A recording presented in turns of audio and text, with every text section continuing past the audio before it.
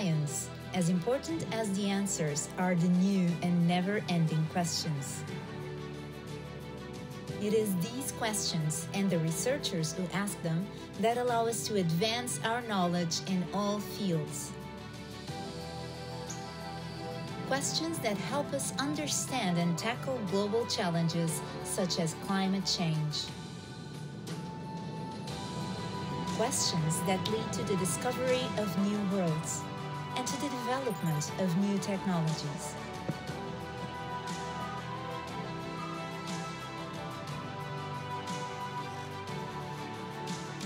Ciências de Lisboa is an epicenter of science of excellence. Let's learn about it together.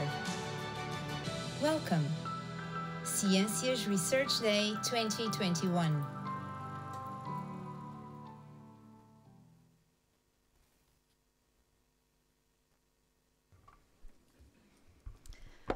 Welcome, everyone. Welcome to our faculty, Ciências de Lisboa. Welcome to our Ciências Research Day 2021. It's a pleasure to have you all here, where the best science is done, for an engaging and profitable session. Today we will talk about scientific achievements, and this year's edition will have a session dedicated to climate change an area in which Ciências de Lisboa is leader.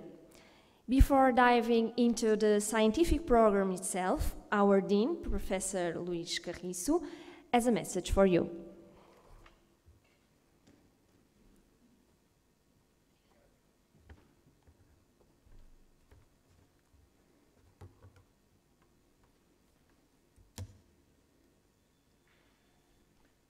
Good morning. Overwhelming, overwhelmed with all these gadgets here, um, but I will try my best. Uh, Vice Rector, uh, President of our school council, uh, the uh, representative of the Biological Defense Lab, distinguished guests, dear colleagues, dear students, uh, friends, well, be welcome to uh, the Science Research Day. It is my honor to open this new edition, the third one, with such a great program. Okay. Um, it is also my pleasure to get back to the long-awaited face-to-face edition. Even though uh, the session is being uh, broadcasted on our YouTube channel. So for those viewers, guests, reviewers, and voyeurs that are looking at our channel, also be wel welcomed. And uh, I'm pretty sure that you will consider um, the excellence of the science and the research that is done at Sciences. The program is actually quite amazing. We've selected first a top research, and we are going from fungi to software, to medical images, and to some surprises that I'm not going to say. Then we talk about the recognition, and finally, Raquel has already said it, we are going to talk about um, climate change. It will be an amazing program. I am pretty sure that you want to listen to it more than you want to listen to me. Okay, it's an uh, incomplete uh, program. I guess if you had three months, we could stay here for three months to listen to all the great science that's done here at Ciências. Uh, I always have to remember that we are, and we are still, the best research school considering the indicators that the rectorate gives give us in terms of research. And we are keeping that position for still another year. I was talking with one of the previous vice rectors, and he also told me another thing. We are the cheapest research in the whole University of Lisbon. You know, for, for someone in my position, that's good. That's great. It's optimization. Okay, we are going to see a lot about 2020 and the great research that we have done in 2020. Of course, 2020 was a tough year, I would say. And still, we manage to do great research. And also classes. I think we also keep the classes running in a very excellent way. It's quite amazing what we do as researchers and teachers. We do a lot of work. Well, um, yesterday I was coming here to try to see what should I say today. And uh, Professor Margarida was bringing some of these plants that you can see here in front of us. I don't know if you have noticed it, but in a way, well, the aim was to represent a little bit, a little sample of our uh, sustainability uh, living lab, and it does, in fact. But also it, it, it represents research. Well, at least part of the research that we do here in, in. You see how diverse it is. There's no two alike plants. That's diversity, and that's the research we do here. Each of, each of them has a lot of work, but they work better together. That's collaboration, and that's the kind of research we want to do. Well, you can also see that some of them are struggling for life.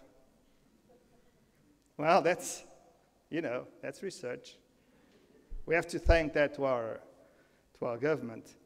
Um, you know, some of the vases has have, have, have some holes that we covered with those, with those uh, um, papers. And uh, some of them are quite thirsty. Yeah? I'm not a botanist, so I'm just talking because of what I see. And some of the leaves have holes on it that research will somehow cover. And we have to get funded yeah, to bring water to those plants. And still, they are there. So, research must be nurtured. We have to do a lot of work to nurture our research, and we have done it so well. So well that we have a vegetable garden over there, which is much bigger than this, with a lot of different plants. And even, or in spite of our funding, we are building a forest. We are creating a forest there. So our research is actually like all these. We are struggling to get funding. We are struggling to give classes in such adverse times, but we are still creating forests.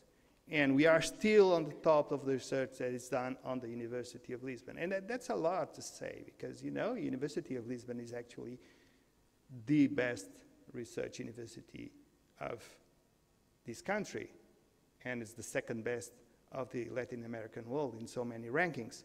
So we are quite amazing.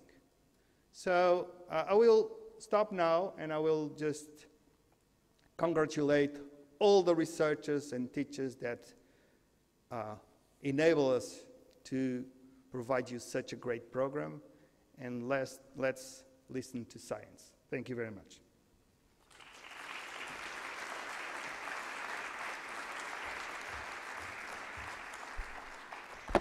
Thank you, Professor Luis Carriço. So let's start our Ciência Research Day. The scientific program will be presented by Professor, uh, Margarida, Professor, Margarida, Professor Margarida Santos Reis and also our uh, Vice Dean, Professor Pedro Almeida.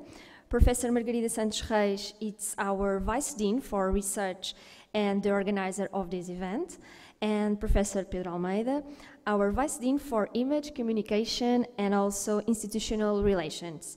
So let's start with uh, Professor Margarida Santos Reis and uh, with the research highlights for day.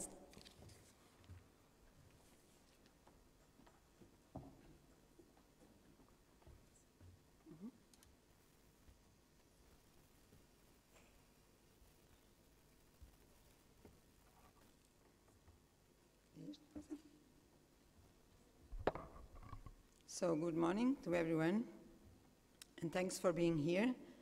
As our director said, it is uh, this year we are doing something different. So in the first, this is the third edition. In the first edition, we were all here in the room, as you can see.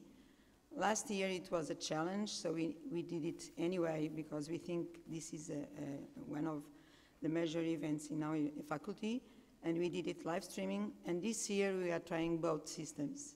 So thank you for all of you that come here and to listen us, but also many thanks for those that are listening away far from here. So you are most welcome. As you can imagine, to, to make a presentation that aims to highlight the achievements, scientific achievements of such a diverse school and with, with such developments in, in science, it was very hard. So I'm going to speak of things that I do not understand, fully understand. I, I, today, after three years of being in the direction, of course, I understand much more what is done in science in our school. But anyway, I'm not a specialist in all the fields. So forgive me for those that I will not go into in depth, uh, but I will try to do a, a selection of uh, some of the achievements. So let's start with some facts and figures about Ciências research, first of all. So for those that still don't know, at the moment we have 19 research units in the Faculty of Science. Of these, 90% are graded as excellent or very good by the international evaluators that evaluate science in Portugal. Most of it are excellent.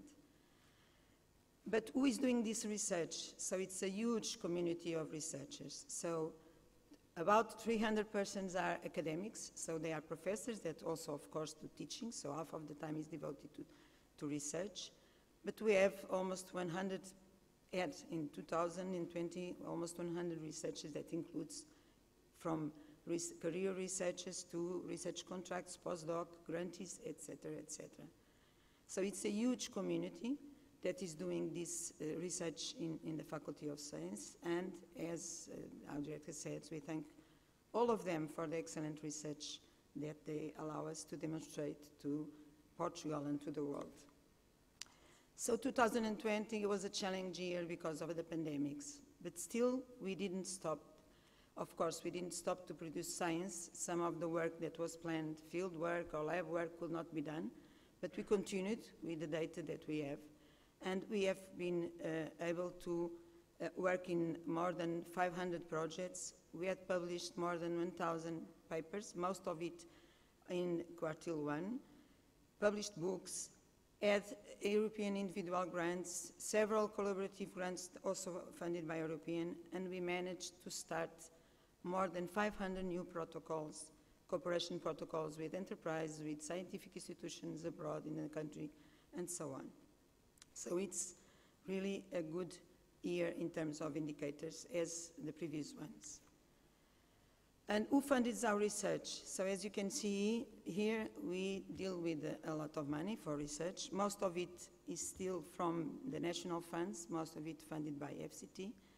But comparing with the previous years, and I'm sorry that I didn't put it the previous graphs, I can we can see that attracting funds from international sources is becoming, is growing and growing. So we hope in the next year to have at least half of the money income money for the country, for the faculty coming from international sources.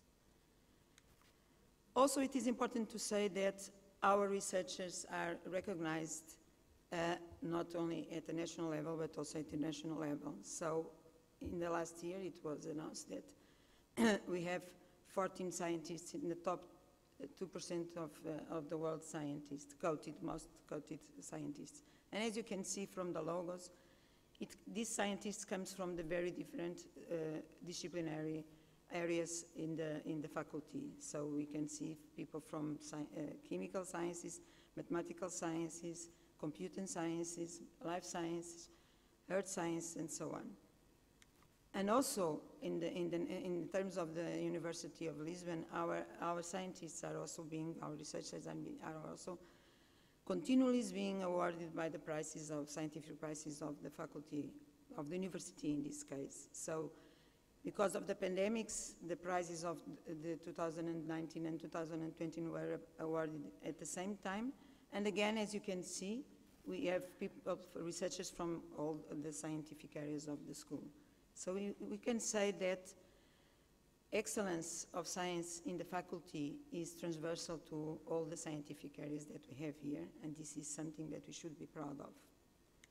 But moving a little bit into the scientific advances that involved science researchers in the, in the current years. As you everyone know, 2019 was a year where COVID almost, uh, I mean, everyone was concerned with COVID, and COVID was the topic, uh, scientific issue all over the world. And Sciences was, of course, in that path. And as you, the ones that existed last year, saw that the thematic session was about uh, an integrated approach of our researchers about the theme of COVID. And um, an important thing that was the investment that Sciences has made in creating the Centro de Testes Ciências that was related to COVID. And one of the things that we should highlight in this respect is also the program uh, Secure Families, which has to do with people that take care of others, that was, uh, I mean, that was um, supported by the Presidents of the Republic. And 2020, this continued, and we have several researchers continuing to work on this topic, as, because unfortunately it didn't end, again from different scientific fields. And the major development was the, the, the transition of the Centro de Testes to a much bigger endeavor, which is the Innovation for National Biological Resilience Lab. So this aims to be a center of excellence for co-creation and validation of process for detection, identification, surveillance, and mitigation of new diseases.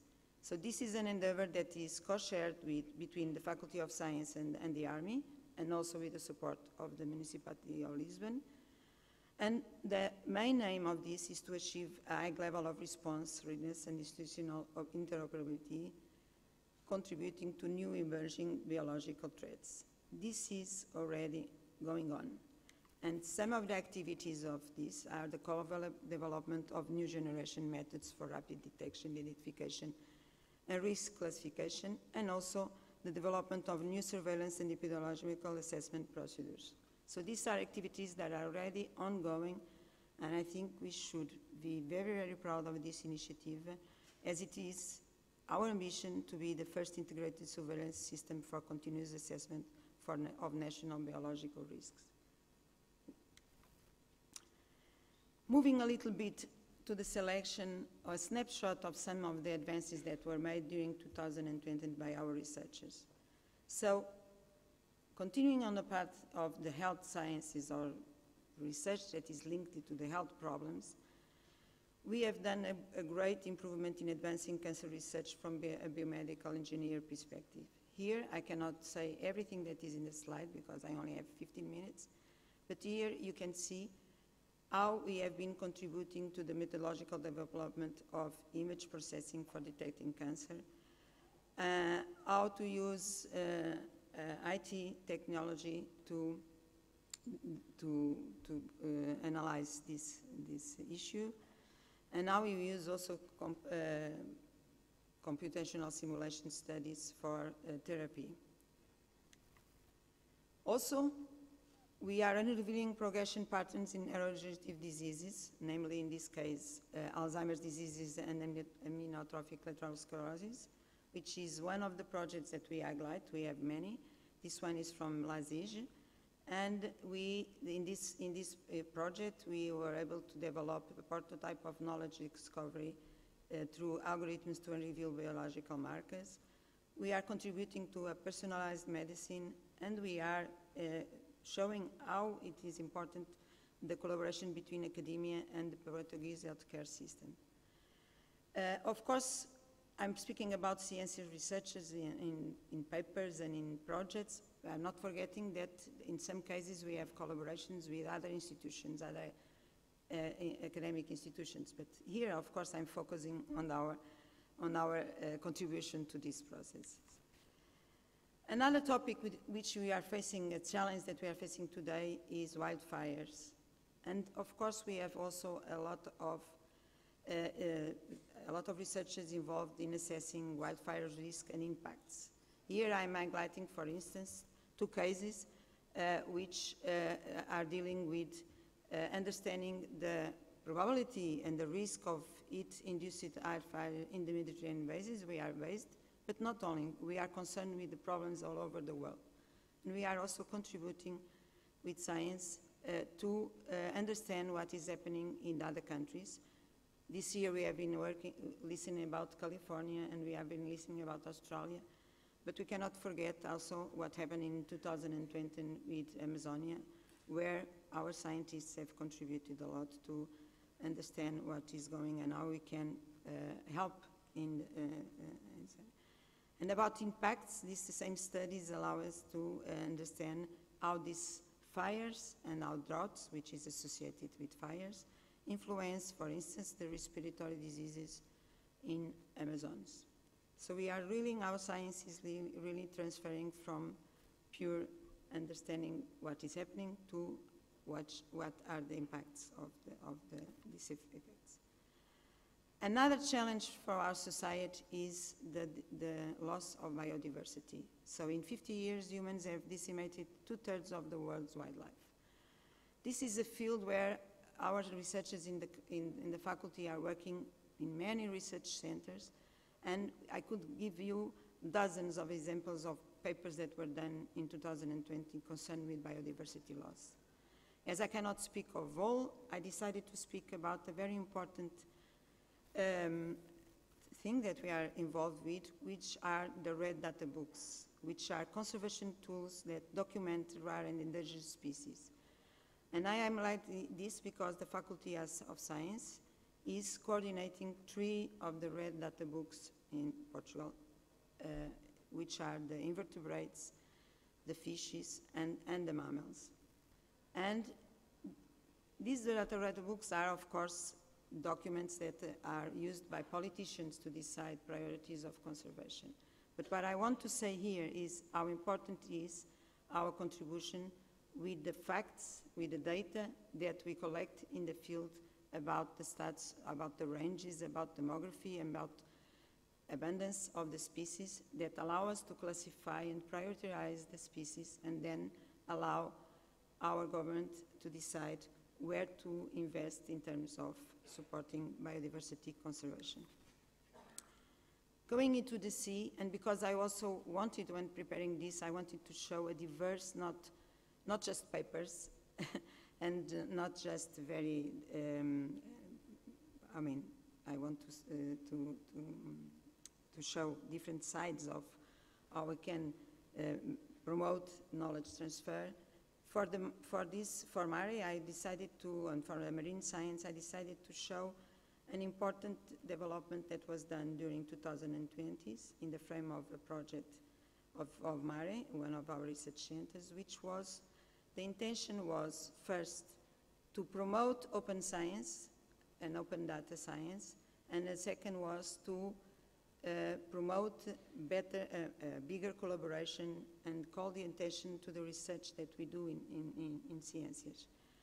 So in this case, the example I used is the collaboration that was made with one of uh, big um, high impact research journals, the Frontiers in Marine Science, where researchers from MARE uh, were made an agreement to uh, editorial agreement to publish original research articles, data reports, and reviews about marine science.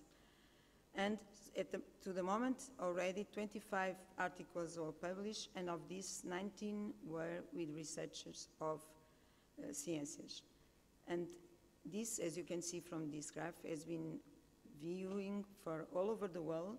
So uh, I'm sure that in the next years we will take profit of all the collaborations that can be established by showing outside how good is our science in marine issues. But we are not only concerned with environment conditions and with uh, and plants and animals, we are also involved in studying humans and not only in the, in the perspective of health. We are also uh, uh, doing a lot of research in human evolution. You maybe have seen that, for instance, a very recent news about the Azores and how our researchers contributed to uh, clarifying how Azores was uh, populated uh, in, in, recent years. But this is a, a, subject that is from 2021. So from 2020, I choose this example, which has to do with the, the history, the genomic history uh, of humans in Greece, and which was a major contribution of our researchers to this, to this uh, work. Also, a very important development, advance, was the development of an optical system for space telescope that will X-ray the universe in the next decades. This is a major, major contribution from our Institute of Astrophysics in cooperation with the European Space Agency. And for sure, we will be listening about this in the next years because this is something that will take at least two to three years to be developed. And we have been involved in things that ranges from the design and development of the measurement system to the design of the optical component and the execution of the tests. So our contribution in this field is really, really a major issue. And hopefully next year some results and some will be uh, um, uh, shown in this session. But we, not, we do not only do applied science, we also do fundamental science and um, in, in several fields. In the terms of science, chemical science, and we are concerned with a sustainable world. So I'm, here I'm showing research involving ionic liquids uh, as green solvents for the future. This is a combined experiment and computational approach that allowed the identification of a new family of ionic liquids, which has a major impact, and that will be is important to, to uh, green technologies in areas such as batteries, solar panels, and CO2 capture. So it's also a major development. Also, 2020 was a particular year uh, where advances in scientific, uh, in photonics was, was, was done. We have invited uh, uh Vladimir uh, Konotop to, the, to this session. Unfortunately, he could not be here this year, but we could not uh, refer the major conceptual relevance and the application of this research for optics, for physics, and even for mathematics. So it's really important. And lastly, of course, we have also here an excellent research center in history and philosophy of science that has published four volumes that uh, are a current uh, vision from the medieval period to the present day that highlights the best historical research in these areas. And we invite you to read chapters that were published in, in these books and that involved a, a huge number of researchers from Ciências, and not only, of course. Okay, so I hope I have translated, uh, I have been able to, to show you a good science, examples of good science, and I could be here, as our director said, much more days speaking about the advances that we have made. But we also have an, an important role in, in the linking to, in, in, transferring this knowledge to industry and society. And I selected two examples. One was a, a, protocol that was done with Nestle Research uh, that has to do with stability of powder-based food products. That, as you know, humidity takes care when this, uh, I mean, it threatens uh, this uh, product, uh, food products. And uh, researchers from, from CFTC had done a numerical model that uh, to predict the lifetime of powder-based food products, and as you can imagine, this is a, a huge importance for industry, not only for Nestle, but that could be transferred to many other uh, enterprises that are dealing with these food products.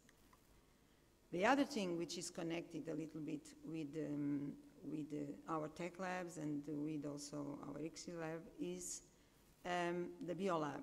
The BioLab is also an initiative between the Municipality of Lisbon and the Faculty of Science and is an open and multidisciplinary innovation ecosystem in the area of biotechnology that uh, uh, to promote capacity building, training, experimentation, etc., and develop Lisbon's biocircular economy and the activities that are ongoing are already multidisciplinary collaborative flagship projects, activities in multiple areas in biotechnology, and collaboration with architecture, sustainable fashion and design, but much more things can be done at the Fremel Biolab. There are two posters outside that you can see if you are interested in this, and I'm sure it's also a big event. And we also do our science, we also transfer our science to public policies. And so, as you probably know, uh, we have been involved in five uh, approved uh, call, um, associate labs that were promoted by FCT, and that involves several centers of the faculty, and, to, and they have to do with global changes, with uh, marine sciences, with molecular sciences, uh, with earth sciences, and again, we will, uh, next year, they were approved at the, at the beginning of 2021, and they are now in the process of being implemented, and we will be listening about their advances in short time. And I will finalize with the new incentives to science research. So this directive board had with the, a first task was to show to the faculty and outside the excellent research that we do because the faculty was seen as a, a- a- a teaching institution and many people did not knew exactly what was done in research in this area outside his own niche. So our, our, our, our first idea was we need to show to everyone what is done to promote collaborations, to, to, that everyone knows what is it. And now we are going into the next phase, and the next phase is how can we promote uh, stronger collaboration inside sciences community? And how can we give or recognize publicity the good science that is done in, in, in the faculty? So as you saw in the program, today we are going to announce for the first time the prize of research. This is an evolving uh, situation, so we are still maturing about the criteria that should be used to select one person that will represent each year the best science that is produced in Portugal. For this first year, we go into the easiest way, which was to look into the productivity.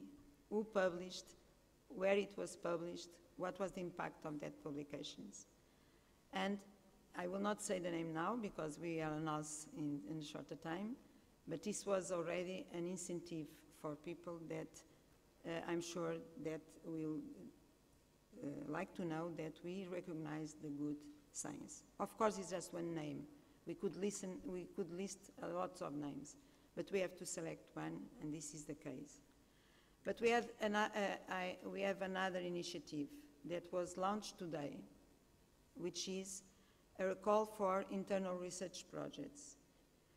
These, uh, these are exploratory uh, projects that we want to promote yearly as well. And that is a partnership between Faculdade de Ciências and pub- public-private or public-private entities.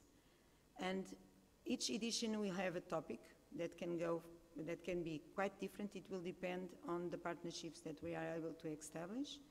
And of course, for the first year, we could not select a partnership, a better partnership than with F-Sciences, because it's, our research is linked with F-Sciences, we depend on F-Sciences, and we want to acknowledge F-Sciences' role in the, in the scientific uh, activities of the faculty. So the first edition is uh, uh, supported by F-Sciences, so it's shared with F-Sciences. And with this first ed- edition, we intend to stimulate interdisciplinarity in the context of science and scientific areas. So one of the criteria is that the project that will be submitted need to have at least three members from three scientific areas of the faculty. And with this, we really hope to stimulate collaboration, higher collaboration within the faculty. So those of you that are already thinking that I want to apply, please go and see the uh, call, for, the open call for this edition that was divulged today. And the submissions will be between the 15th of November and the 15th of January. And to finalize today's program, so you know already the program, so we have a session about the top-notch science, another about science and societal organization, and then the thematic session that this year is Understanding Climate Change. But please do not forget the poster sessions. Do not forget the speed dates, which are open houses, where you go just pop down and you can speak with researchers, with PhD students, with everyone. And we have also a new initiative, which is the Open Labs, where we will have guided tours to some open labs that are supporting our research. This is us, and quoting one of our uh, Uh, research units, and I thank them for this. We are driven by excellence. So thank you for listening.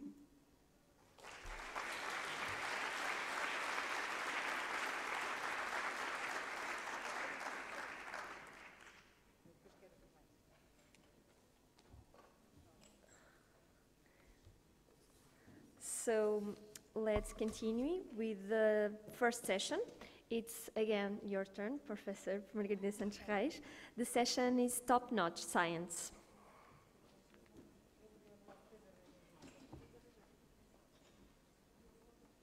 Okay.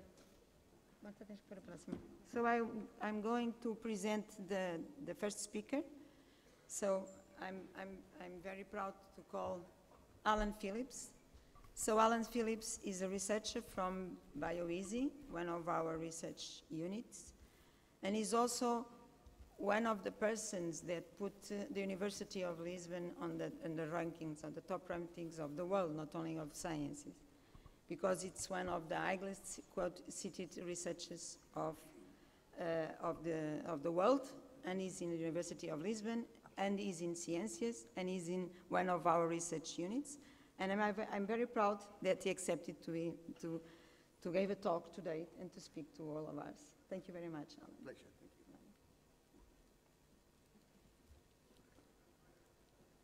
Sorry, my glasses messed up with these masks. Uh, thank you very much for giving me the opportunity to uh, say a few words about what I'm, I'm doing here. Um, I found it very interesting, Professor Carriço, that you used the analogy of forests and trees and everybody working together, because just so happens, I talk about sapros, but this is one of the main things about fungi, one of the most, most important aspects is forests, trees, everything working together, fungi working with the trees,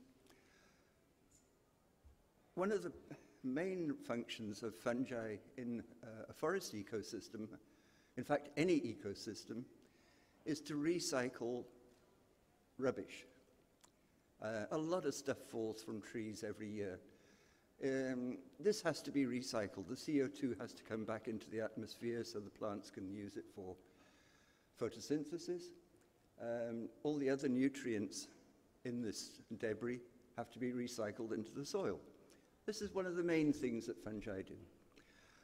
In a forest, and probably just about every uh, plant on Earth, uh, fungi form this uh, very intimate relationship, especially with the roots of the, the, the plant. then they send their, um, their hyphae way out, way beyond the root zone, filling all the spaces in between the roots in the root zone, drawing in water, transporting it to the tree. And that's why these beautiful cork oak trees in, can survive in almost bone dry soil in Alentejo in the, in the su summer. It's because the fungi help them get all this water and nutrients. Um, yeah, and without I, I, it's not an exaggeration. Without fungi, we would not have forests or other plants. Without fungi, I doubt if there could be any, um, any life on Earth. Okay. Uh, fungi are not all good. There are some quite uh, terrible pathogens. Um, some of them cause, uh, or they have caused famine, mass migrations, uh, even shifts in the economy of entire countries. Um, others just lead to food, food shortages and huge economic losses. okay. I, I work with uh, plant pathogens, nothing like these spectacular ones, but nevertheless, they do cause a lot of problems.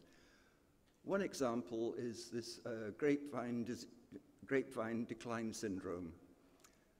Um, it's a series of uh, diseases, a se series of pathogens, series of diseases contribute to it. The one that I was particularly interested in is the one that causes these. Uh, oh, where's my pointer? Oh. Okay, anyway, it causes br uh, brown streaks in the xylem. Uh, this is where the xylem has become blocked with fungal hyphae, it's become blocked with tannins and gums. Uh, it, it gradually gets worse as the, the plant gets older, and eventually the grapevines become less and less productive until they have to be uh, replanted.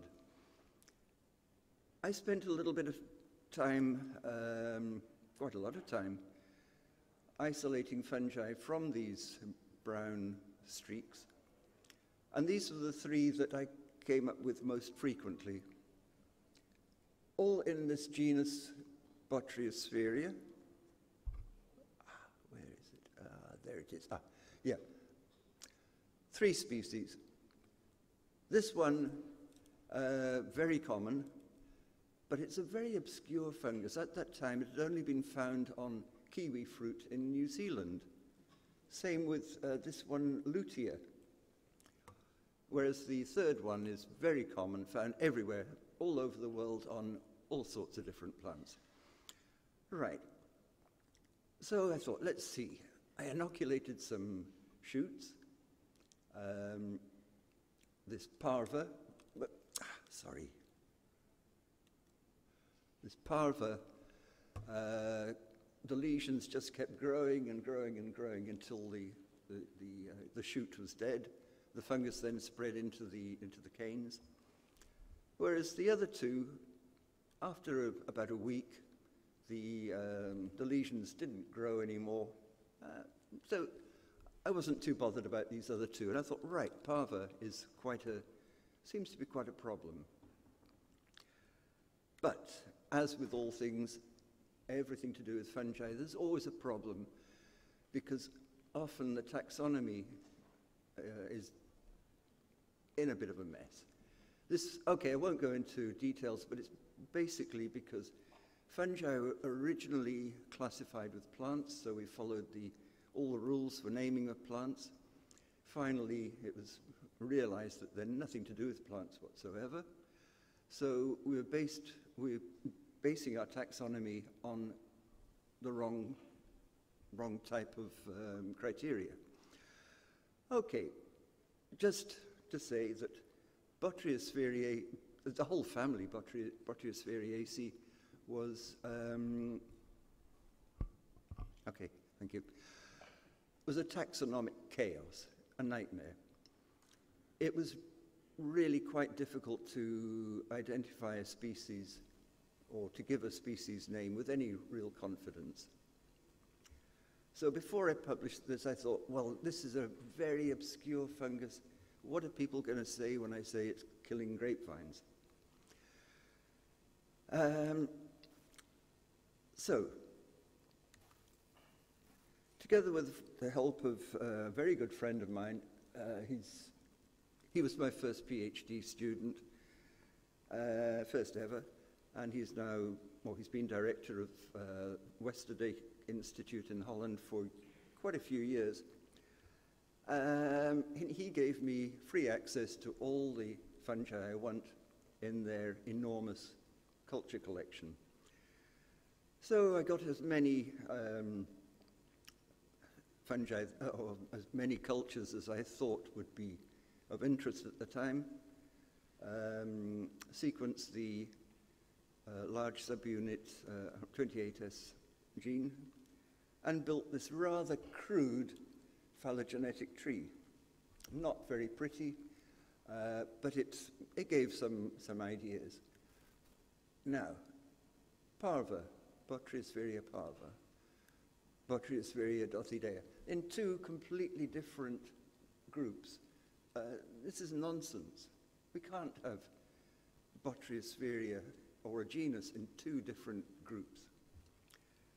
Uh, so I thought, okay, let's just take the easy option. Let's call this one Neofusicoccum for want of a better name. Um, we introduced a new genus. Okay, not very elegant, um, but it worked. At least now I had got a, a reliable name for this uh, pathogen of grapevines. I could communicate with people. People could communicate with each other. And it was a very reliable name. I'd got all the information, all the details of the fungus, easy to identify. So, this actually worked out quite nicely because um, as time went on after this, within a few years, people were saying, oh, we got parva here, we got parva. Basically, it came down to the fact that this fungus was very, very common on grapevines in all grapevine growing regions of the world. Nice. Not only that, people started to um, elaborate on my rather crude uh, pathogenicity experiments, and it ultimately, now, today, this fungus, which I thought was a very obscure thing, is very common, and it's one of the most important um, fungal pathogens in the grapevine decline syndrome. And this is, um, yeah. So, yeah, just by the simple report of it, uh, giving a good name to, a, to, to the pathogen, and um, people could communicate. This is the main thing. Uh, so I was quite happy with that. Even happier when my first Portuguese uh, PhD student found a very interesting diplodia on um, dead and dying, especially dying uh, cork oak trees. It didn't fit in with any other uh, diplodia, so we gave it a, described it as a new species. Um, and soon after, it was found or reported from Sardinia. Um, I spent a, a, wonderful week or two with Benedetto in, uh, in Sardinia, and we found that this fungus is actually very widespread. He said he'd seen it before but didn't pay much notice because he wasn't quite sure what it was. Now he knows, now he's working on it. In fact, in the um, La Maddalena uh, archipelago, this diplodia is causing great, a lot of damage on the holm oak trees. And it didn't stop there because um, very soon uh, a very good friend of mine from Algeria, her two students were finding it all the way through the oak forests uh, on the north of Algeria. So within a few years, we had got a beautiful collection of this fungus from all around the um, Western Mediterranean. The only place I have not been able to get any cultures is from Morocco. I've had a lot of promises, but nothing. Um, one of Aquila's students, Aladdin, uh, he started, he, he, came here for, uh, I think it was a, a, month, I can't remember, uh, and started to do a very nice um, study on genetic variability of this fungus. Unfortunately, as with all these good ideas, uh, funds ran out. Uh, he went back to Algiers, and uh, we still have all the cultures. One day we'll get back to it. Okay, so that was around the Western Mediterranean. This fungus is, is everywhere, and it seems to be causing some problems. Over on the other side of the Atlantic, um, reports have been coming in that Diplodia corticola is causing problems on the native oaks throughout the USA. Okay, that was um, very, very quickly just two examples. In the meantime, well, we've had worked with dozens of these things for various different groups of fungi, clearing out what are the pathogens, which ones are the saprophytes, getting good species concepts, oh, good species um, definitions. Uh, this is a bunch of some of the students and researchers that have worked with me. We had a lot of fun. Uh, just going to point out one. This guy, Jafar Abdollahzadeh, we always called him the gentle giant from Iran. Huge guy. He came to work with me for three months, stayed for nine, and ended up, well, he probably halved, used up half my sequencing budget, but ended up producing or describing so, so many new species from Iran. Wonderful. Okay, now, even though um, we had some of the species very well characterized, couldn't get away from the fact that the Botrytis was in chaos.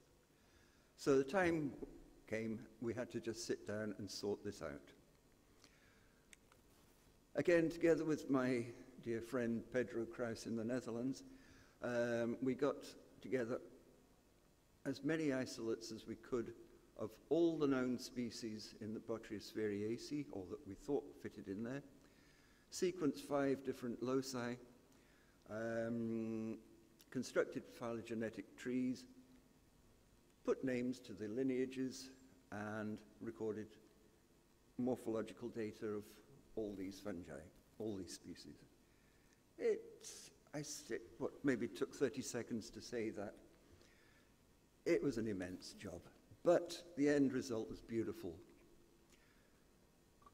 We could resolve 17 genera very clearly in the family. Uh, we could resolve 114 species, all clearly, um, clearly demarcated.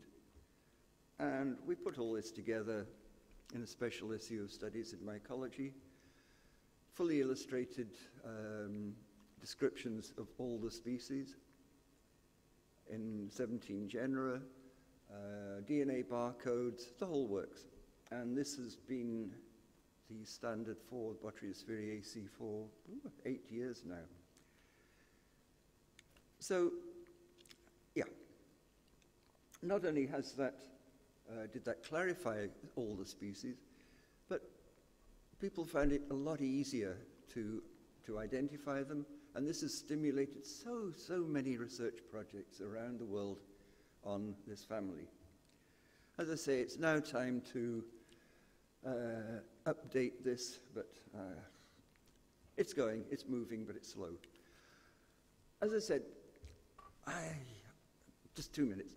Um, my money, my funds ran out. Um, but round about that time, uh, I started to make some nice collaborations. Uh, GA, GAE Jan invited me to, to Beijing for about 10 days. Um, we spent some time working out his research plan for the next five years. And then uh, they uh, asked me to join their advisory board, scientific advisory board. And I said, okay, here's me looking really as if I realize now just how much work they've given me.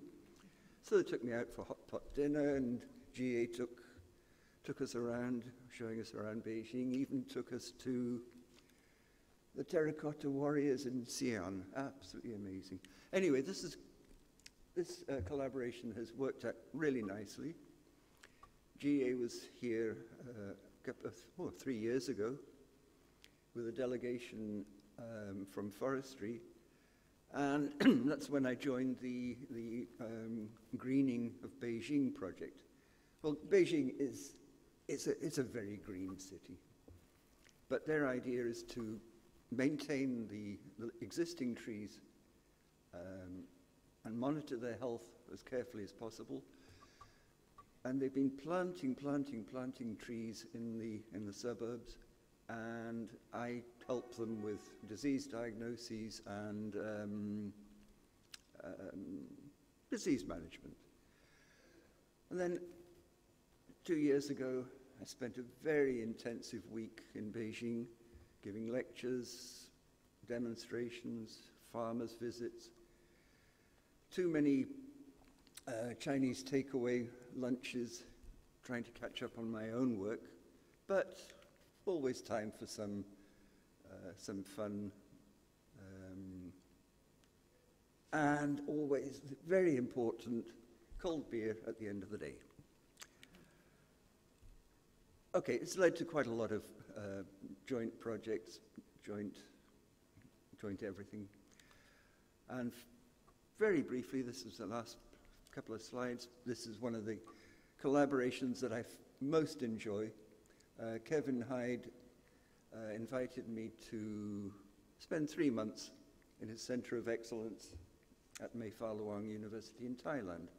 It was an incredible experience to be surrounded by these oh, 50 or so PhD students, postdocs, highly motivated, really talented, and work like crazy.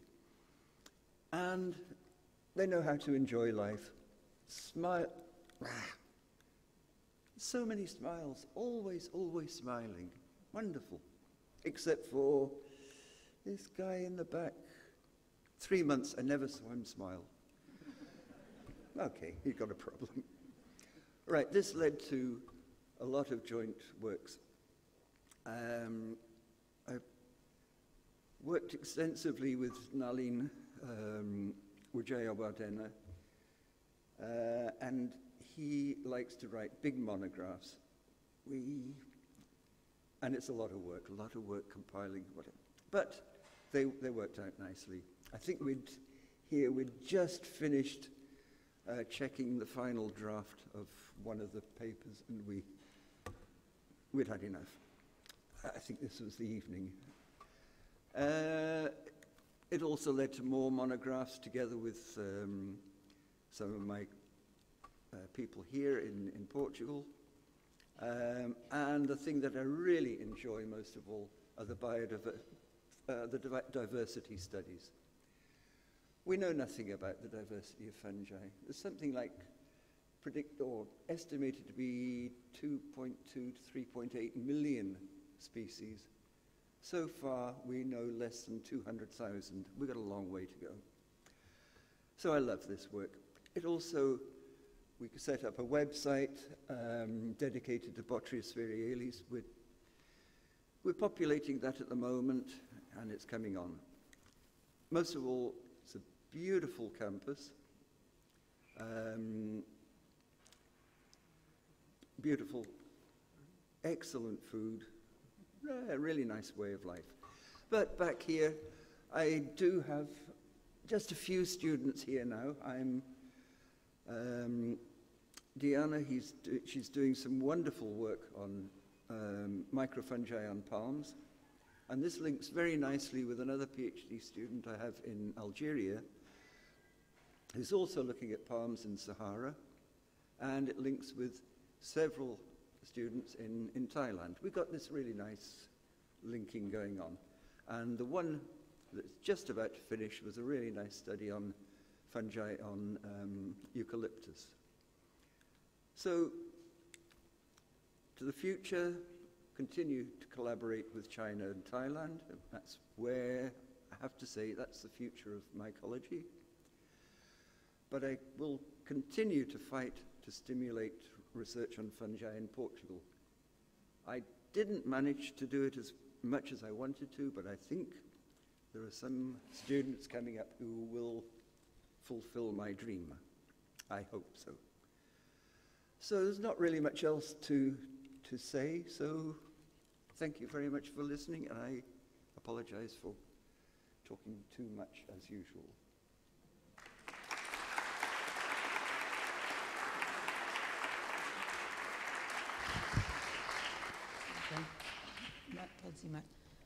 Thanks, Alan, for your presentation. And I'm sure now you will, will be most known inside our community and students will come and join you. Thank you very much. So the next speaker is Nuno Matela. So today we have announced the first research prize for the faculty, but we have awards for the best teacher for several years now, and Nuno is also winning these prizes. So he really is a good example how we can be a good teacher and a good researcher.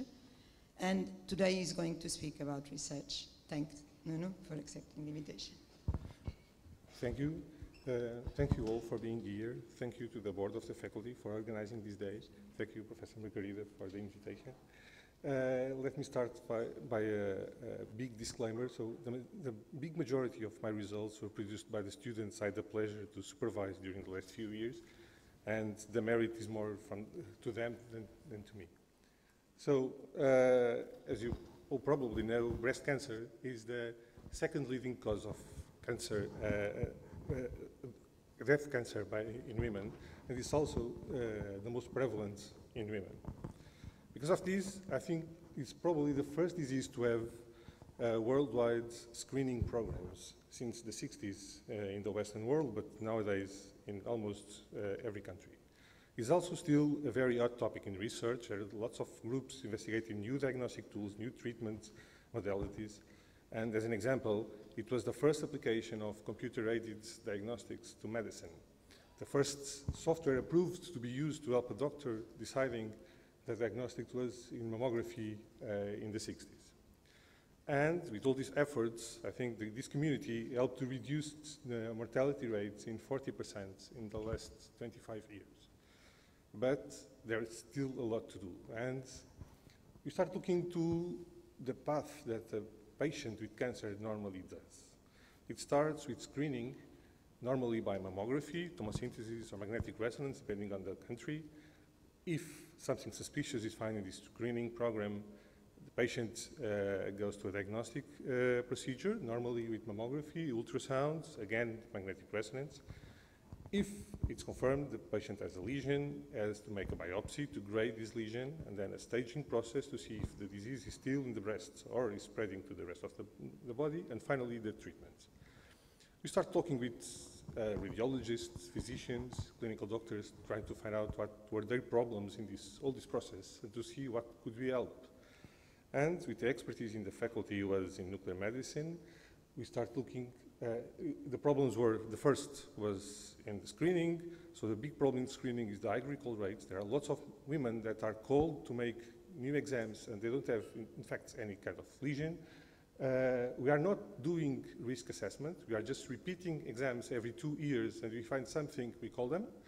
And we don't have personalized programs, uh, except for people with, a, with the genetic risk, risk. We are not doing anything different to women that, in fact, have different characteristics. In the diagnostic process, the problems were mainly the visualization and how to characterize lesions that were detected in this process. Finally, in grading, then uh, to analyze biopsy, the histology uh, doctors, they have to look to microscope images that is very time consuming and as I will show you later, it's very, uh, it suffers from humor observer variability. Regarding staging with PET, the problem is that PET is a whole body image with very low spatial resolution, very poor detection sensitivity. So in some cases, we are not able to really find metastases uh, in early stage. And regarding treatment, I think the main problem is still the prediction of the treatment output. So look to this picture and decide where are you going to work. And the first point was uh, a few years ago now, it was about staging and pets, and in fact, the faculty entered a big project called ClearPEM, and the idea was to develop a dedicated scanner to make this staging process based on PET technology. And the, project, the idea was something like this. We, had, we aimed to have a, a scanner able to produce images with 1.5 millimeter spatial resolution, and that allowed faster, that could allow faster exams and lower those to the patients And uh, the idea is to have the patients lie down in decubitus, and we have these plates that move around the breast to detect the images. For these, the faculty entered the international collaboration with academic partners, clinical partners, uh, international network collaborations, and industrial partners. And at the end, we were able to produce two scanners, one that is installed in Coimbra, and the second one was firstly in France and then moved to Italy.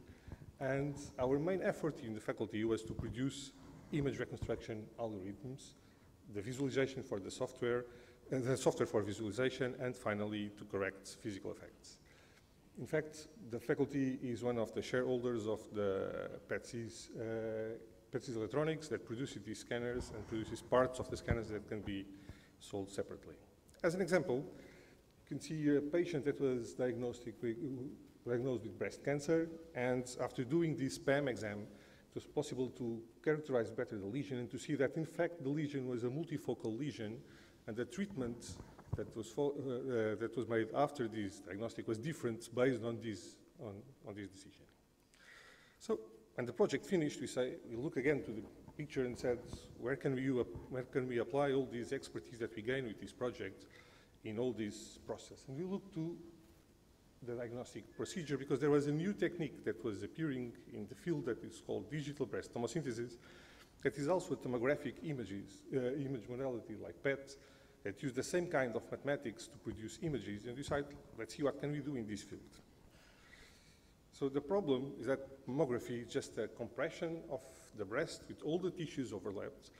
And there are lots of false positives because we don't really know if uh, something strange in the breast is not, it, it's a lesion or just uh, overimposing tissues that appear like a lesion in this image. So the idea was, it was in the 2010, 2015, a new technique was appearing called digital breast tomosynthesis that would aim to eliminate this visual overlap. The idea is to have, like in CT or magnetic resonance, to have the breast visualized in slices of one millimeter without this overimposed system. Show you a little a short video from one of the manufacturers to show you how it works. It's a machine similar to mammography. The, the only difference is that it acquires different mammography images in different angles, and then it's reconstructed like CT, and we can have slice by slice visualization. As an example, you can see here the mammography, and you can see here the corresponding tomosynthesis. Let me show you with the mouse. Here in this field, in this point, you can see that in fact there are two lesions appearing here that look like one, only one lesion in these parts. Looks fine, but there are, there's a new, as all new technologies, there are lots of problems.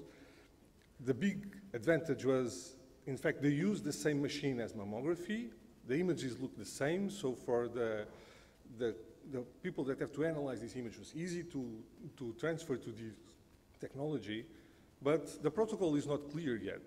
So clinical doctors still rely on mammography. They still look to a, a mammography first, and then if it, they find something suspicious, they will open the digital breast tomosynthesis. It's not, the image reconstruction and image visualization was not optimized. That was good for us. That was our expertise from the previous project. And since we are not acquiring 360 degrees around the breast, we don't have isotropic resolution. So doctors were still looking only to images in this direction, and it's sometimes difficult to understand how different lesions are distributed uh, around the breast. So we start, okay, our expertise was image reconstruction. Let's try to apply similar algorithms to this data. And in fact, we were able, with a uh, funded project by FCT, we were able to develop algorithms for image reconstruction. These ones were the ones that manufacturer installs in the scanner. And you can see here that our, our algorithms were able to increase contrast to noise ratio and, and better, have better spatial resolution than the ones that were being shown to the doctors. So we moved from these images to these ones. Okay, the doctors told us we were happy with this one. If you could have images similar to this one, but with less dose, that would be fine. And we proved that it was possible to have images with less radiation, but with the same quality with these algorithms.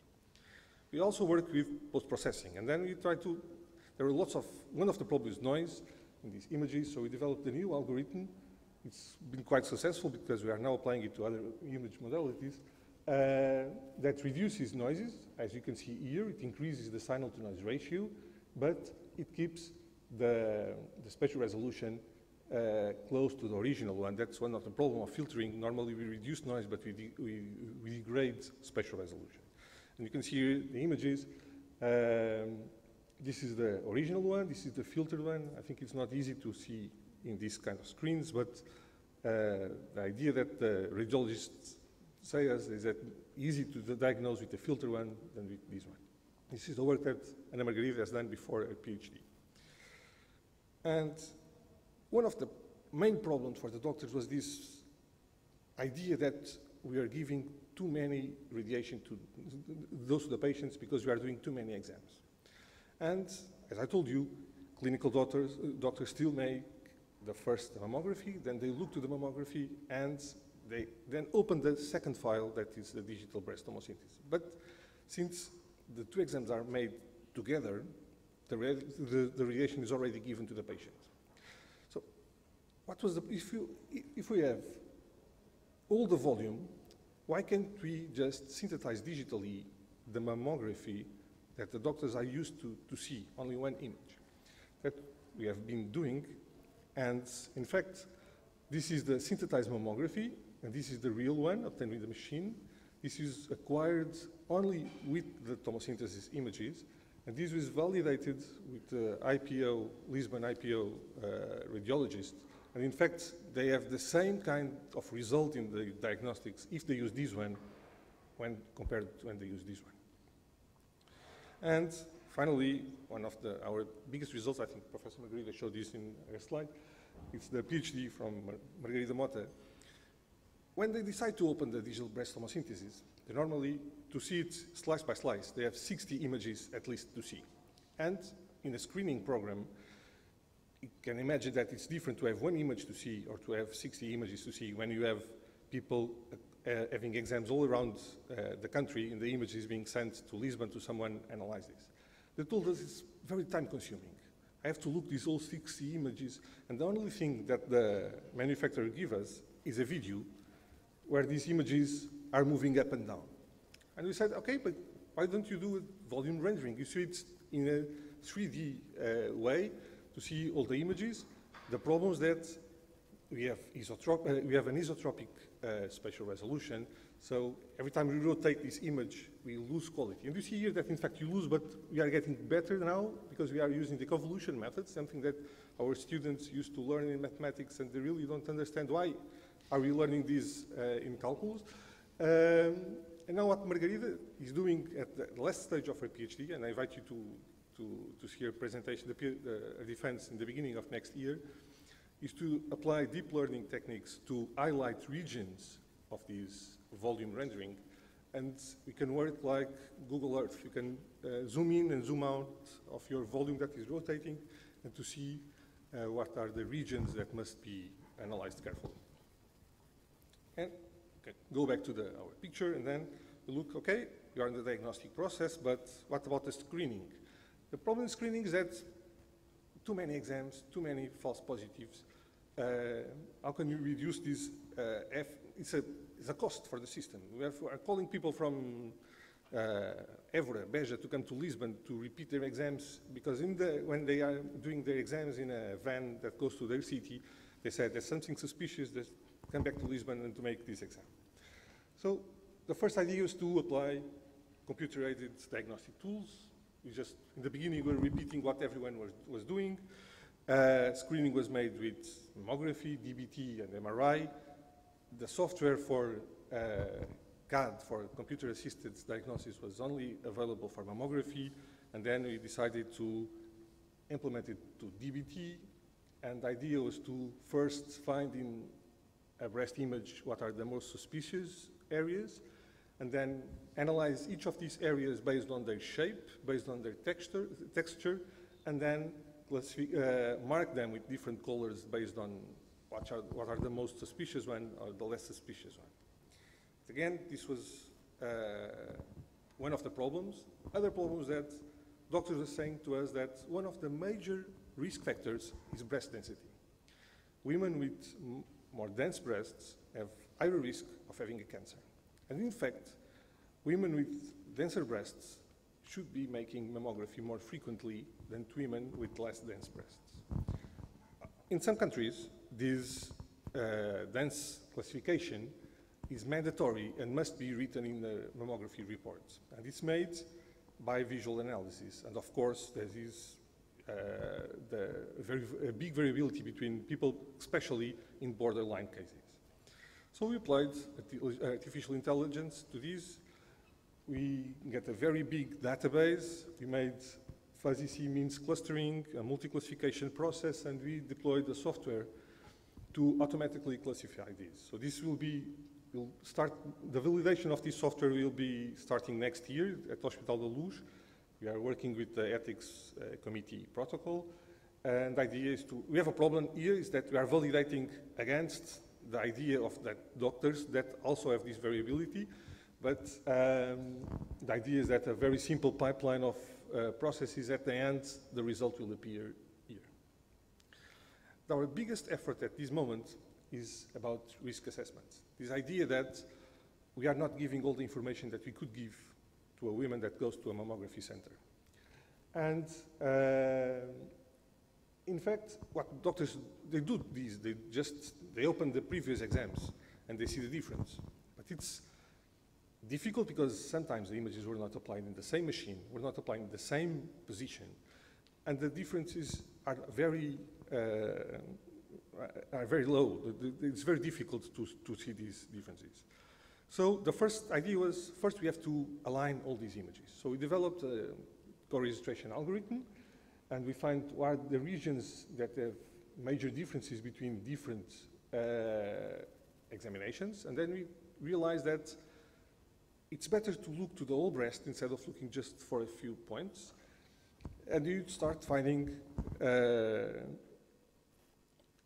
metrics that would measure how the breast is changing over the time. And in fact, this is, are not published results yet. João is going to present his, his master thesis uh, in the beginning of next year. You can see that for a short database that we have, this is the normal behavior for breast cancer patients and disappears one or two years before the radiologist detects, detects the cancer. And this is the normal behavior for a healthy patient that this change is re related with aging.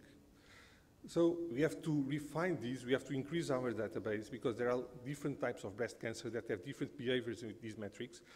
And the databases, we don't need a database of, um, of mammograms, that's easy. We need database of history of patients because we'd like to in introduce here information like age, uh, family history, genetic, uh, genetic information. So this is our ultimate goal for the next few years.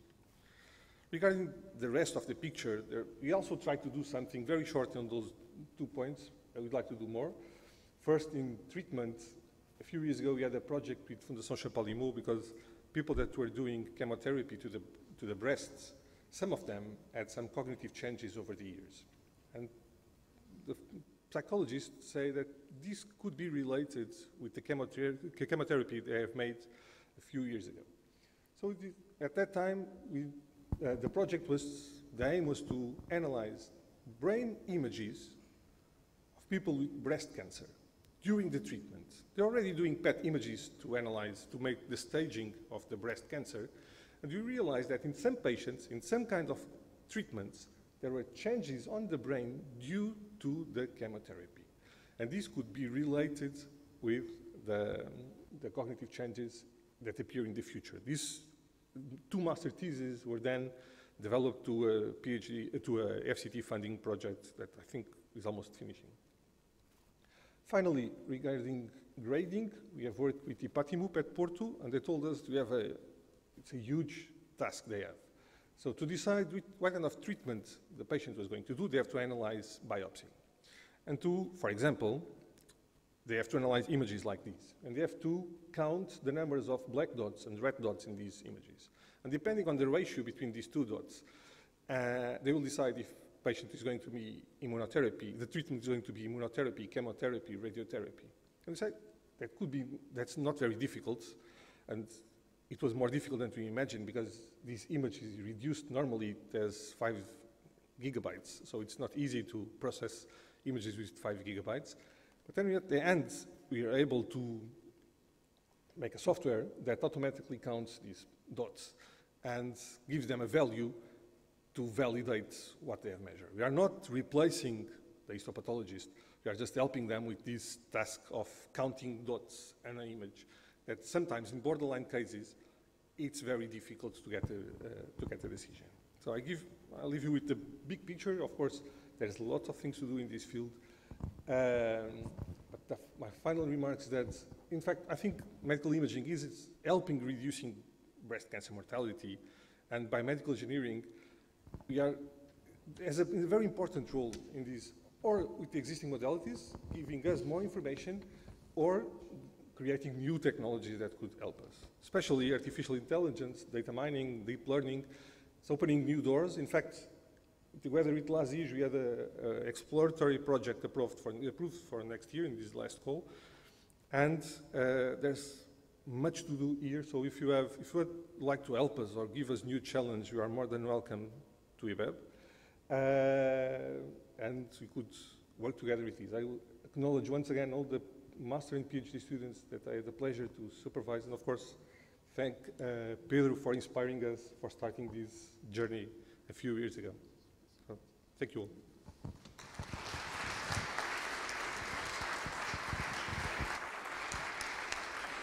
Thank you, Nuno, for the amazing work. And it's a good example of collaboration between two areas in, in the faculty. Thank you very much. So the next speaker this is a miscellaneous uh, session. The next speaker is Alysson Bessani from LASIGE. He's going to speak about software diversity in dependable systems. Thank you. He's also professor at the Department of Informatics. Okay. So thanks for inviting me for this uh, session. Um, the idea here is to present you a bit um, about the, the role of software diversity in making more secure, trustworthy, resilient systems.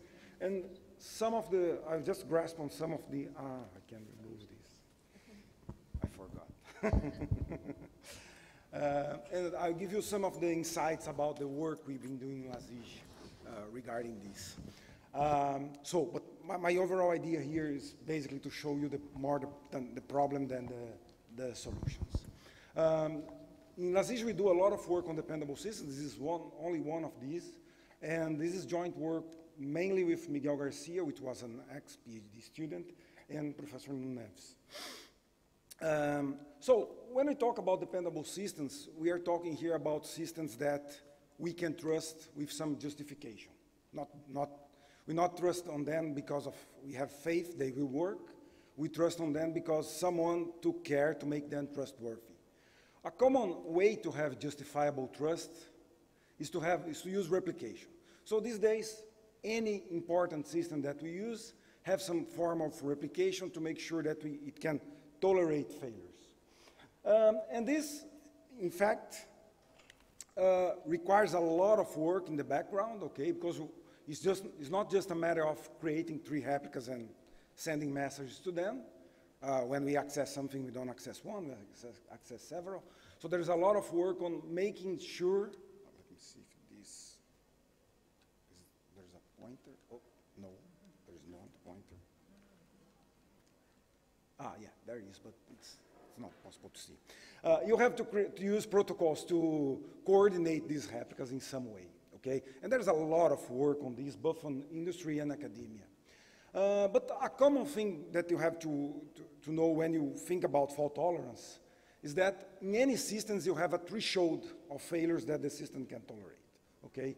For example, here you can have three replicas, but in fact you cannot tolerate the failure of two. You tolerate the failure of just one. Uh, so it depends a lot on the protocol. And also it depends a lot on the type of failure that you want to tolerate. Typically, people are worried about crash failures. So if the server goes offline, we need to do, uh, the system still continues to work. Why it goes offline doesn't matter. Might be a power failure, might be some defect on the hardware, might be a bug on the software that it hanged, whatever. But a more insidious or complicated failure to deal is what we call arbitrary or Byzantine failure. In this case, the server stops behaving in accordance with its specification. Basically, it starts going crazy. It sends wrong messages, it goes against the algorithm, it tries to send wrong results to the user, and, and, and many things like this. Uh, this, this type of failure is interesting because it can model security incidents, in particular intrusions. Because we can imagine that when someone uh, compromises your server, there's an intrusion on the server, it can uh, this adversary can try to go against the system, to, to break the, the system and fool the users, and so on. And uh, one thing that happens when you, when you have this this type of fault tolerance, is that you, ha you have this threshold as I just mentioned. And in all these systems, you have this, uh, this idea or this underlying assumption that you need independent failures. You cannot have a single problem or a single event bringing down the whole system. Otherwise, it's not worth to have to pay the price for fault tolerance. Um, and this idea of independent, fa independent failures, it depends uh, if it's, if it's um, reasonable or not depends a lot what, you are, what, what are the nature of these failures. Are you worried about bad luck or defects that might or might not happen?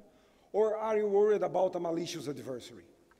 Uh, and, and the way you can deal with these two things are quite different. So let's think about the malicious adversary. If you just deploy a system and use, for example, four replicas, and then there is someone that wants to bring down your system to, or to compromise some replicas to steal money or, I don't know, affect it in a, in a bad way. So this adversary, that can be a nation, can be a very wealthy group that has a lot of resources, will spend some time investigating the software and then we'll find a bug. And with the same bug or the same vulnerability, we'll create an exploit and bring down the whole system. Why? because the system is composed by the same type of software, same type of replicas. A way to deal with that is to strengthen the system using diversity. So basically, you will use different software and even hardware or locations, whatever, on the replicas to make sure that this adversary will need to spend an, an amount of effort um, proportional to the number of replicas to bring it down. So in this case, if, you, if the adversary spends some time to find a single vulnerability, it will be able only to break one of the replicas. This, the exploit, the, the attack, will not work on the others, hopefully. So this, this, what I described here is an assumption that people take, okay? Or in the past it was an assumption. Uh, the, the main problem that we try to address first uh, when we started working on diversity is how to substantiate this, this assumption. How, what people can do to make sure, uh, the, the, in fact, different, uh, an attacker will need different attacks to bring down a replicated service. One of the ways to do that is to build different versions of the, the service. The problem, it's called the N-version programming. It's used in military systems, in very, very critical systems like in avionics and so on. But the problem is it's very expensive. So there's always the question that, okay, I want to build a complicated server. Is it better to get my budget and divide it to build several versions, or it's better to get my budget and build one single version that is much more tested and verified? Typically, people build a single version, uh, especially on the online servers that we use on the internet. So um, a better way to do that is to use off-the-shelf diversity, okay? So this is diversity that is already available. So for example, you can try to deploy different operating systems on different servers. Because most of the time the vulnerabilities come, come not from the service you are deploying, but from software that you install in your server together with the operating system or to support your application. Um, so the first work we, we did was to verify uh, with real data to see if the, using different operating systems will lead you to some uh, improvements in terms of um, independent failures. okay? And this work was published in 2011, so 10 years ago, and this year it was recognized as, was with the Test of Time Award um, in the, in the most important conference on dependable systems. Um, and I don't have fancy pictures to show about the, the, the work because it's basically a lot of tables and, and graphs, but I can tell you what, what it's about. So basically what we, do, we did, we got a lot of uh, vulnerability reports that was produced by this National Vulnerability Database. It's uh an organization from uh, American government. Uh, so thousands of vulnerability reports uh, encompassing 15 years, affecting 11 operating systems of four families.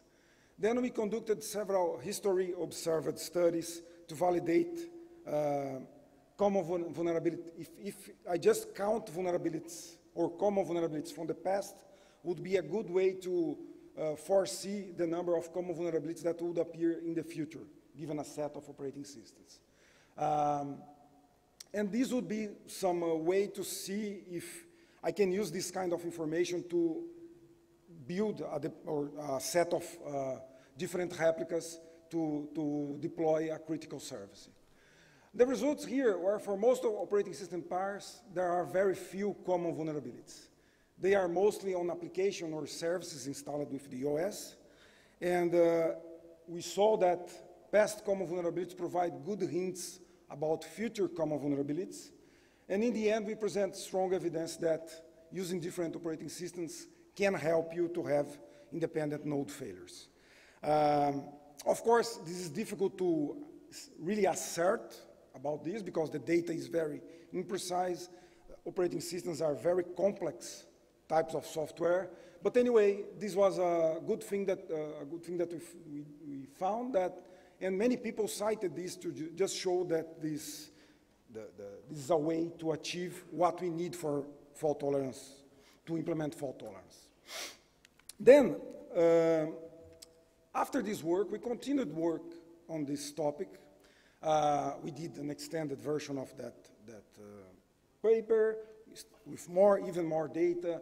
But then we, we tried to think about way, how could we implement like a kind of infrastructure to run a diverse system, okay? And uh, this came from, and then we started thinking about this kind of problem. So imagine uh, my adversary was not able to find one vulnerability with a given time. But he's very resourceful, and he spent even more time, and then he found two vulnerabilities. Two vulnerabilities in this particular setup will be more than the fault threshold we tolerate. So with this, it can compromise the system. So to deal with this kind of scenario, what we need is some kind of diversity, not only in space, but also in time. We need the system to keep evolving, changing the, the software on the replicas based on the, what we observe in terms of new vulnerabilities and new uh, exploits, new, about, uh, based on what we learn uh, from, from the security advisor uh, organizations, okay? And this is what we did in a second work that took was published eight years before the, the after that one, sorry. And uh, in this work, the idea is to, is, is to answer the, this question, how to reconfigure the set of replicas in a replicated system. Um, there are two main goals here. The first one is to make an attack effort proportional to the number of faults I want to tolerate.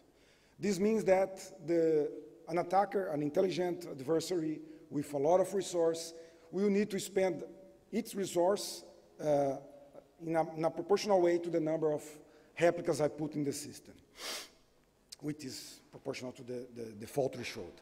And the second goal is something that uh, people always ask when we talk about diversity in software systems, is automate the management of diversity. Because if you talk with anyone that works with man, um, deployment and maintaining systems, uh, they will say, okay, having a single version is already a lot of work. Why you want me to have all these versions and keep changing them and monitoring them? So we need some automatic solution to deal with this.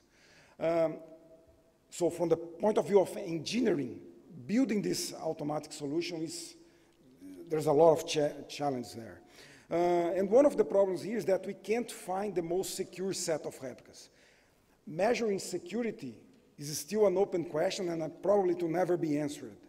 But we, what we can do, and the previous work showed us, was that we can estimate the set of replicas with less common vulnerabilities. So maybe they are not the most secure, but at least if they, someone want to attack them, they will need to find different ways to enter on each of these replicas. So this work was published in 2019, and by the end of 2019, uh, it, took, it took Miguel, uh, the PhD student, more than four years to, to develop this system. Um, and it's called Lazarus, and it won the best student paper award in this uh, well-known conference in the field.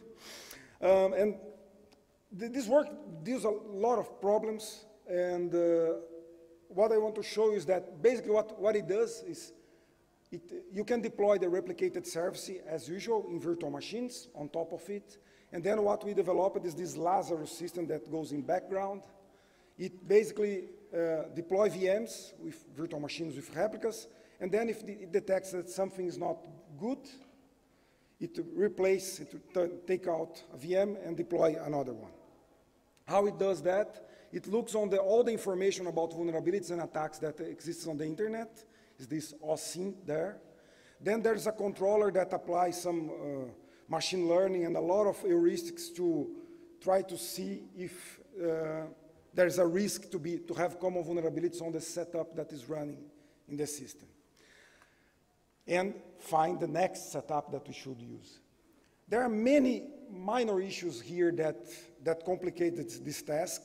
Uh, one of them, for example, is how to assess the, the, severity of a vulnerability because to do risk assessment, we basically get all the vulnerabilities that we see and then try to see if they are more, which, which one of them are more risky than others, which one of them affects uh, several operating systems. In this case, we are using just operating systems, but could be generalized. The reports that we get from the internet are not very precise, so we need to use clustering algorithms and things like that. And when it's done, we also evaluated this running, okay, running a real service. And another thing that we noticed and documented in the, in the work is that having this diversity is good for security or for dependability, but it affects the performance a lot because some software is slower, is less efficient than others. But anyway, so there, there must be a, more work here on taking all these things in consideration and, uh, and certainly we didn't solve the whole problem, but we showed a way to address this problem that is something that everyone recognizes, but there are very few works that really address it. And that's it. Thank you.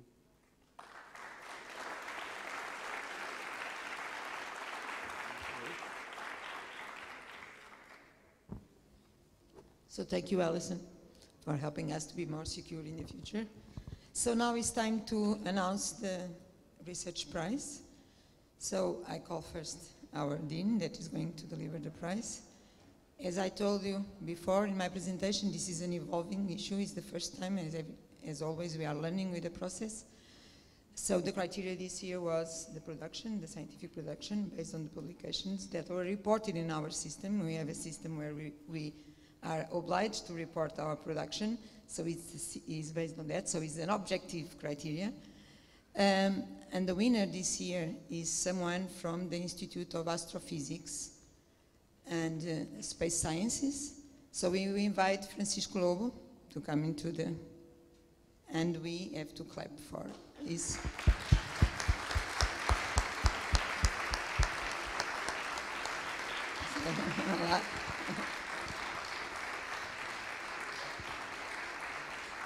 Congratulations. And so we invited Francisco to speak a little bit about uh, the research that is done that give us this award. Congratulations.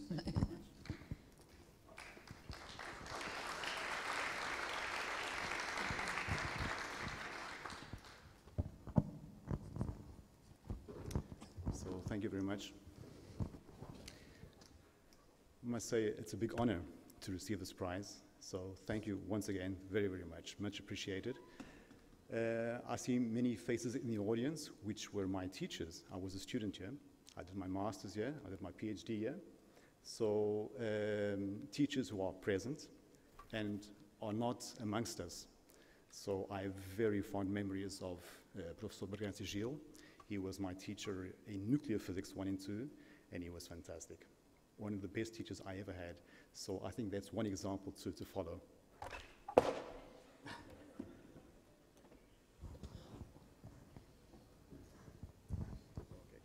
Sorry about it. Uh, so um, let me just see how this works. Okay, fantastic. The pointer. Okay. So, uh, like was mentioned, uh, I'm a researcher at the Institute of Space Sciences, uh, of Astrophysics and Space Sciences. And uh, so my research is done within cosmology and gravitation.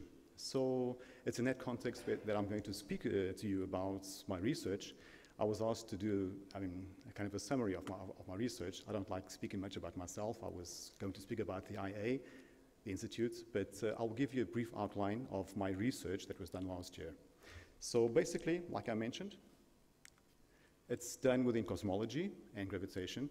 And uh, let me just put you into context, okay, of what has been done in cosmology and gravitation in the last uh, well, a few years. So much, much attention has been uh, given to cosmology and gravitation. As one can see, in the last five years, three Nobel Prizes have, uh, have been given to gravitation and to cosmology. From 2020, uh, we have a, a prize uh, on black holes, okay, so more of a theoretical part by Roger Penrose and also some observational part uh, of this, this, big, compact, supermassive object that exists in the center of our galaxy, which we believe is a, a supermassive black hole. So um, over about 30 years, uh, those two teams of these, of these people, uh, they, Reinhard Genzel and Andrea Ghez, they did a, a, research and they proved uh, with the orbits of, the, of these stars, S stars, that uh, without margin of doubt there is a huge compact object, which we believe is a supermassive black hole. So that is fantastic because um, um, black holes are still not, not very conventional science, okay? Many people don't like black holes because of all the implications it has. It took Einstein, Einstein never, never accepted black hole uh, solutions. He was always saying that they non-physical. So it's, it's amazing to see that uh, this, this, this prize was given to black hole physics last year. Uh, in 2019, there was a, the, Nobel Prize was shared with cosmology, with James Peebles, a fantastic guy. Uh, most of the breakthroughs, uh, he had a part, he had a hand since the 60s, which is amazing. He had a lifetime 60 years or a, li a lifetime of uh, contributions to cosmology, so it is a very well-deserved pri uh, prize. And let me say that in 2017, there was also a fantastic prize by the first direct detection of gravitational waves. Okay, so that is really a, an amazing um, um, observation. Okay, uh, in terms of theory and in terms of technology. Okay, it was given. It was a dream by that guy in, uh, yeah, that guy there, Rainer Weiss, back in the late 60s, he had a dream of making this, this detector. And, uh, and 50 years later, they, they detected the first, the first um, gravitational waves. So it's in this context that I do my research, okay? So basically, let me go on into my research. So last year was a very bad year because of the pandemic, right? Um, we, we, I mean, I think we, we all suffered uh, well because of this. Uh, in terms of research, it was a very productive year for me. Um, I, to maintain my sanity, I, I, focused on my research, and it was very uh, productive. So we produced about uh, 24 papers, 22 were published, uh, one is almost published, one is uh, proceedings, and um, it's in this context that, of the Nobel Prizes, that um, I do my research. So basically, in cosmology, okay, so I do, I do most of my research in modified theories of gravity. So it's uh, extensions of Einstein's general theory of relativity. And I will tell you more about this. Why are the motivations for this? Uh, and when you think about modified theories of gravity, you also think about the foundations of gravitational physics. What are the foundations? What drives us? What are the guidelines we have? So I will also give you some very intuitive ideas about that uh, and also a lot of, of the applications of astrophysics and cosmology. Okay? Uh, I also do a lot of research in black hole physics. So there was also, so in that first part, the first part there was about eight papers. in this part of the year, there was another eight papers. Uh, I'll focus on this bold. Uh, but in terms of black hole physics, uh, there was also a great um, discovery. I mean, um, an image that was uh, well, produced well two years ago. It was the first image of, of a black hole. Okay, it was, it was well, produced by the Event Horizon Telescope, which is also an amazing observational feat. Okay, and that opened also new, uh, new branches of research to try to discriminate which are the compact objects which give that image. So it may not be a black hole, okay? It might be something else. So that's, that's also a big area of research within these compact objects, okay? We had a lot of work uh, in that, trying to discover uh, observational signatures of alternative objects. We had about three papers published there. And um, we also discovered some novel regular black hole solutions, regular in terms that they singularity free. So a black hole is a very, very strange object. Okay? It's got this event horizon where people go in, objects go in, but they cannot go out. And they die in this singularity. So we found some novel solutions that are singularity free. That is really fantastic work, uh, work that's been cited a lot, and that was really uh, fantastic to do this work. Uh, we've also done some work with stability issues, with these rotation black hole solutions, the, the, the so-called Kerr black holes, and also some compact uh, wormhole solutions, novel ones. And uh, also gravitational waves. So we, we had an, a paper with this, this consortium called LISA, which is a consortium that is going to be launched in 2034, a space uh, mission, and it's going to um, detect gravitational waves from huge supermassive black holes and also to explore for the first time the gravitational waves that come from the Big Bang. Okay, so that is really fantastic. For the first time, we'll be able to explore the birth of our universe. That, that is really fantastic. And that's also for the new generation, the students, because it's going to be launched in 2034. So it's more for them. In terms of theory, a lot of technology is involved. So it's that.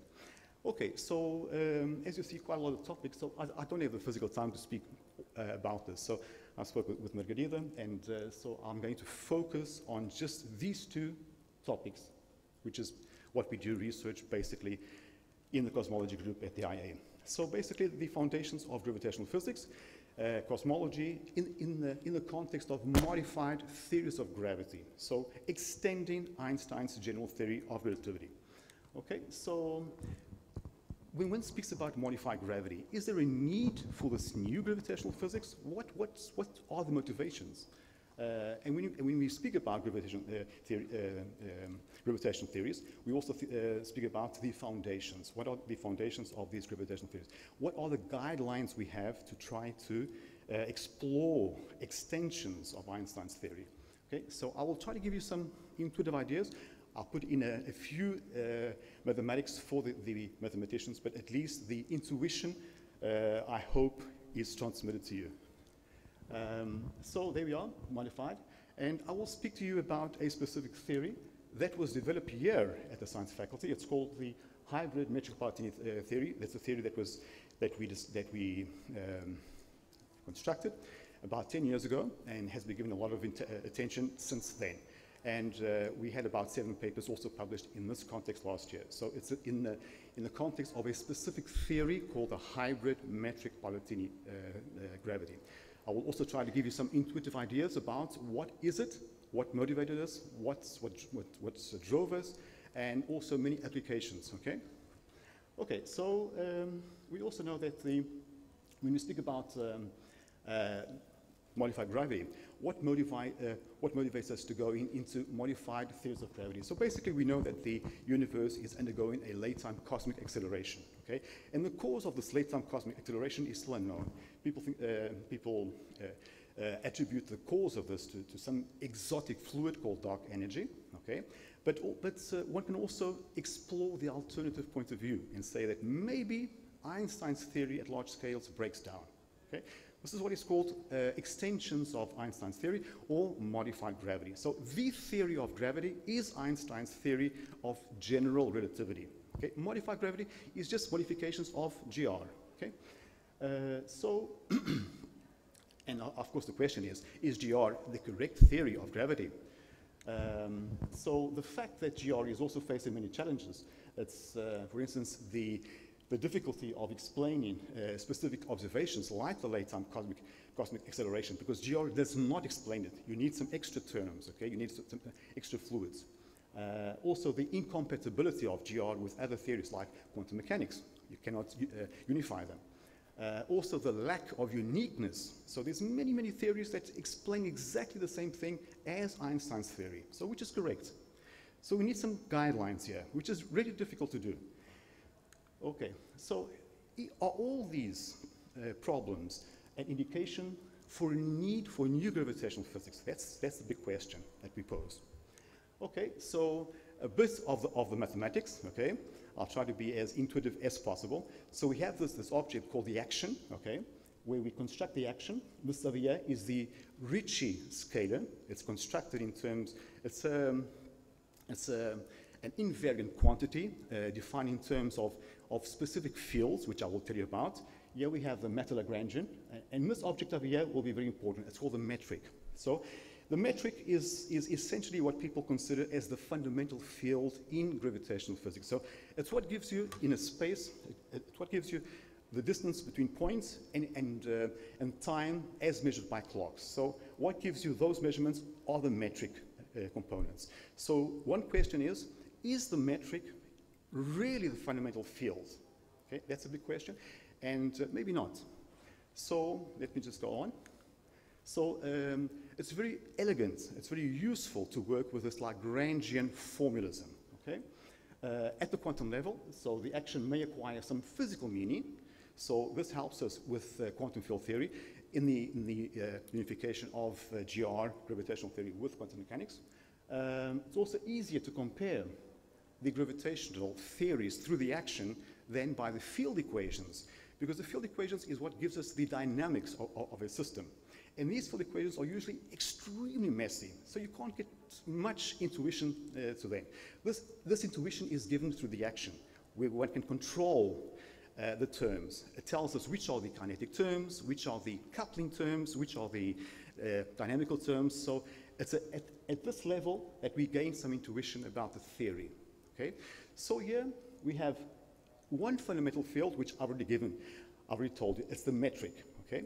So one can extend this theory because GR, this uh, Einstein-Hilbert Lagrangian, gives you the Einstein field equation, which cannot really account for the late-time cosmic acceleration. So we need to take into account uh, extra terms, okay? So the next uh, less complicated theory is what is called f of r gravity. So there's no reason just to consider an, a linear term in r. So let's consider a, a function of r. It's called the, the so-called f of r gravity. That's the it's the less, most uh, complicated theory uh, after, after GR. Okay? So it's, uh, it's quite simple. I won't give you the field equations. I will tell you a bit of the intuition. So now there's several approaches here. So here we are going into the foundations of gravitational theory. First of all, we've seen that there's, that there's uh, one fundamental field, which is the metric, okay? But there's also another field.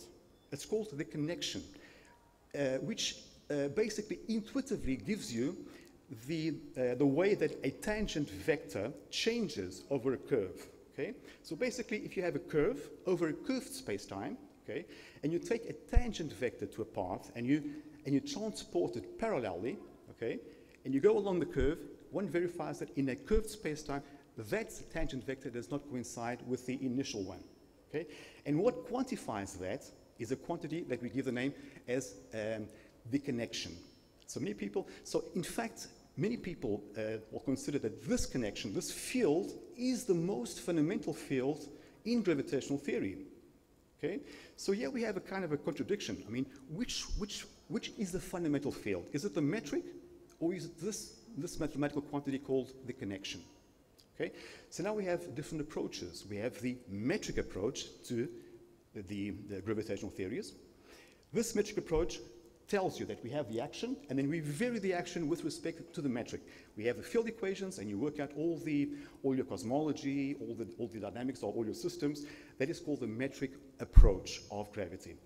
The, when you take into account that there's two fundamental fields, the metric and the connection, that is the so-called Palatini approach, which in GR, in Einstein's theory, at the level of the field equations, are exactly the same. Einstein was the one that discovered that in early 20s, but it's called Palatini. That's another story, which is quite nice to know. But anyway, so, um, so th there's basically two approaches, the metric formalism and the Palatini formalism, okay? Now, which is the fundamental one? So at GR, same thing. What about in modified gravity? In modified gravity, when you take the metric and the Palatini formalism, you get two theories which are completely different. They describe different dynamics, okay? So now we have a kind of a contradiction, which is quite intriguing. And each approach in the metric formalism and the Palatini formalism have severe drawbacks. I won't go into this. If you want to know, you can speak to me later. But uh, each, each formalism has extremely severe drawbacks. Okay? Now, what's, what really motivated us to, to, to think about a different approach uh, was, okay, so both approaches do have uh, um, positive aspects. They have severe drawbacks. What about if you take into account a hybrid uh, um, hybrid um, um, approach. Like, say that we have, we have the two fundamental fields, okay? So, so both fields are fundamental because they describe different things, but they're independent. And then you construct your Lagrangian in terms of these different approaches. So we have two terms. One is the metric, one, one is going to describe the metric approach, and one is going to describe the Palatini approach. And what we discovered back in 2012 was really amazing, which motivated us to go into, into this theory because it solves all the severe drawbacks from the metric uh, formalism and the Palatini formalism, which was fantastic. That was really the eureka moment of this theory. Okay? That was done here at the science faculty of the University of Lisbon with international uh, uh collaborators. That's, that's led us to go further and to do applications of this theory. A lot of work was done. Okay? So um, there was a lot of work. And we also had a, a review that, that was uh, requested last year to do an uh, update of this theory. Um, so much work was done over the years, uh, not just in cosmology. So what we found is that the conditions for the weak field limit were compatible for the large scale structure of the universe. The perimeters were compatible. So that was really fantastic also. But what about the intermediate scale, for instance, uh, at the galaxy level, for instance, dark matter? So we found also that these theories also mimic dark matter. So we don't need dark matter. We need, this theory describes perfectly well with the correct perimeters from weak scales to large scales. So they explain all this dynamics from small to large scales. Fantastic. That is really amazing. So a lot of work was done here. Uh, we were asked to uh, to write a book for uh, Cambridge University Press, and we, uh, wrote it. and we were very happy to know that the book was placed in this Cambridge monographs on mathematical physics. That is really a, great moment for us. So there's a book published on this if you want to know more about the, the technical aspects. And I will go uh, quite fast now because uh, time is running out. So last year, last year, in this context, we had a lot of applications of this theory. So basically, we had a, we had a paper on um, the stability of, of curved black holes, which, which is extremely messy, but we found some different, some new techniques to, to attack, to, to uh, tackle this uh, stability problem. Uh, using the, a, a, generalized hybrid metric Palatini theory. So there's also different theories here that you can take into account. Um, we also found some very nice uh, string-like cosmic uh, string-like um, objects, which are cosmic strings, which were uh, produced in the early universe. So also some, some nice uh, solutions were found here. And we also had this review, which I mentioned last year. And uh, also, we also uh, did some research in brane worlds, which is basically uh, tells us that our universe, our four-dimensional universe, is immersed in a fifth dimension called the, the brane world. Okay, so also very, some nice, very nice solutions were also found here, and we found some nice solutions with structures. Okay, uh, so that, that, that is also very nice to do. And we also found some novel solutions with uh, these uh, wormhole uh, solutions. Okay, so uh, as was mentioned by, by Margarida, uh, all this work was done in the context of institutions, right? The science faculty of the University of Lisbon. So this work was nurtured here at the science faculty. So I won't go into this. I think Margarida has already spoken about this. But also I would like to say a few words about my institute, the Institute of Astrophysics and Space Sciences. So also in that context of, this, of these 2%, we had, we had 10% of the researchers with PhDs were also listed in that, in that uh, that list of the, of the top 2% of the world scientists. So we have about 68 um, researchers. Uh, seven of them were listed. We have about 40 PhD students, about 20, 25 master students. So, uh, so here the work is also nurtured. Um, we open, we, we uh, create opportunities uh, for, for people to do their research. Uh, all the structure is laid out. We have six groups ranging from uh, small scales, from planets, stars, galaxies, to cosmology, to instrumentation, to uh, science communication, which takes uh, our research into the public, and they have done some, some, some fantastic work. So we are driven by excellence. So I will also uh, publicize a talk later on by a great researcher of the IA, Pedro Machado, later on. And uh, thank you very much. Thank you, Francisco. Thank you. So it seems we are in the path for a Nobel Prize. So hopefully soon we'll have a, Nobel Prize in, in physics. And I forgot to say that Francisco is now the new um, coordinator of the Institute of Astrophysics and, and, Space Sciences. So that's all for the, for the morning. Raquel, do you have something to say? Thank you. Yes, that is time to coffee break. Uh, we meet here again in 20 minutes uh, at midday. Uh, the, uh, at the atrium C3 will take place the poster session so um, we will find the posters about cutting-edge science developed at Ciências de Lisboa. Thank you all. We see you again. Uh, see you already here. Thank you. So coffee break is downstairs, sorry. Coffee break is downstairs. We have to go to the to that.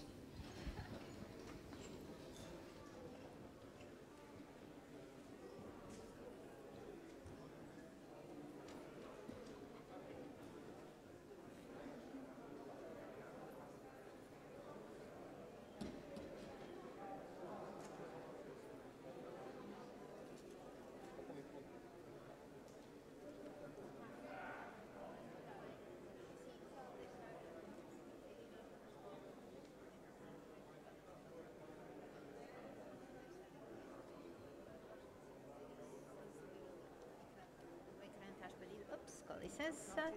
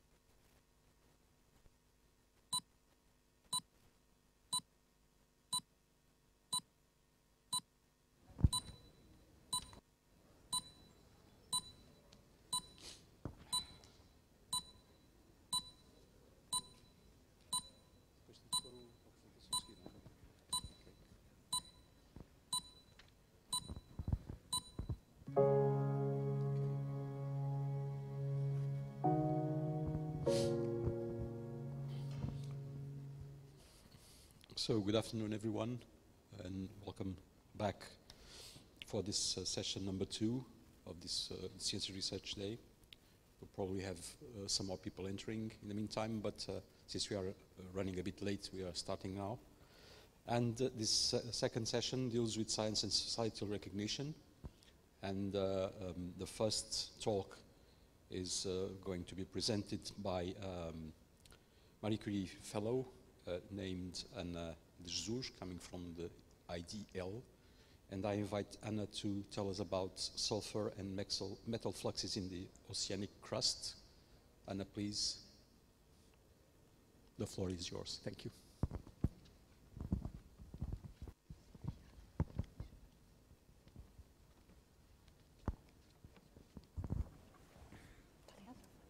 Hi, good morning. So thank you all for coming and for the invitation. So I would like to start by acknowledging my supervisor, uh, Mario Gonçalves, and our master student, Diogo Silva, which have been collaborating with me in this work. And uh, although my uh, host institution is IDL, uh, in my Marie Curie, I also have as partners uh, uh, Münster University and the CNRS at Toulouse. And of course, I would also like to acknowledge all these uh, people that work in these institutions with which I collaborate scientifically, either by sharing samples or by uh, having some analytical support from their part. So, as you saw from the title, I'm going to talk about the cycling or fluxes of metal uh, um, in the oceanic crust, so metals uh, and sulfur. And so we need to establish a little bit of ground here. So here we have a very simplified uh, cross-section um, showing what would be the geodynamics uh, um, cycle of sulfur. Oh, I have a screen here. Um, right. Um, and so I'm going to mention a lot the stable isotopes of sulfur. So the most abundant isotopes are uh, sulfur 32 and 34, and we measure them by this ratio uh, in relation to a standard, which is the meteoritic standard. And so that standard for us has a zero per mil value, uh, which is pretty much the same uh, that we would find in the mantle, so plus or less um, 1. Any shifts that we find from those values of zero, uh, whether in sediments, volcanic rocks, uh, or whatever, uh, indicates that we had processes that were able to fractionate uh, those isotopes. And so this can be temperature changes, this can be redox changes, pH, or even uh, biologically assisted processes since anaerobic bacteria are able to strongly fractionate sulfur isotopes and uh, actually resulting in the very negative uh, values that you see, for example, here in sedimentary rocks. Um, so sulfur has a, a, strong redox potential. It is able both to form uh, re uh, reduced and oxidized species, which I will mention throughout my talk, which are sulfides and sulfates for the uh, oxidized uh, version, and forms ligands with metals. Therefore, it has a very high importance also in economic geology. Um, when we talk about sulfur fluxes, one of the most important inputs uh, comes from mantle degassing. This can happen so in mid-ocean regions, which I will talk a lot, where the uh, tectonic plates are separating, uh, not represented here, but so in uh, so deep tapping of the mantle, mantle, that generates oceanic islands that we are uh, looking every day now in TV um, in the Cumbre Vieja um, volcano, uh, but also in the volcanic arcs that we have in subduction zones. So subduction zones is where the oceanic crust is recycled back into the mantle. And when we look at the signature of uh, the, the volcanic products, gases and rocks that come in these subduction volcanoes, we see evidences that sediments and modified oceanic crust are also being recycled back. And so throughout this huge variable that we have to deal with, which is geological time, uh, this actually has the potential to change uh, the mantle redox state uh, with time. So let's look a little bit uh, on what we're talking about. Uh, so what is this thing uh, called hydrothermal circulation in the oceanic crust? What we have depicted here would be a mid-ocean ridge, so, pardon, divergent plate tectonic frontier. And so these rocks are hot, they are fractured, and seawater starts migrating down through them uh, into the, so through the volcanic rocks, which are highly permeable, to the a little bit less permeable uh, vertical sheeted dikes, and eventually, so they will reach the, what we call the axial, so the magma chamber, which is at the axis of the ridge, and they will return back. But meanwhile, these fluids interacted with rocks, themselves were changed. It's not hydrothermal, it's not seawater anymore. It's what we call an hydrothermal fluid. So hydrothermal is essentially a hot fluid. In this case, charged with metals and sulfur that leached from the rocks. So when we measure uh, whether, uh, so when these fluids reach the surface of the ocean again, when it's focalized back, it can discharge in these very exuberant uh, uh features which are called the black smokers, which was a big scientific discovery, uh, well, somewhere in the late 70s, early 80s. Um, and if conditions are appropriate, we can actually form an ore deposit, what we call, so a VMS, a volcanogenic massive sulfide deposit, well, here is a simple case, but like the ones we have in Portugal, in Aljustrel or uh, Neves that many people from our department, uh, so the geology department, have been studying. But so the, the signatures for these fluids and sulfides is quite narrow uh, in terms of uh, isotopic range, uh, meaning so that something must buffer their composition down below, but it's extremely difficult to assess what goes down below because accessing the ocean crust uh, is, well, essentially through uh, either dredges or drill cores from the International uh, Ocean Drilling Project, which essentially have drilled as deep as well what we have here, and as I will show you, the crust goes further down. So to add to the complexity uh, of the situation, we have growing evidence that we don't have only this shallow hydrothermal circulation, but we also have a deeper hydrothermal circulation, and seawater, or modified seawater, is actually reaching the transition between the, the, the crust and the mantle. So as I told you, we have a, a, limited sampling of the oceanic crust because there's huge technological challenges of drilling underneath a 3,500 meters column of water in uh, uh, research vessels. And so the other sampling that we have from the oceanic crust is brought to us by this thing called ophiolite. So I talked about subduction zones and ocean crust being recycled back into the mantle, but sometimes it doesn't go down for reasons we don't totally understand. It is not subducted, it is abducted. So it is emplaced tectonically uh, into uh, land. And so the Samail ophiolite uh, in Oman, so which is essentially here, is the largest and the best preserved ophiolite uh, that we have. Uh, its age is late Cretaceous, so approximately 98 million years, which is the magmatic ages, and shortly after it was emplaced into the Arabian platform. And um, it has been intensively stu studied throughout the decades and actually now represents what we call as a template for the constitution of uh, the ocean crust.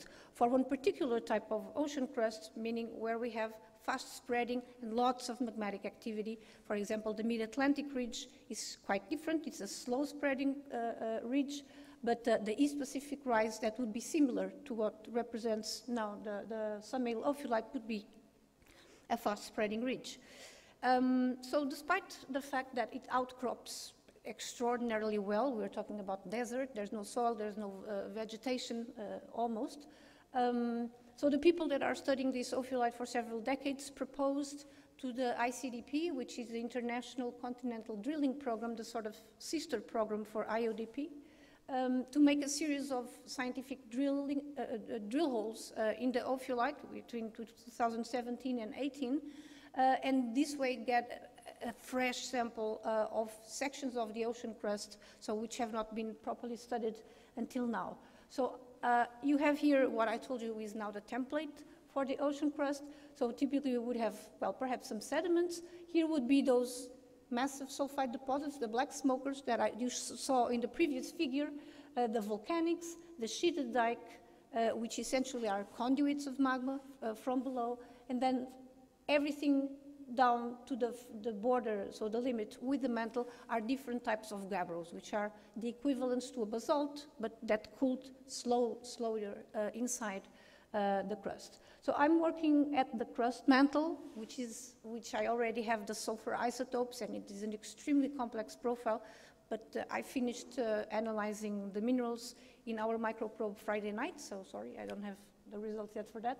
Uh, and so I will bring you an insight of the GT, the Gabbro transect, okay?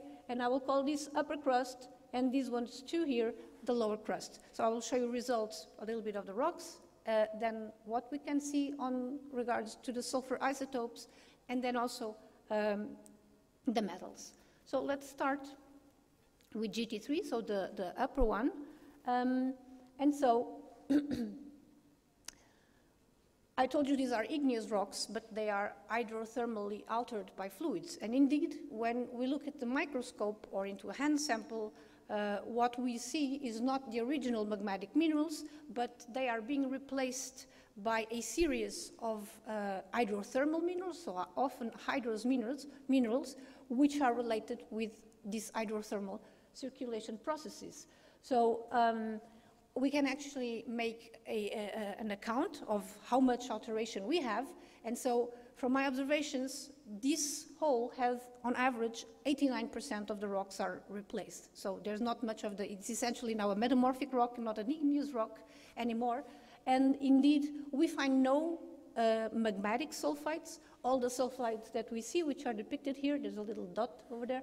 Um, so these are all hydrothermal sulfate, uh, sulfides, and what you see here, perhaps not very well with this white color, but so are in situ isotopic measurements which provide me information on, you know, at the grain scale. So I have two types of information for the sulfur isotopes. One is whole rock, gives me the average of the entire rock, and I also made some in situ measurements because this way I can actually see uh, how much change do we have, uh, how much, if they are homogeneous or not, and we can, well, here we cannot see. For example, this little dot over there has a shift from almost 12 to 14 in less than a few millimeters, telling me that the fluids were changing fast as these sulfides were forming.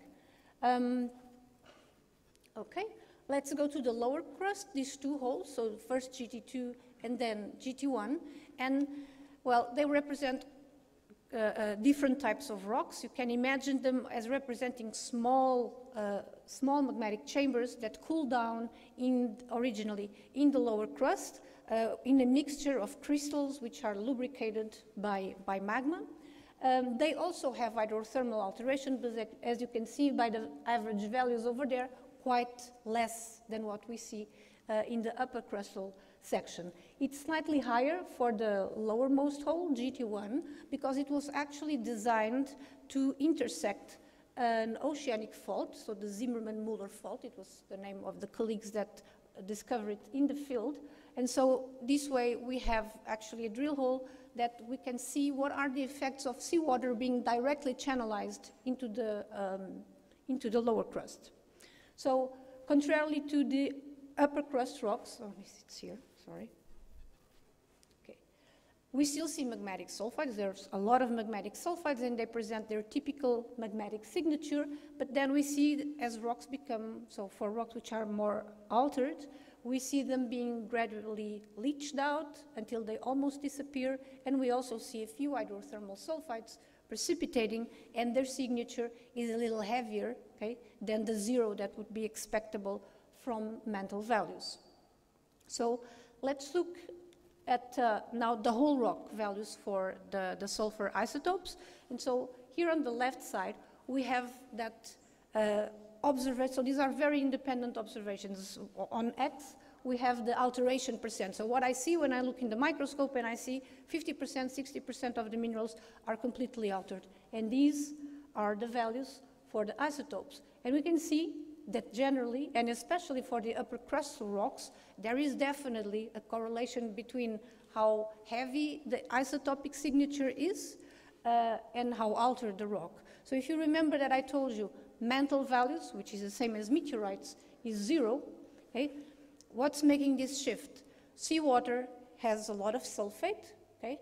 And sulfate has a heavy signature. Nowadays, seawater, if we go and measure it, it would have 21 per mil, uh, the, the sulfur signature, but it has changed throughout geological time. And in the Cretaceous, so when all of this happened and these rocks were formed and these processes, hydrothermal processes happened, it was 17. Okay, so pure seawater from the Cretaceous would be 17, which is well more or less here. You will see it in the next diagram.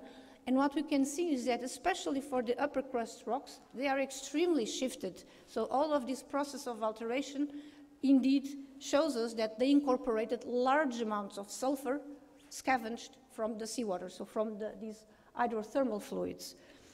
Here on the right, we have again the same, uh, so the isotopic values, and here the total concentrations of sulfur that we have in the rock.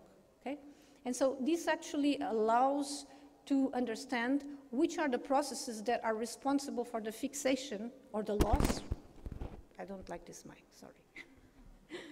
of the loss of sulfur uh, in the rocks. So of course, as we go to zero, we will have leaching, okay? So that sulfur is being uh, or oxidized out of the rock. And so what we see is for the lower crustal rocks, they are all very nested here, so close to zero to the mantle values. Probably some have more sulfur because they have lots of magmatic sulfides, and the ones which are slightly heavier, which we saw the in situ values, is because, so they show a little bit of incorporation of seawater on those uh, hydrothermal sulfides. Now, when we look at the upper crust, it's a completely different picture. We have, so all the input of sulfur in these rocks has a very heavy signature, so almost up to 13, if my memory doesn't fail, um, due to interaction with seawater. There is, however, one little dot over here, um, so which has about minus 12. So, and as I told you, bacterial mediated processes are able to fractionate isotopic signatures towards very negative values. And so, obviously, bacteria cannot survive at the temperatures at which uh, some of these hydrothermal alteration processes. When we look at the mineralogy, we know that this happened somewhere between 250 and 400 degrees. So we know that sulfate reduction bacteria, they can survive up to 110. So this means that probably this was a very late feature that happened uh, during what we call the off axis. So when actually the crust moves away from the, the hot spreading center and cool water can enter again, and so we, we could have conditions to form these, um, these bacteria. So let's put this into perspective, okay, into how, how they were originally, so vertically within the crust. And um, so we see for the upper crust strong bleaching. So here again we have sulfur contents and on, and on, the left we have the isotopes. So strong bleaching, these rocks have almost no sulfur at all, okay? And then a peak for seawater incorporation of sulfur, more or less in the middle of the hole, and then they gradually descend uh, to the bottom.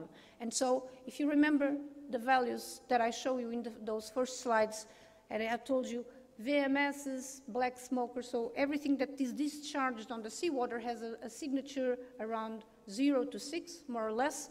Uh, at the bottom of, uh, so just here uh, at the bottom of this hole, we are more or less within that range. So the fluids that we have here are already the fluids that will be discharged into the ocean floor. So they have exactly the same composition. However, in some places we find sulfides being precipitated in large amounts, which is not common. So sulfide to, to precipitate, you need to cool down the fluid. And so we thought about, and I, I discussed this with our, uh, um, with our master student, and then I remember when I was logging this course, and we saw lots of fault zones of highly fractured rocks, so deep faults, and probably what happens is that we have cold fluids coming into these faults, okay, and enabled for us to have this sulfide precipitation over here. So when we do some mass balance, saying, okay, these rocks should be, have zero when they form, which is the sulfur isotopic signature of the mantle, and now they have up to 14. Okay, how much seawater do I have to, to input in these rocks? So what is the fluxes of sulfur that I need to input to reach these compositions. And we reach to, well, trust me, it's a staggering number of 37%. You will see this compared to modern day an an analogs, and it's, it's very far uh, from that.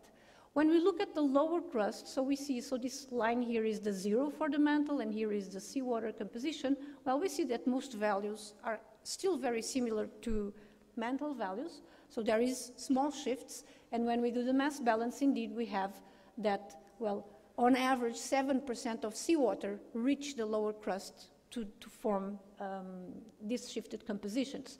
However, besides of sulfides, we also were able to, during the sequential extraction process in the, lab, in the laboratory, we, we extract different types of sulfates, sulfides and then sulfates, also the soluble sulfates. And quite surprisingly, okay, we found sulfates very deep in the, so in the lower crust. And um, as I told you, especially for, for GT1 here, okay, there's a series of faults some that were intersected uh, and these faults, we know that they had hydrothermal activity. We see, we see discharge, evidence for discharge on the surface. And so this means that seawater was entering and being channelized in, through these faults and precipitating sulfates with basically 17, which is the, the, the signature for, for seawater, um, in the crust. Now let's look at the metals to finish. And so what you have here plotted, these are the shipboard values. So for nickel, zinc, and copper, so the lower crust rocks are here in pink, and the greens and blues are the upper, upper crust, which is hydrothermal, very altered, and with the large shifts. So when we, uh, also in all of them, there is a vertical line, and this is only a qualitative observation of what would be the average composition of these metals in a mid-ocean ridge basalt, so the MORB, which is written over there. Um, and so we see that nickel, well, they more or less nest around it. We have here higher values, but this is normal. It's the, what we expect from deep rocks, which are very primitive, and so they will be with more magnesium and more nickel. Uh, zinc, we expect it to be gradually on higher concentrations as these rocks become more evolved, so towards the top. However, so this is okay, this is also okay, but this should be there on that line. So, and apparently there is a zinc depletion on these rocks. And I think you all see uh, that copper has a neck problem uh, over there on the top. And so there is apparently a lot of copper missing in the upper crustal section. So as I told you, these are qualitative observations for us to actually quantify how much metal is being leached, so what are the, the fluxes which are here in cause, we have to see, okay, for each rock I should have this amount of copper, I actually have this amount, and then transform this into um, a, a, value. So here are the sulfur isotopes from before. This is just for the upper crust. And these are, so zero means the rock neither lost or gained copper or zinc, okay, relative to the magmatic original rock. Um, plus, it, if the values are to the right plus, that means it gained metals. If it's for the negative values, then it means it lost metals. And I think you all can see, okay, that zinc is at least 50% gone, okay, in these upper crust, crustal rocks, and copper is almost completely leached out of these rocks. And so the first diagram that I showed you with the hydrothermal circulation where we had the black smokers in the end these are the roots of a VMS system.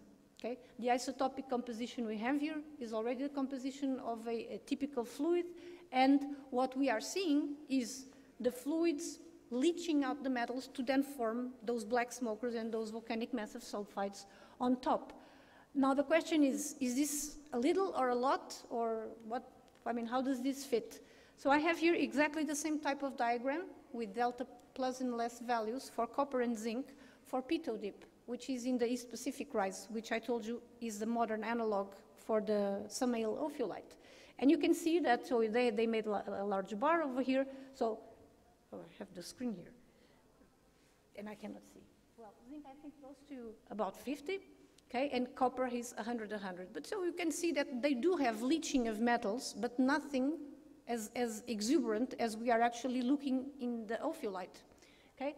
And so as it's in this final uh, take-home message uh, uh, that, that, I leave you with, it has been long discussed that the crust of ophiolites is, uh, uh, has higher hydrothermal fluxes than what we see today in modern oceanic crust. So this has nothing to do with post-oceanic deformation. Okay, we're talking about samples of ophiolites which are well preserved. And there's a lot of discussion about this, and so these data come to, to, to, to support again um, this idea. So you can see, for example, here, again, for one of the IODP holes, the sulfur values are up to three in the dikes. I have up to 14. So you can see how shifted they are. So how much hydrothermal alteration? So one of the possible uh, conclusions that this can uh, um, let us know, so whatever the reason is behind these higher hydrothermal fluxes, well, if I can leach out more sulfur, more copper, more zinc, probably I also can make more easily a volcanic massive deposit. So for now, this is where I stand. I thank you for your attention. So this has been my journey, and on Sunday I go to France to do some more analysis on my rocks. Thank you very much. Thank you very much.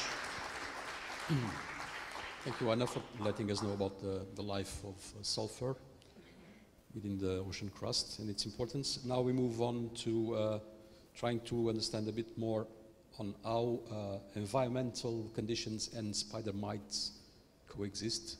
And I ask uh, Ines Fragata, Woman in Science uh, L'Oreal Award E, to tell us about it. Ines, please, the floor is yours. Thank you. So, can everybody hear me? Okay, so first of all, thank you for having the opportunity today to talk about this work. And um, it's, I'm a little rusty because it's been a long time since I actually talked in public, so forgive me if I miss out something in the meanwhile. So, first of all, I want to tell you that uh, this work could not have been done without these wonderful people around here. So, and that, wait, wait, wait, where is it? It's not. Ah, no, no. Yes, now it is. So, and that uh, we have uh, this posted on bioRxiv in case you actually want to take a look at it. Okay, and this all started because in nature we see that a lot of species occupy the same type of niche. And when I say niche here, I'm talking about the resources, the space that they use, even, for example, plants that like to uh, fight for the light that they can have to in order to do the photosynthesis. So we know that a lot of species compete and they occupy the same niche. And how can these species coexist in the same environment then? And this has, is a puzzle in, uh, that has been uh, puzzled ecologists for a long time. And um, uh, Peter Chesson provided uh, some clues for this with the modern coexistence theory. And he uh, said that we could predict how species could coexist uh, if we looked at two different parameters of, this, of the species. First of all, it's the niche overlap. And in this case, when I talk about the niche overlap, I'm thinking of whether they consume the same resources at the same time, if they occupy the same space. And here we have some uh, expectations. So if there is, no, yeah, I can't, aha. So if, uh, if there is large niche overlap between the two species, then we expect that the competition between them will be much larger and the effect of competition will be detrimental more between themselves than within each species, right? Which is the interspecific competition, so within species versus the inter interspecific competition. However, if we have a small niche overlap, then what we expect is that the competition that the, the, the individuals of the same species have for, for the same resource will be larger than the one between the two species, okay? This is one of the things that will affect whether species can coexist or not. The second thing will be the fitness differences. And here, fitness differences is just how well um, a species can consume the resource and use it to survive and reproduce and pass the, the, the, their genetic uh, material to the next generation, okay? And here what we have, we expect then, if we have large fitness differences, then we expect that one of the species will be a better competitor than the other. On the other hand, if we have a small, small fitness differences, then species should be more or less equivalent. And now, if we plot this uh, here in, in, this, in this type of plot, where we have fitness difference on the y-axis, and here the niche differences, which is just 1 minus niche overlap, okay, so basically this is how, how much species overlap in the resources that they consume, and how different are there in their ability to consume those resources and reproduce and survive. Okay? And then we can predict if, there, if fitness differences between the two species are smaller than the niche, over, uh, niche differences between them, then the species can coexist. Otherwise, they will be excluding one another. And this type of, of theory has actually been pretty useful for us to determine whether species can coexist or not. But Chesson did not take into account something in, in, his, in his theory. One of them is, is that, that there are extrinsic factors for our species that can affect how they can exist. One of them is deterministic factors, for example, if one species is more adapted to one environment or the other. And the other one is the stochastic factors, for example, whether species arrive first or later at, uh, when they colonize a new environment. And in, the, in my grant, I will be working with both these factors, but today I will be talking to you about the stochastic factors. And here I will focus on order of arrival. And what do I mean with order of arrival? It's basically so if we have here one scenario where we have species arriving at the same time, then we have an outcome. And in this case, I, plotted, I put the outcome as the two species coexisting more or less equivalently. However, when I put first the green arriving and only later the, the red, then the outcome can change drastically. And here we have green dominating and the red uh, being excluded. And the other way around can be uh, happening when red species arrives first. And this basically means that the order or timing of arrival during the community assembly can actually change the outcome between the interspecific interactions between the species.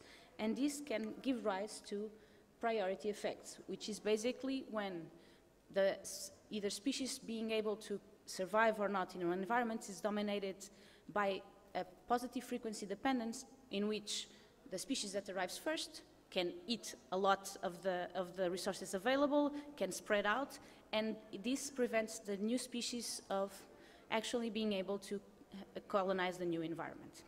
Okay? And so, basically, when we plot this and are, remember, I struggle with this pointer, I'm sorry. Here. Okay, so remember this site was the previous plot that we saw there, and now we expanded it to the other side.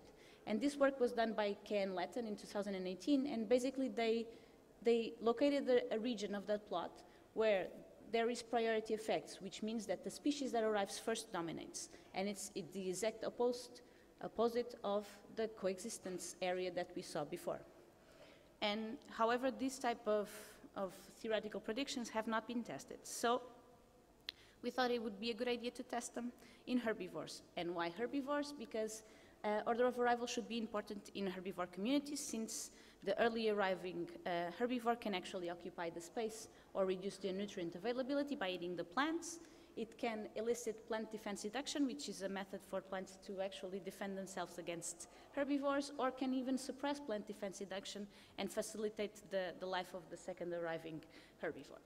And basically, so this could actually give rise to priority effects in our system. So what we are focusing here is how does order of arrival determines herbivore coexistence, and what is the role of priority effects on herbivore coexistence. And for that, we used uh, spider mites. These uh, little guys are uh, an agri agricultural pest, and um, they are very known for, uh, for eating a lot of crops.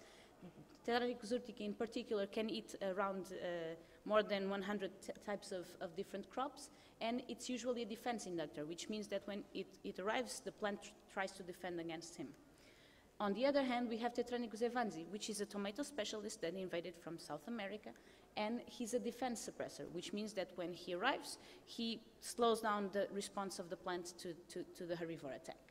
And the fact, although we know that Tetranychus evansi outcompetes Urticae in, on tomato plants, when we go out to the field, we actually see them a lot of times coexisting in the same plant. And so we were wondering how could this happen and whether priority effects or the order of arrival could actually play a role on this. And so we decided to test this. Uh, so basically what we did was we put uh, either uh, um, females from, Urti from Evansi or Urticae in a box or the two together. And then we basically varied either the order of arrival by letting them arrive at the same time, Evansi first or Urticae first, and then we also varied the initial frequency by either having only one species, 119, 1010, or uh, the other way around. And we counted the number of individuals in all leaves after two generations. And for all of these treatments, we estimated the growth rate and the inter in interspecific competition, which will then be used so that we can estimate the fitness differences and the niche overlap and try to plot our nice uh, prediction of whether species can coexist. But first, so just looking at the raw numbers, we have here the initial frequency, first Urticae and then Evansi. So here we have one Urticae, 19 Evansi, um, on, all, on all the different treatments that I had. Okay, and then here's the proportion of T Evansi. So if it's above this line, Evansi is winning. If it's below this line, Urticae is winning. And what we can see here in general is that Evansi is a better competitor than Urticae on tomato, which is something that uh, we were expecting, so it's good that it actually arose here. Um, and we actually see that when uh, arrives first or starts at high density, Evansi is not able to exclude them, which means that there is some advantage on, uh, on these two uh, um, occasions. And so if we go and plot our, uh, um, our coexistence plot, where we have here again the niche differences and the fitness differences, and we have here um, the three different treatments, we can see first of all is that in general, Evansi is, excludes Urticae in uh, most of the cases. Um, however, in, uh, when if, uh, arrives first, there's actually coexistence between the two species, which is rather weird because we actually would expect that some, some of them would fall in this area over here. But uh, things not always uh, happen when, how we expect, and so we went to find out how was this happening. And so what we did was we looked at what leaves did they prefer because before that I should have told you that we tested four different tomato leaves. And these four different tomato leaves have different uh, uh, nutrient uh, availability and also the plant defends them in different ways. So we, when we look at the leaf position, the leaves 2, 3, and 4, and 5, and we look at the proportion of T. evansi when it's by itself, we see that it actually has a clear preference for leaves 3 and 4. And um, and so we went to see what happens when we actually add the other species. And what we can see is that here we have again our leaf positions, and here what we were looking as at was how much different is the distribution of Evansi when it's in, in, in, the presence of the competitor in comparison with the distribution that it has usually by himself. And you can see is basically again that whenever the, they are above this line, there's more Evansi. Here it's below the line, we have more Urticae. And what we can see is that when uh, uh, Urticae arrives first, um, uh, yeah, sorry, when Urticae arrives first, it actually, the Evans is displaced by, from his preferred uh, food resource. And when uh, uh, um, starts with a higher density, or at the same density, it actually um, displaces Evansi mostly from leaf 3. And so what we think that is happening is that Evansi is not able to reach his preferred food, and so it's not able to overcompete and we get this type of, uh, we get the, the coexistence that we saw in the previous um, uh, plot. And so, just to finish, we saw that the order of arrival can change the coexistence probability of the two species, but it's actually not through priority effects as we expected initially it, and the most interesting thing is that uh, here I'm talking about a 48-hour difference between the, the, arriving of the two species. So this means that the small differences in order of arrival can actually be sufficient for one of the species to monopolize resources. And this is super cool because this means that small differences in time percolate into uh, the small differences in space, which can foster different um, uh, resource use for the different species and can foster coexistence and maintenance of diversity. And uh, so I just want to thank uh, the Mite Squad for putting up to me and helping out on doing all of this. And of course for the funding uh, um, agencies and you for your attention.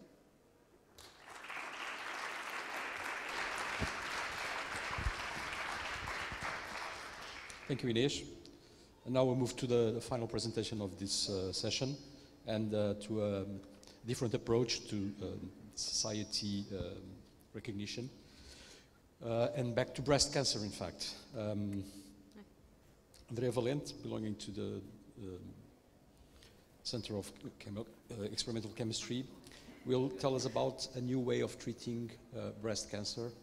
And uh, this is being uh, quite interesting because it's an idea that has been leading into a spin-off, right? Yeah. So please tell us about it. Thank you.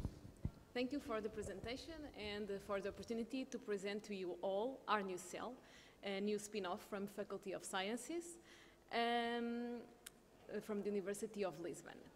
So I am uh, Andreia and myself and uh, Professor Helena Garcia are the founders of this spin-off. We are both uh, researchers here at the faculty and at Centro de Química Estrutural.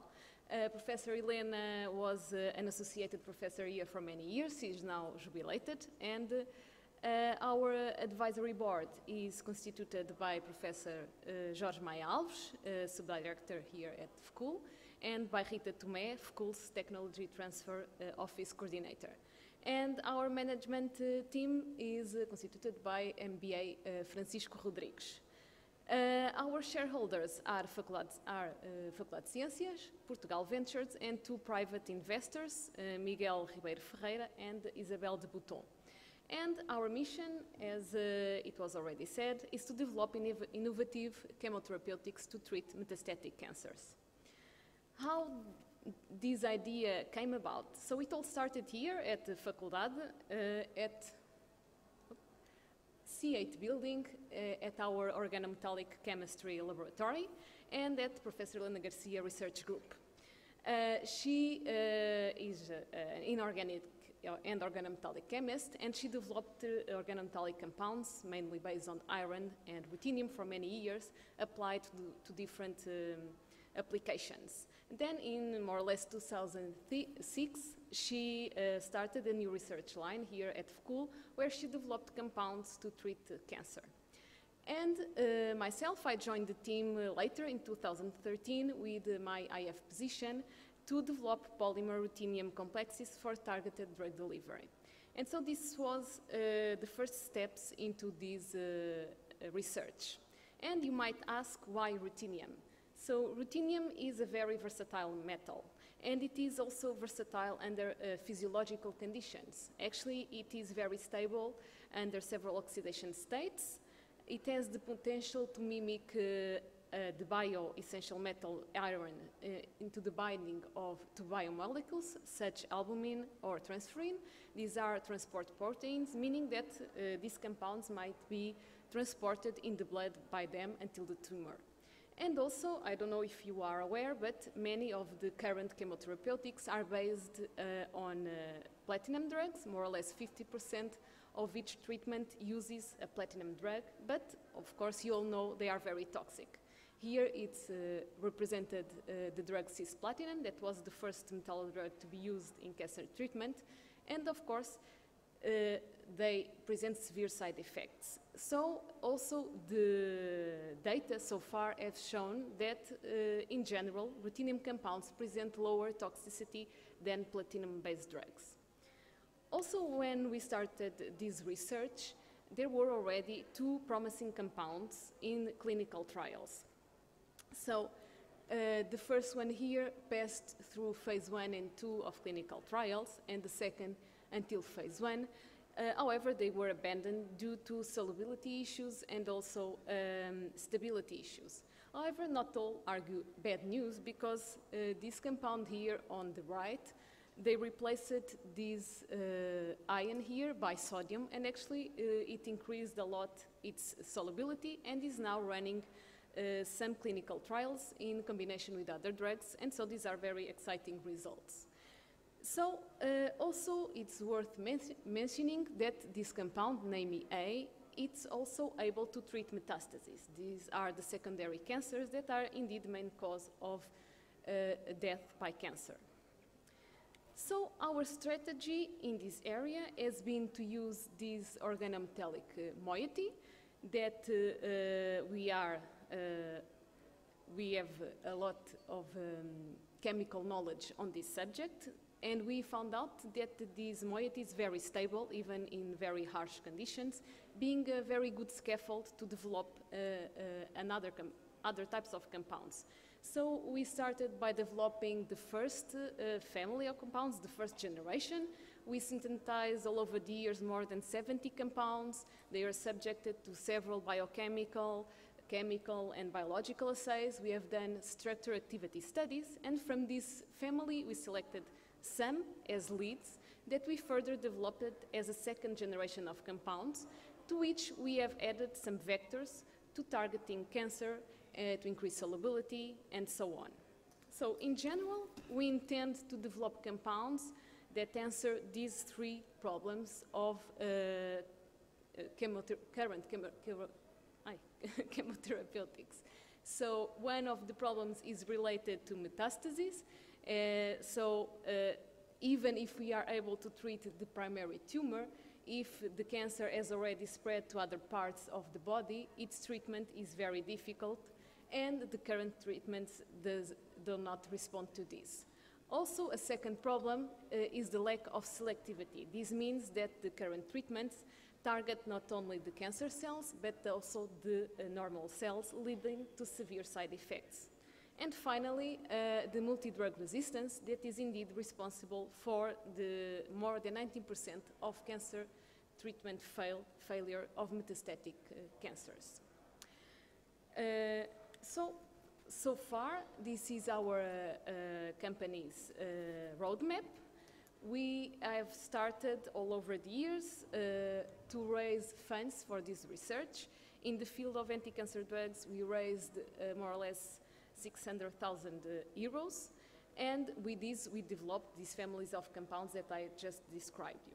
Then uh, we had the second generation that we thought was worth uh, patenting, and we did it. We did submitted the uh, national patent in 2014, then in 2015 the international patent, and now in 2000, uh, 2021 the patent is already granted in most of the countries with pharmaceutical interest.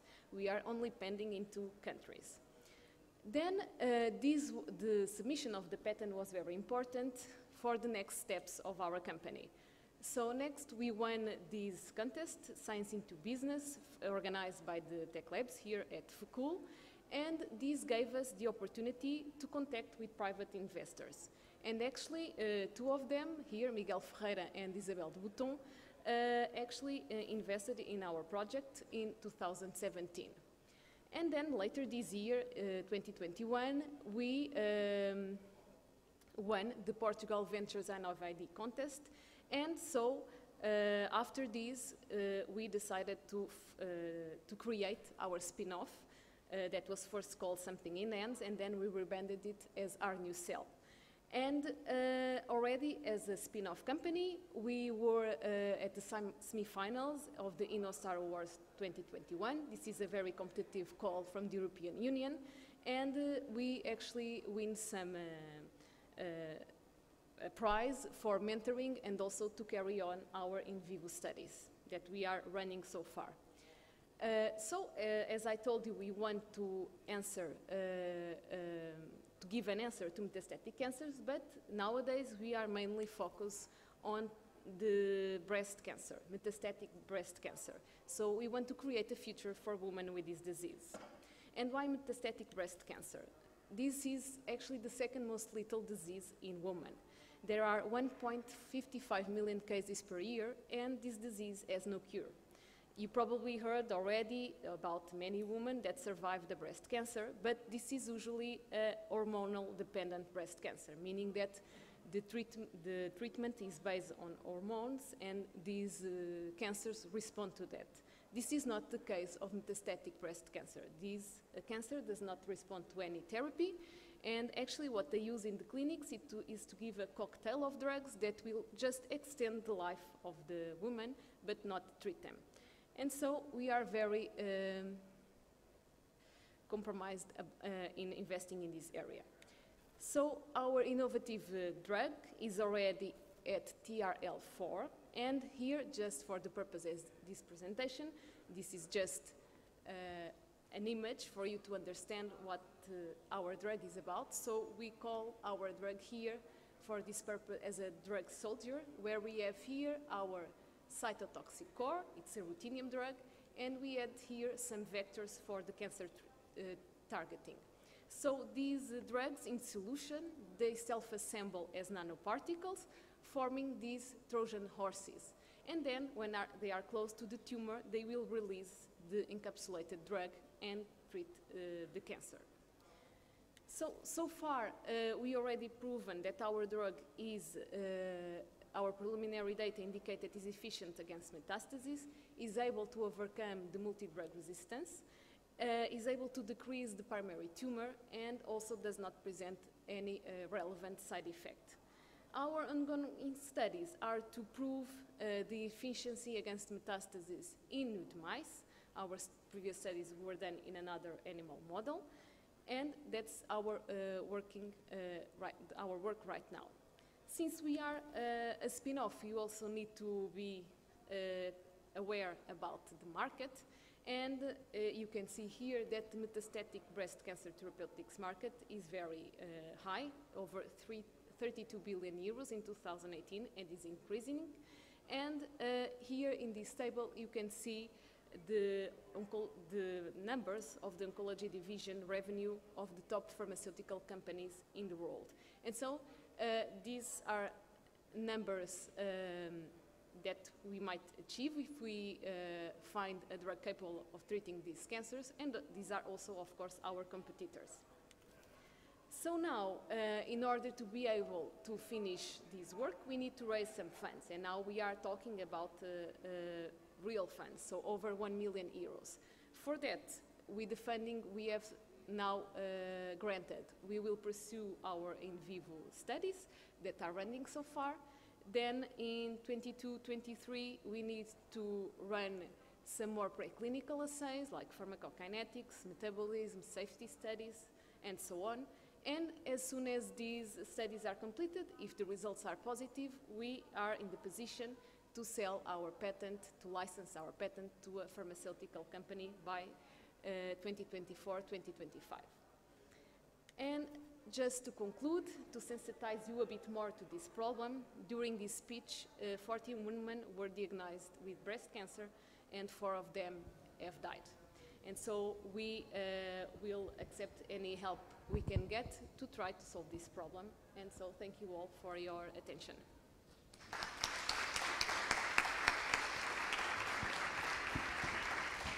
Thank you, Andreia. Well, it's time to uh, move to lunch. Uh, we're running a bit out of uh, uh, behind schedule, sorry. So we'll keep it um, 2:30 p.m. as reconvenience time. So we'll be back at 2 p.m. after lunch. I also remind you that we have plenty of things that can be done, including lunch during the lunch hour, like looking at the posters, uh, having a speed date with the researchers that are around, visit the lab, and all of this is um, duly scheduled at our website, so you can uh, look at it and find out where to go where you want to, where you want to go. Okay, so uh, thank you all for this uh, morning, and we'll be back at 2:30 p.m. sharp. Thank you very much.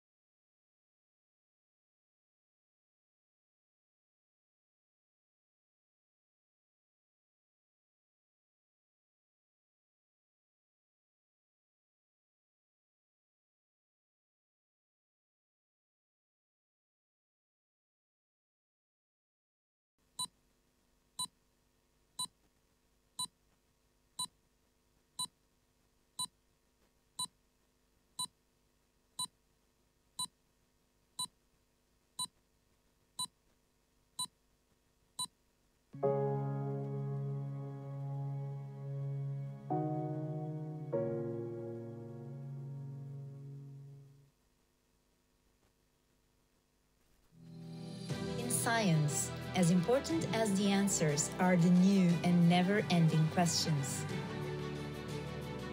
It is these questions and the researchers who ask them that allow us to advance our knowledge in all fields.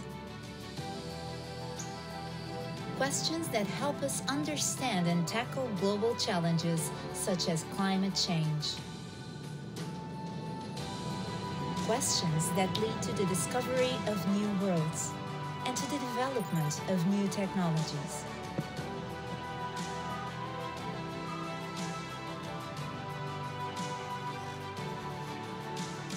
Ciências de Lisboa is an epicenter of science of excellence. Let's learn about it together.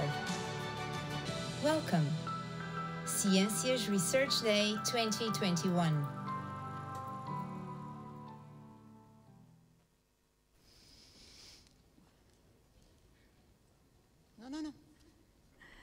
Just a minute. So we are back. Welcome again to our Research Day 2021. We will continue the day uh, with the Professor um, Margarida Santos Reis, and the next session is Ciências for Society Understanding Climate Change. Thank you, Raquel. And we welcome you all again to those that were in the morning and those that just joined us. So as you probably know, we are in the third edition of the Science Research Day, and since the second edition, we decided that it was a good idea to have some thematic sessions that can show how Ciências has the ability to address the same problem or the same challenge in different views. And this is the case. So last year we devoted this session to COVID. It was unavoidable.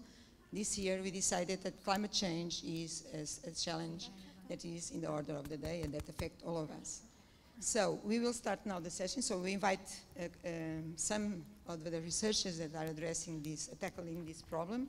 Of course, we have many others that can do also presentations, but time is not enough, and we have to make a selection. So the best way to start this presentation, this session, is with the presentation of Ricardo Trigo. He is the coordinator of Instituto Dom Luís. Is a reference in, in climate sciences, in climate change in particular, and is going to uh, explain us to what extent are recent climate extremes associated to climate change. And I'm sure we will be amazed with it. Okay, thank you very much for the introduction and the invitation. Just a correction, I'm not the, the director of Sorry. IDL anymore. In any case, I thought that this topic would be interesting in this context because not only we've been working for two decades on extreme events at IDL, but also because in the last year we've heard a lot about extreme, extreme events such as the precipitation and floods in Germany or the 50 degrees in, uh, in uh, Canada for the first time, five degrees above the previous maximum. So uh, the easiest way of starting this is with an easy variable, and that is temperature. Temperature is much easier to handle, and you can see here the result from a 10-year-old famous paper by the head of uh, NASA Climate Division, James Hansen, and uh, it was the first time that we could see when you look into uh, all northern hemisphere thousands of stations during summer that uh, if you divide these in color by decade, you can notice that uh, the first three decades up to the 70s, there's no change and the frequency of extremes doesn't really change that much. But beginning in the 80s and uh, until 10 years ago, you see this uh, uh, sequential move towards the right and what used to be an extreme event between 2 and 3 degrees became a much more regular one. And so you can imagine that 10 years after, the next figure that will be added, the next uh, Gaussian curve will be something like that. And some of the extremes that I've been mentioning in the next uh, half an hour in fact correspond to what you can see here. Let me tell you also that these uh, uh,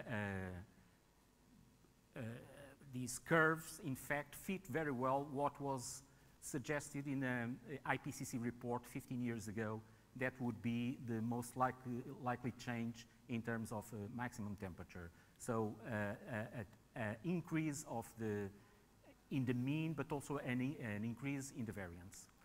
Right, so uh, the first time we realized that something out of ordinary was happening was with the heat wave in 2003. And why? Because at the time we uh, realized after that summer that uh, 50,000 people uh, excessive death occurred during that summer.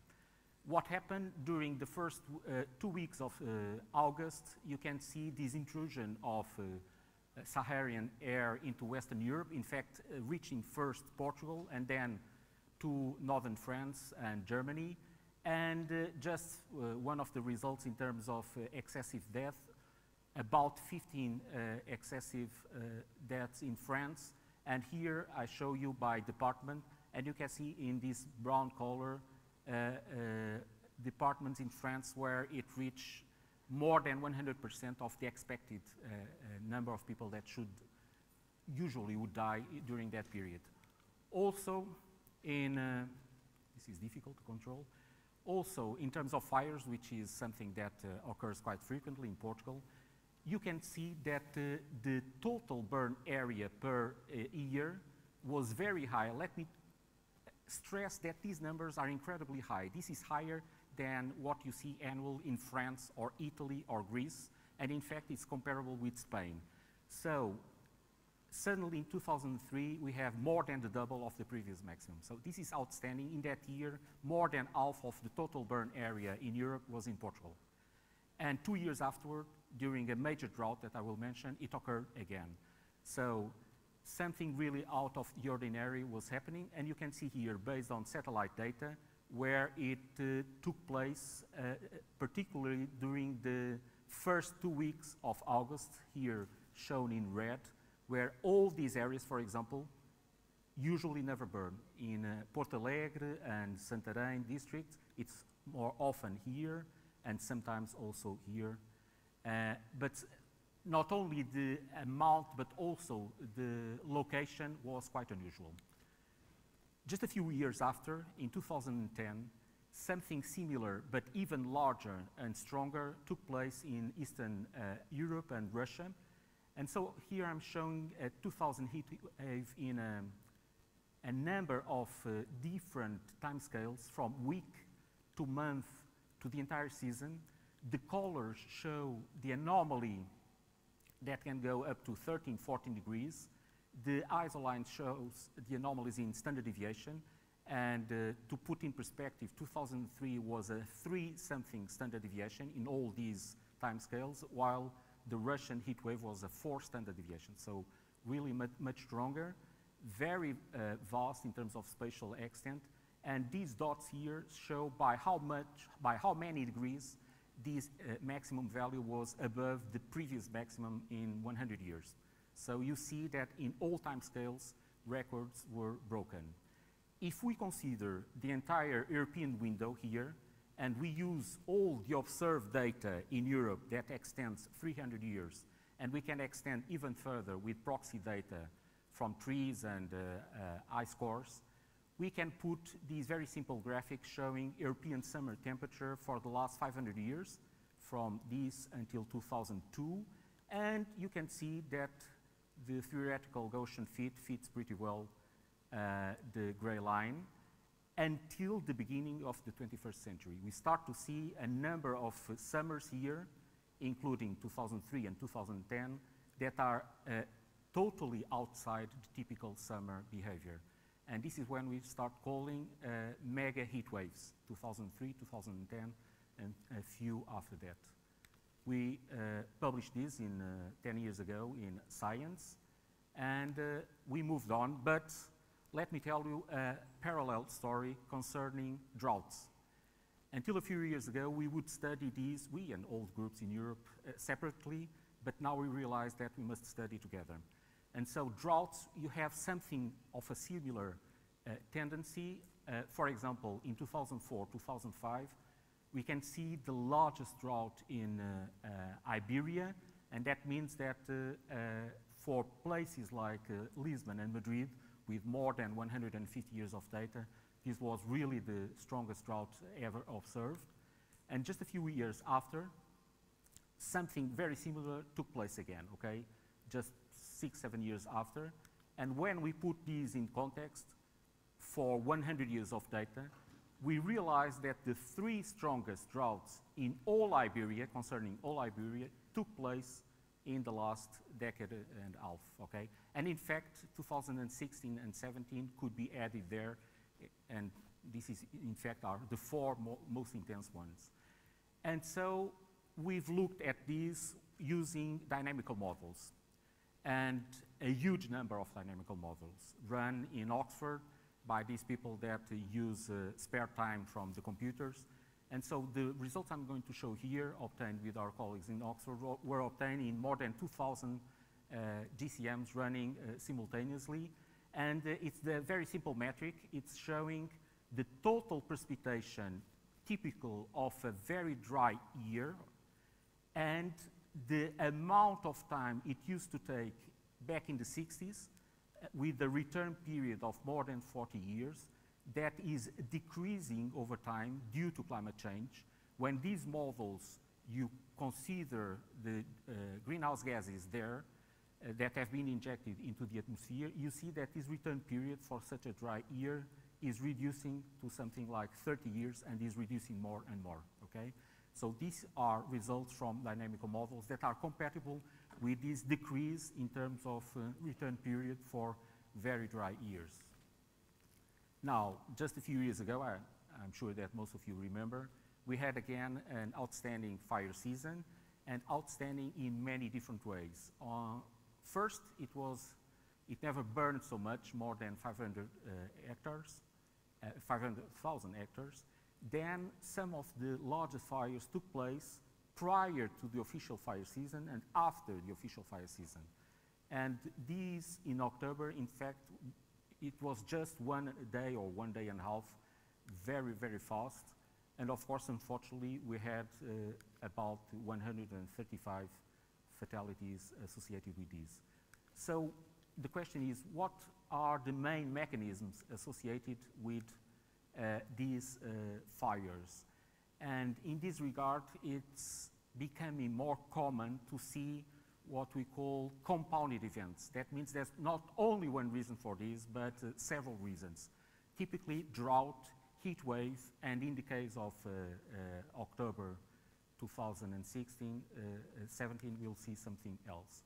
But we must separate between what happened in June, and in June we know that uh, there, were, there was a blocking pattern here staying for a while in June, and looking at uh, the weekly scale for all the data we have, you can see here the average of all Junes for Iberia, and what happened during this week is above everything else observed in the previous 70 years of all Junes for Iberia. In fact, the heat wave is very similar to the strongest heat waves in July and August. This is again the trademark of uh, climate change. Events that used to occur only at the peak of the summer season in July and August now are starting to occur in June and uh, late September, even uh, October, okay? So this was the strongest ever heat wave at the week scale in June. In October, uh, we can see three different things. Not only it was very warm due to a combination of factors, one of which was the uh, percentage of the territory under the most extreme uh, uh drought cases. You can see here uh, the year going by and uh, the two most intense droughts I mentioned, the 2004 and the 2011, that reached sooner or later 100% of the territory under extreme conditions. That was apparently not the case with 2016 and 17, but in fact here in June, during the first fires, it raised tremendously, and then in October, all the country was under extreme drought. Besides, we had something really out of the ordinary, and that was a tropical cyclone passing through. Now, the thing is, are these three mechanisms changing with climate change? I mean, heat waves, droughts, and tropical cyclones. And apparently, heat waves, we know for sure they are changing, I will show you. Droughts, a little bit, but uh, tropical cyclones, we don't have sufficient numbers here to provide an answer with uh, statistical significance. But the amount of data we have uh, appears to indicate that something is happening in that direction. Now, still concerning what happened in this uh, outstanding year, we published two years ago in scientific reports a very simple model. This is a statistical model that uh, it's not difficult to reproduce the amount of burn area in Portugal just using um, typical uh, climate and meteorological variables concerning how much it rained in winter and in spring previous to the summer and how many days of heat waves we had during summer. With three, four variables, you can reproduce 70 to 80% of the variance of the total burn area. Now, what happens, and it's difficult to see here because the light gray is not very easy to see, but uh, the observed area, uh, burn area is represented here. This gray color is, corresponds to the models without tendency in terms of uh, higher temperature and lower levels of humidity. And uh, there's a light gray color here that corresponds to the uh, curve in terms of uh, models that uh, incorporate the drought and temperatures that we are observing. This means that in the last two decades and in the future, just based on climate, we should have more years like 2003, 5, and 2017. It's not burning more, not because of climate, but in spite of climate and that is due to lack of fuels, because some years it burns so much that there's lack of fuels, and in some years where uh, climate conditions are not too, too are sufficiently uh, easy to be handled by firefighters and civil protection, these lower years, then it's easier to protect. But from a climate perspective, we will see again this type of situation in the coming decade, okay? Now, just one year after, in 2018, we had the strongest weak uh, heat wave ever in Portugal. You can see not only the absolute temperatures here, but you can see all the stations here depicted in color. The local record was uh, surpassed. And in Lisbon, the 150 year of uh, time series was surpassed by two degrees. And that is not typical of this situation. Typically, it's just half a degree, three uh, th decimal points or whatever, not two, three degrees like it's uh, happening in so many places. Only Beja, for example, or Porto, uh, and a few others, you don't see that. Now, what happened in this year? It burned so much in the previous year that uh, it prevent from more fires during 2018. And not only that, but also the, the, this is, was just during five, seven days, not three weeks. And that's a, a, major difference. The only place where it burned quite a lot was here in Monchique.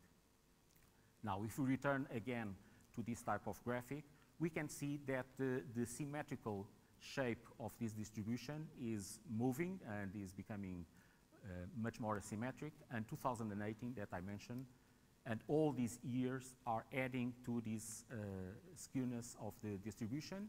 In fact, 2018 was record in all these areas in Portugal, but also in Holland, Belgium, and uh, Scandinavia, and many other places in Europe. That in itself, uh, it's important, but what is remarkable is that one year after, we had an even stronger, not one, but two heat waves, okay? one at the end of June and the other at the end of July.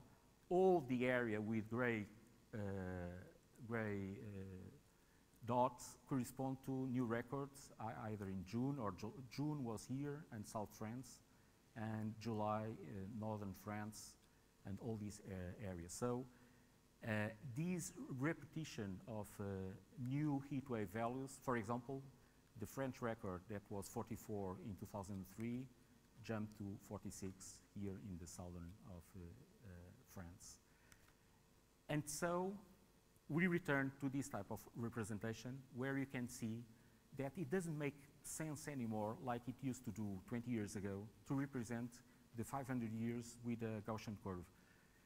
If we pick the last 30, 40 years, it has become a completely detached curve following what was predicted to happen.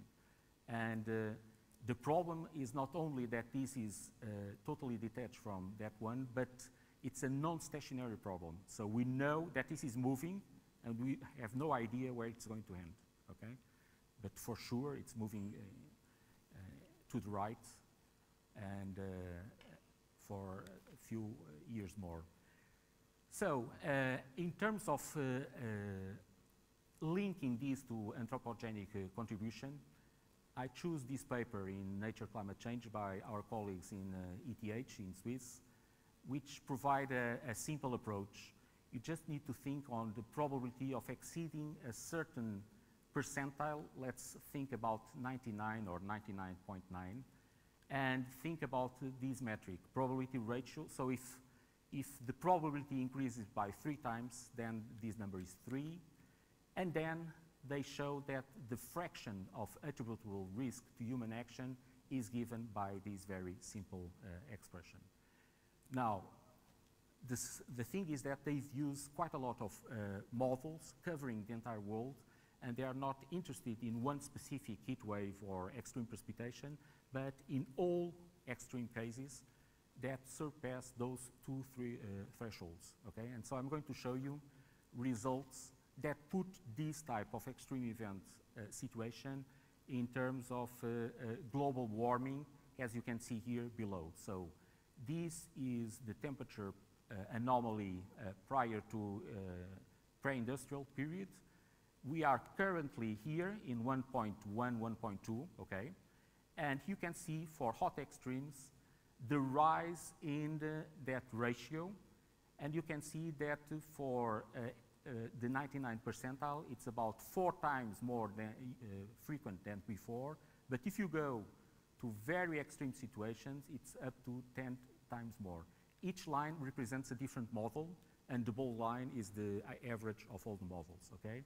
Now, the fraction of attributable uh, risk for the current climate shows that most of the heat waves would not occur if uh, we had uh, uh, temperature uh, closer to zero, but with 1.2 most, and I would say around 70% for these and 80 or even more for this type.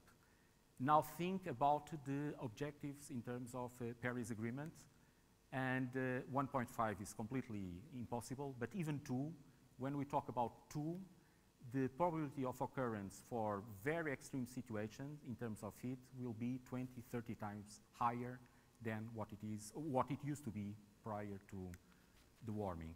Now, if you look into heavy precipitation, including stuff that you've seen in Turkey, China, and, uh, and uh, Germany, things are similar but very different. Uh, similar in, the, in terms of uh, higher values for the higher percentile, but very different in terms of uh, this uh, uh, ratio. So there's an increment, but only of 20, 30%, okay? And even with additional warming, it will remain pretty low. And what is attributable to, to, to climate change is uh, fairly low, it's positive, and it's increasing, and it's higher for more extreme events. And in fact, we can summarize that uh, it increased non-linearly for high levels of precipitation and heat, and increased more for the stronger uh, streams, okay? So, uh, what is the impact of this in terms of fires for Portugal and for the Mediterranean basin? Not good news, as you can imagine. And uh, we've published last year uh, something summarized for the entire Mediterranean basin using climate change scenarios for the coming decades. We can summarize the influence of the meteorological variables in terms of fires for the entire Mediterranean, in terms of temperature, drought, wind speed, and uh, uh, relative uh, air humidity using a standard PCA principal component analysis. I won't go into many details but I can summarize that for the three most important mechanisms triggering uh, fires in the Mediterranean, and these are hot associated with drought, heat wave alone, and wind driven, that is very confined to specific areas with wind. If we look into these two, we can uh, see that this is predominant in Iberia and Northern Africa, and according to a mild and a very strong climate change scenario for the end of this century, these will increase significantly for both this situation and this additional situation.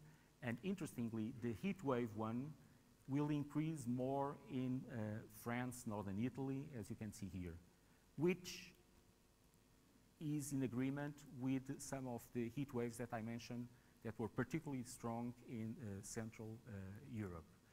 So, uh, of course, the, these uh, uh, increments in terms of frequency of very powerful fires related with these mechanisms will put an additional pressure in ecosystems and humans around the Mediterranean basin.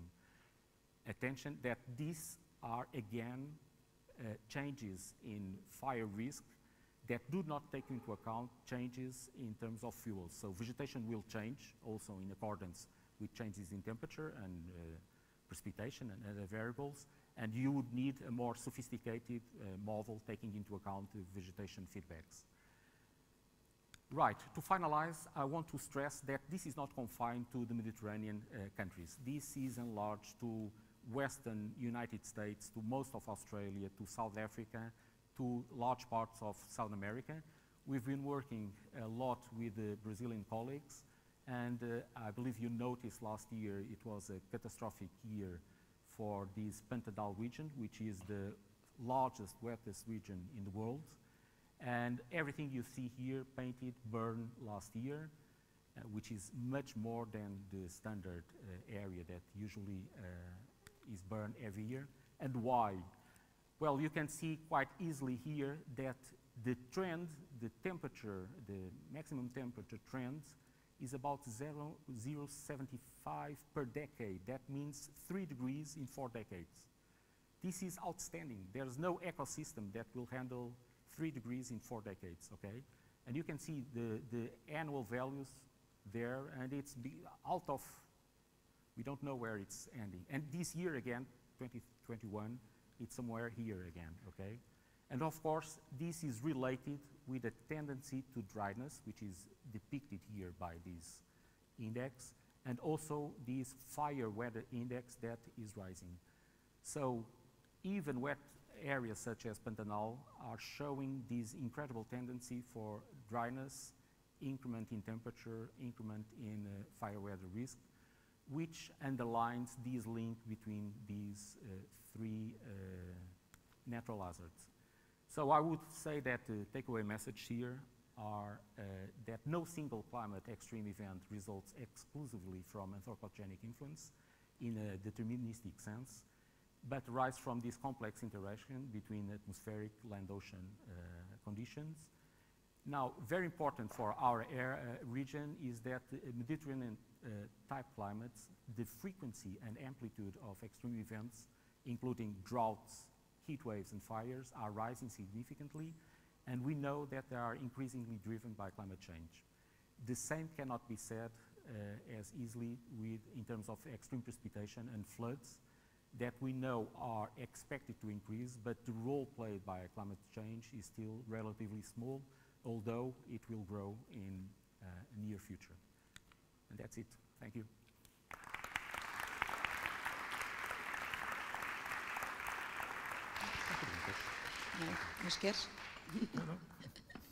so thank you, Ricardo, for helping us to, to understand better what is happening, which is not very good, but anyway.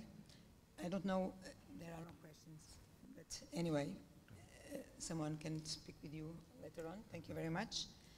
Um, so now, and moving to the next talk. So we learned that climate change and the effects that are associated with it are happening. And now we need to understand also how the, spe the species are adapting to this situation. And therefore, the next speaker, which is Patricia Beldade from the C3C, she's a, uh, a professor at the Department of uh, Animal Biology, is going to speak with us about the relevance of developmental plasticity in studies of the biological impacts in climate change. Fica. Só pequeno é bom.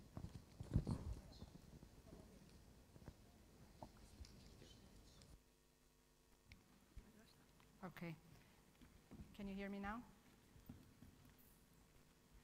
Okay, thank you. I want to start by thanking you for the opportunity to, be here. It's been already a great day. I've learned so much. I also have, like the little blurb said in the beginning, a lot more questions that arose and that I'm looking forward to discussing with my colleagues. So we're moving now from, um, okay, I should be able to change this here. So today I'll be talking about the, the relevance of this particular property that uh, some, mm, closer. Is this better? Oh, yeah. Like here? And then I talk like that? Maybe I'll just go back to feeling like a dwarf behind the pulpit. Sorry. Better? Okay, let's start. Okay, I can try to shout. Um, talking about a particular property that organisms have, which is to respond to the environment also in the way that they develop and that they produce a final phenotype, and how that might be relevant to understanding the impact of environmental change, climate change, or other environmental perturbation in biological populations. So I'm part of the C3C, like Margarida was saying, which, as you can see here, sort of the, the, the big, the bold, the, the brown, oh my gosh, what did I do? Okay, the brown lines are like theme lines. There's many different aspects of, of is it better? Yeah. Sorry. Um, the, oh, yeah. Um, different aspects, different perspectives, and, and, uh, and, approaches to, to understanding the impact of climate change on biological populations. Um, uh, I am myself am part of the evolutionary genetics group, which is led by Vitor Sousa, um, and it includes several PIs doing different things. I keep pressing this button, which I don't know what it's for. So I'm here. Eco Evo Devo, it sounds like a, a, a, mouthful, but in fact, it's sort of a new trend trying to integrate, not so new anymore, integrate both concepts and tools and approaches from different disciplines, ecology, developmental biology, evolutionary biology, to try to understand phenotypic variation and diversification. Um, variation has always been, for me, the most fascinating property of biological systems. Wherever you look, whatever biological system it is, there will be variation. There are inter-individual differences for pretty much every phenotype. And suffices to look around, we're all from the same species, pretty much the same geographical population, and will be different in all sorts of phenotypes that are visible to the eye and a lot of other phenotypes that we could measure when we go to the doctor or anything like that. So variation is a predominant feature of biological processes, okay? It is also the raw material for evolutionary change. It is if through heritable variation that we have evolution and uh, the creation of diversity across species through natural selection but also artificial selection has derived the plants and the animals that we eat and use today in many aspects. Um, variation is obviously shaped by different processes. I'm pretty sure this does work. Oh yeah, even the non-biologists will know there's the process of mutation that introduces new genetic variants. There's the process of selection that filters phenotypic variation, making it that some phenotypes will increase in frequency across generations, other will decrease in fitness across generations.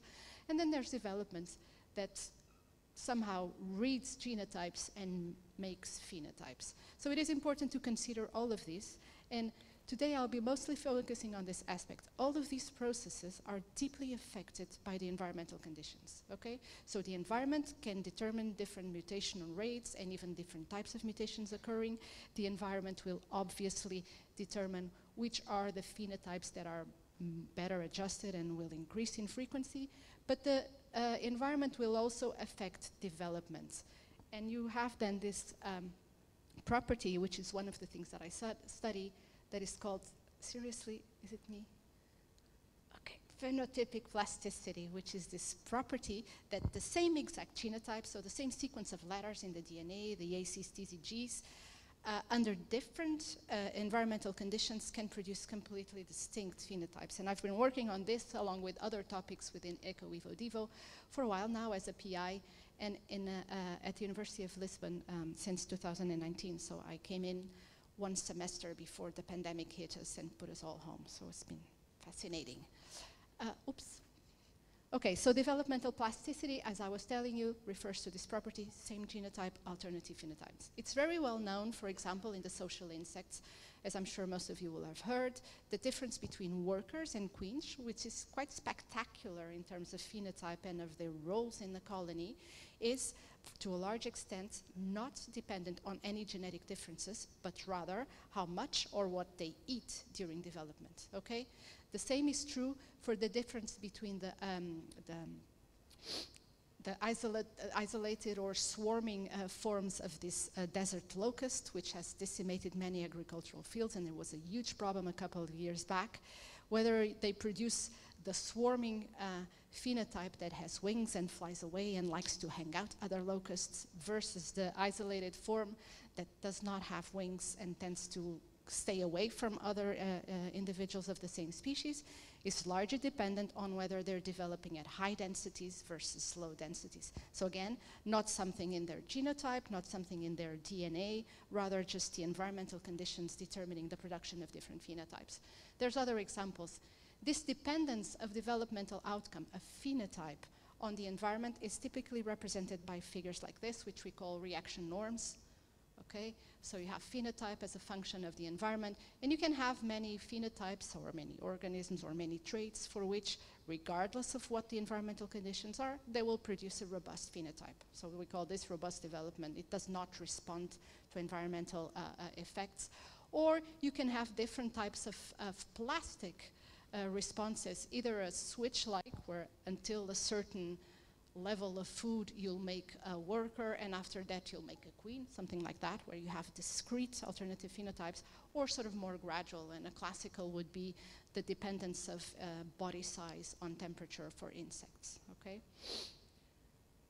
Um, I'm not going to go a lot into sort of a lot has to happen so that you have the effect of an induct inductive environmental cue uh, on many uh, processes, cellular and, and molecular inside the organism, that it results in alternative phenotypes. What I wanted to say here, and I seem to have gone through two slides, um, is that for plasticity to be adaptive, that means to be of value for the organisms, the phenotype that is induced by the environment makes adults that are somehow better adjusted to the conditions they will experience later on. So there is some sort of a, a, a predictive relationship between the environmental cue that changes development and the environmental cue or the environments that are then what the organisms will live in and select them. So this is very obvious, for example, in cases of seasonal plasticity, where you find different morphologies or different behaviors in different seasons that are induced by the environment. So again, not genetic differences. They're adjusted to the particular conditions the seasons will happen. Um, this plasticity that is adaptive will obviously has the property of becoming maladaptive if somehow the correlation between whatever is the inducing cue and the selective environment is broken. Okay? Because then you have the production of a phenotype that no longer matches the conditions that they will expose to later on. Okay, um, I, I, hinted already before, there's different types of cues that can induce changes in, develop, in, in development and in developmental outcome, and temperature is obviously one of them, um, and one that we study in the lab using this particular two uh, insect models. Insects as ectotherms, meaning organisms that don't uh, self-regulate the temperature, are very much responsive to the external temperature. They kind of have to deal with it because they cannot adjust internally. And I use um, um, two models, a, a butterfly uh, species uh, for which we understand really well the ecological significance of developmental plasticity, and Drosophila melanogaster, which is kind of the um, genetic powerhouse of insects. Uh, it's a great system if we want to get at the molecular and the genetic mechanisms of what is happening. Um, okay, so how, how do we get here to climate change? And this could also be um, to uh, environmental perturbation in general. So you can imagine in this uh, made up continent that I've drawn here, okay, what we have is the colors reflecting some environmental gradient. It could be temperature, okay? And then I have these little letters here that represent uh, populations. Uh, uh, the letter itself represents a particular genotype, and the color of the letter represents a particular phenotype. So in this very simplified scheme of reality that I've drawn here, what you have is that you have genotype A that encodes a phenotype white that lives really well in that intermediate yellow to blue color, okay? So you can imagine if now the situation changes and you have an alteration in the, in the temperature gradient and it's now much warmer and sort of the, uh, the at this position it's no longer that um, intermediate color, you can have either that populations move away, kind of they track the environment, that they track the conditions that are favorable to, to, for their existence. This is obviously not possible or not as like, uh, likely in all species. You can also have the situation where you have adaptation. Okay, so this, the population stays put, but now phenotype white is no longer really suitable to live in those conditions, and you'll have natural selection making it that now you have the increase in the frequency of genotype C that corresponds to phenotype gray that lives well there, okay? And now uh, in, uh, for the last uh, decade or so, a bit more, we've kind of consider, started considering that maybe we need to uh, think of a third uh, solution to this problem, which is uh, maybe given by phenotypic plasticity. So what the, the scheme represents here is that you can now, because you can adjust your phenotype without having genetic changes, what I show here is a change in color without a change in letter. So you, in the same became phenotype gray, that is well uh, suited to living in these conditions, but you did not need to do that through genetic changes if you have plasticity. So this would be a way by which, because there's an intrinsic property that enables organisms to adjust their phenotype to the environment, that you could somehow buy time or even stay in that location without having to wait for new mutations and for selection to take its action. Um, in fact, there's many examples of this happening in different species of insects, and these are just some of the examples here. Uh, we have examples of phenotype tracking or plasticity playing a role, of habitat tracking, of genetic tracking. We also have sort of examples of a much sadder fate to biological populations where you have declines and even extinctions. So back to the lab where I live. Uh, so we've been working on thermoplasticity and in particular developmental plasticity on, on, on these uh, two insects, also a little bit on ants, but that is nutritional plasticity, it's not thermoplasticity. So uh, like most insects, you're larger if you develop at cooler temperature. You're larger and darker if you develop at cooler temperatures. And uh, we understand a little bit of the adaptive significance or the ecological significance of this property. Um, and today I wanted to tell you about where kind of more the recent work in the future, in, in very briefly, because I understand this is uh, not sort of a, to a specialized audience, much a broader audience. I've already learned so much today. Um, the way organisms react to changes in temperature or any other environmental perturbation is obviously variable itself, okay? So not all traits and not both sexes will respond in the same manner. There's differences between traits and there's differences between males and females and that can be relevant to understanding uh, what will happen to populations not all genotypes respond in the, the, same manner. So what is a stressful temperature for particular genotypes in a natural population might not be a stressful temperature at all for other genotypes. So there will be genetic variation for how, how organisms deal with environmental perturbation. And finally, and very importantly, and it also connects to the previous talk, or the way an organism responds to a change in temperature might not be the same when there's also changes in other environmental variables. That means that the effect of different stressors or different environmental cues is not necessarily what we call additive. They might have interactions that are non-additive, either synergistic or some replacing others. So we do need desperately to understand how organisms respond, okay, to temperature, but taking into consideration changes also in other environmental variables. Uh, yes, because natural populations are obviously complex. No single natural population is made of all individuals of the same genotype. No single natural population only has to deal with a change in temperature. Typically, there's going to be changes in all sorts of different environmental variables uh, together. And um, the intention here is not that you look at these figures in particular, is kind of give you sort of a highlight or of, of uh, uh, current interests that have to do exactly with that how different genotypes, and here are represented about 190 genotypes of Drosophila melanogaster, that we could plot those reaction norms, and we see that they have different slopes, and that represents how different genotypes respond to temperature in different manners. And this matters um, also because um, this genetic variation is itself um, makes lends itself to being selected and for having evolution of plasticity. We also have plasticity in traits, developmental plasticity in traits that maybe you wouldn't think would be so much affected by the developmental environment, would be more responsive immediately. And we already see here, this is a mortality curve, it doesn't really matter, but differences in males and females, whether there's thermoplasticity for immunity, for the ability to fight pathogens. And finally, this interaction between traits. So here we consider reaction norms. Um, for uh, different amounts of food and then measure those at different temperatures and you see that it's not always necessarily the same and it also varies between genotypes. So finally, I'm very excited that uh, um, hopefully the pandemic is gone and we can be back to uh, working as usual. And there's two projects about to start, a PhD student in the lab that will be looking at also looking at interactions between thermal plasticity and uh, immune challenge-induced plasticity, and a, a, recent FCT project that hopefully will start in January, looking exactly at this idea of complex environments. And uh, many thanks to um, many people, and I think I'm over time, so I'm going to shut up now. Now you're good. Thank you.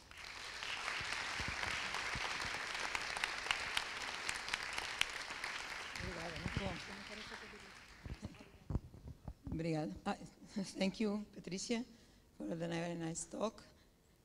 And now we move to, again, still in the life science uh, field, and uh, we call Andreia Figueiredo from BioISI.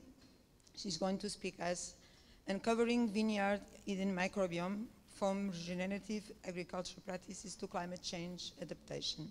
So we move now to adaptation.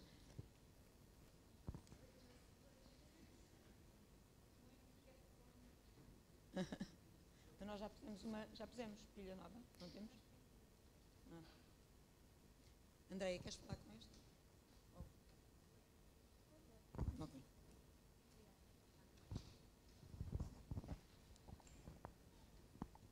I forgot to say that she is a researcher from BioISI. So good afternoon to you all. Uh, first of all, I would like to thank the invitation to, for presenting a part of our work here today. So I'm tall, so I have to uh, just put this a little bit higher. Um, I'm uh, uh going to present one of our research lines, the last one that we have implemented in our lab, which uh, is related to microbiome and its influence in plant fitness. So, I cannot move. So this is strange for me. Okay. So as you all know, grapevine is one of the most important plants in the world because of berries, but particularly because of wine.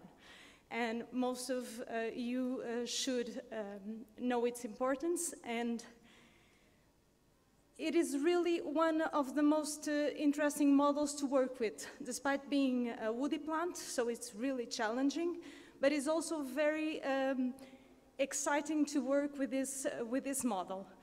So what do we know? We know that um, from the 70 more or less species that are described so far, only one is used for berry and wine production, which is Vitis vinifera.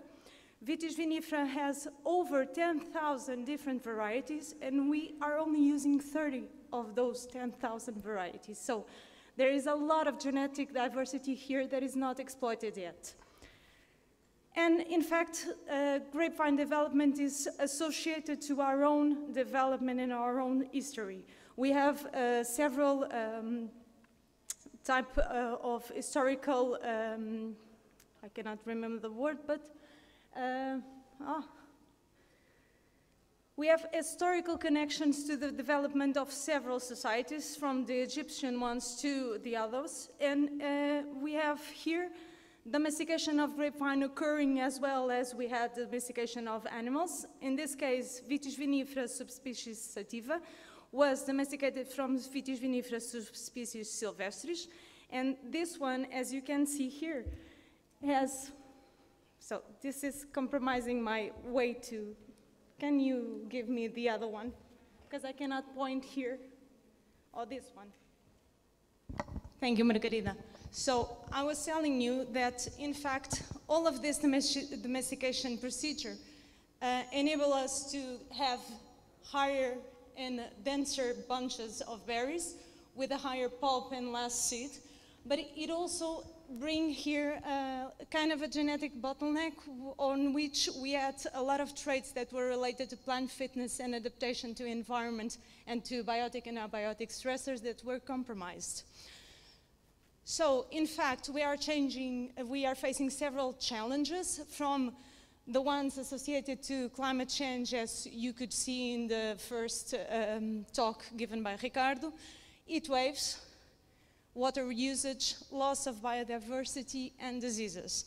And in this case, we see that trends are changing. Uh, producers are more concerned about uh, all of the process of uh, production. So we are aiming at a recovery of biodiversity in the vineyards. And we are also looking at this genetic diversity uh, with the aim of using the most adequate uh, plant varieties for each type of uh, climate um, needs. And in fact, I don't know if you are aware of it, but during grapevine development, so we are thinking more or less from February, March, where the first leaves get out, until the harvesting in late August, in beginning of September, we have normally 14 to 15 pesticide application, preventive ones. So, in fact, there is a lot of agrochemical used in viticulture. This is one of the most polluting industries nowadays.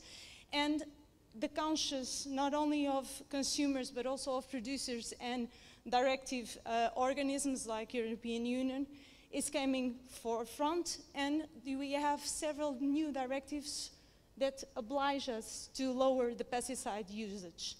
And in fact, I normally show this one. This is a study by DECO. Uh, it was made in 2016, if I'm not wrong. And they went to a supermarket, pick up a lot of bottles from biological wines to current wines, national wines, international wines. And you can see here the reds and the yellow dots, which are the wines that have pesticides and the red ones, pesticides above the limit that we can intake. So you can see this, that this is a major problem. There are several papers also focusing on berries that show the same trend.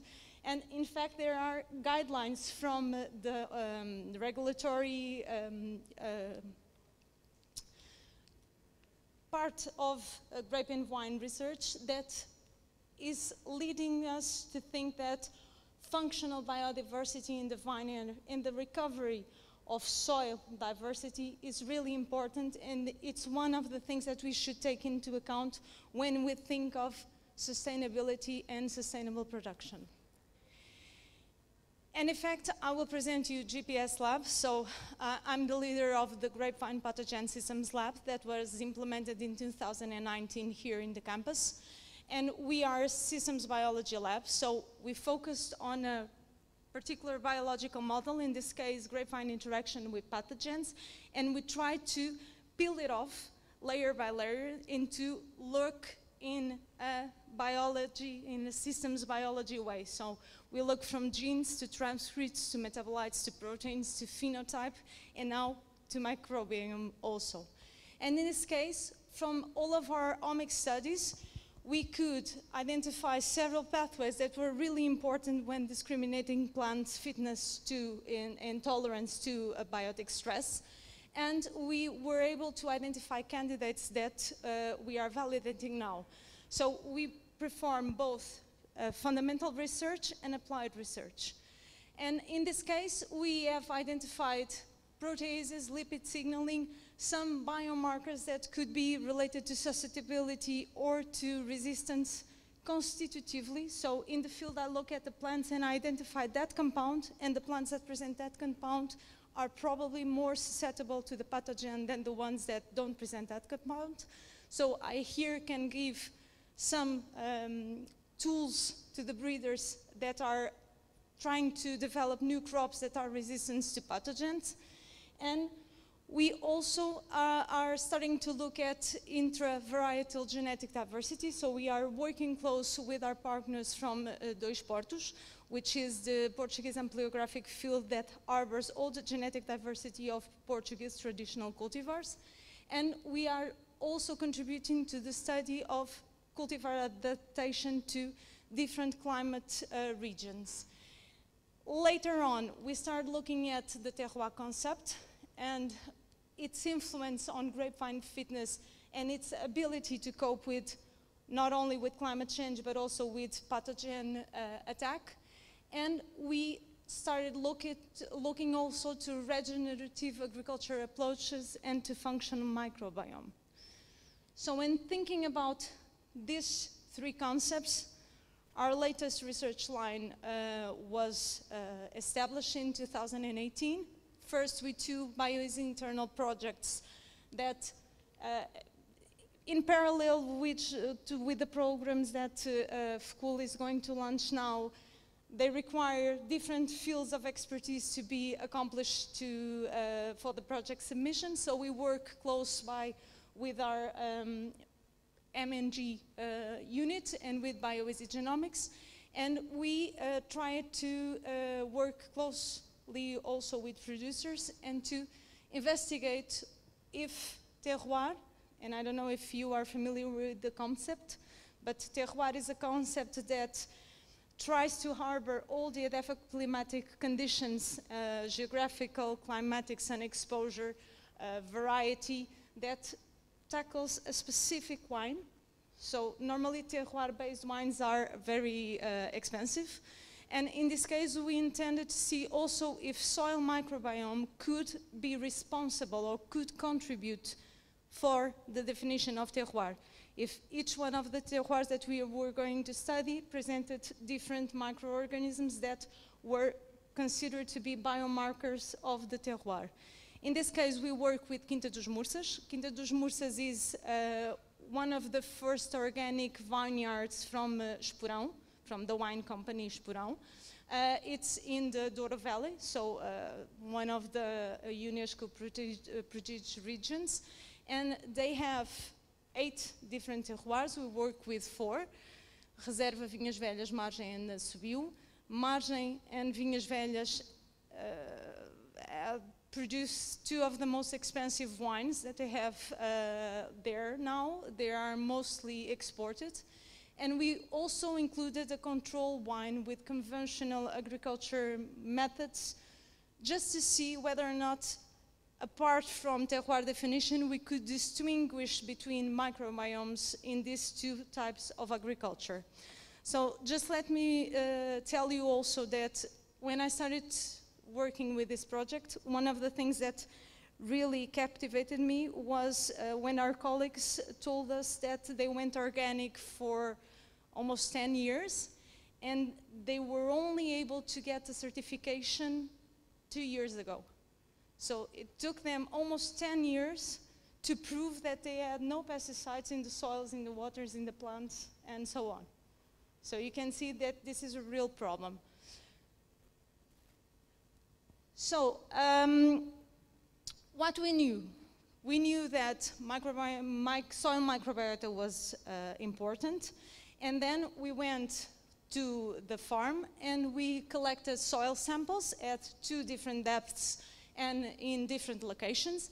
And we used this amazing, this amazing technology that we have here in the campus, which is a long-read nanopore uh, sequencing, that allowed us to have a huge uh, sequencing depth and uh, a read of all of the things that were in the soil uh, far beyond what we could have with conventional methods, sequencing methods. So we had problems. Uh, of course, we were implementing the technology and the analysis pipeline. So one of the main problems that we faced were um, the identification of the OTUs. And for that, our colleagues from BioISI Genomics developed uh, an in-house pipeline um, and an in-house database that allow us to have a higher coverage of uh, OTU identification.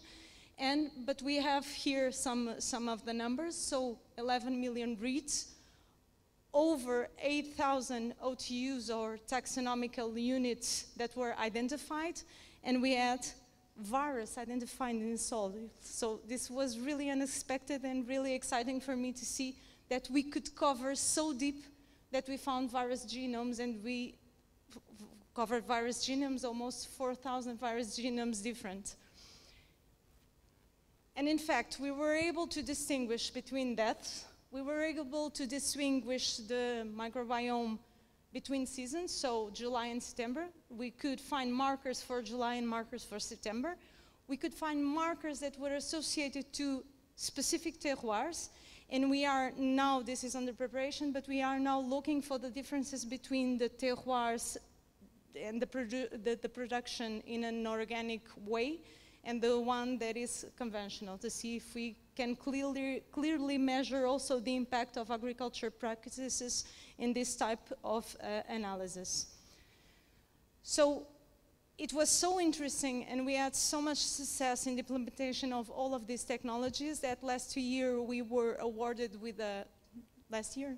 Yeah, this year we were awarded with a PRIMA project, so an international project, this international project uh, is led by our Italy partners and arbors Italy, Greece, Cyprus, Egypt, Tunisia, Portugal, and France.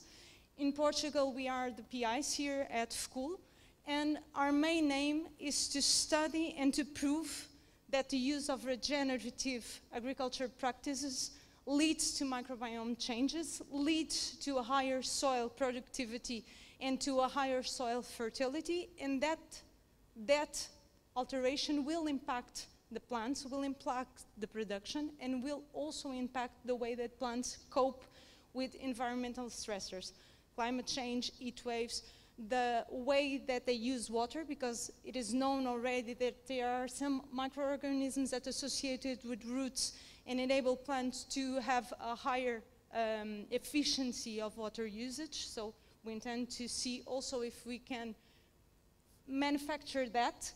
And um,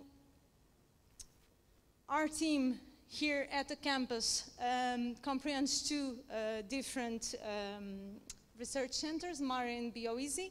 We have also a partner from Seville University, and we have as our Portuguese partners INIAV, the National Institute of Agrarian and Veterinarian Investigation, and AVIP, so uh, Associação de Produtores de Palmela, de Viticultores de Palmela. What are our main tasks here and what are we going to do? We are going to develop new biofertilizers and biostimulants, so we are going to test some microorganism consortia and some microalgae to see whether or not we can influence plant fitness and if we can use that consortia as biocontrol agents for some pests. We are going to help our colleagues from INIAV to assess the Portuguese grapevine germplasm and to select the ones that are most adapted to some of the uh, experimental, um, sorry? No, not my,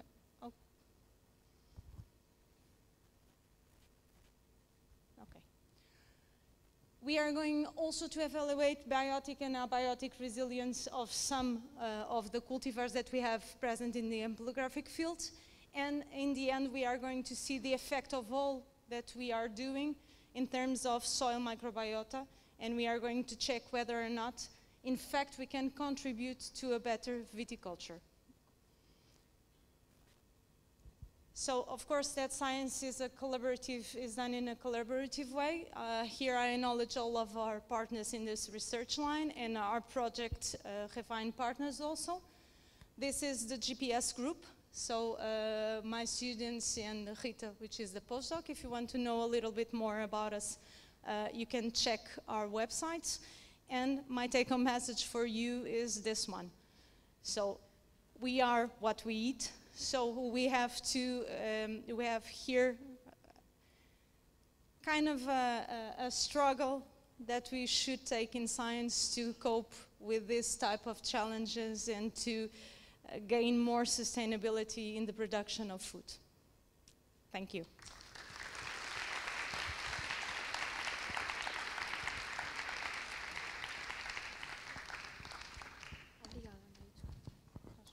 So time to coffee break. Uh, we invite you all to meet here again in 13 minutes. Yes.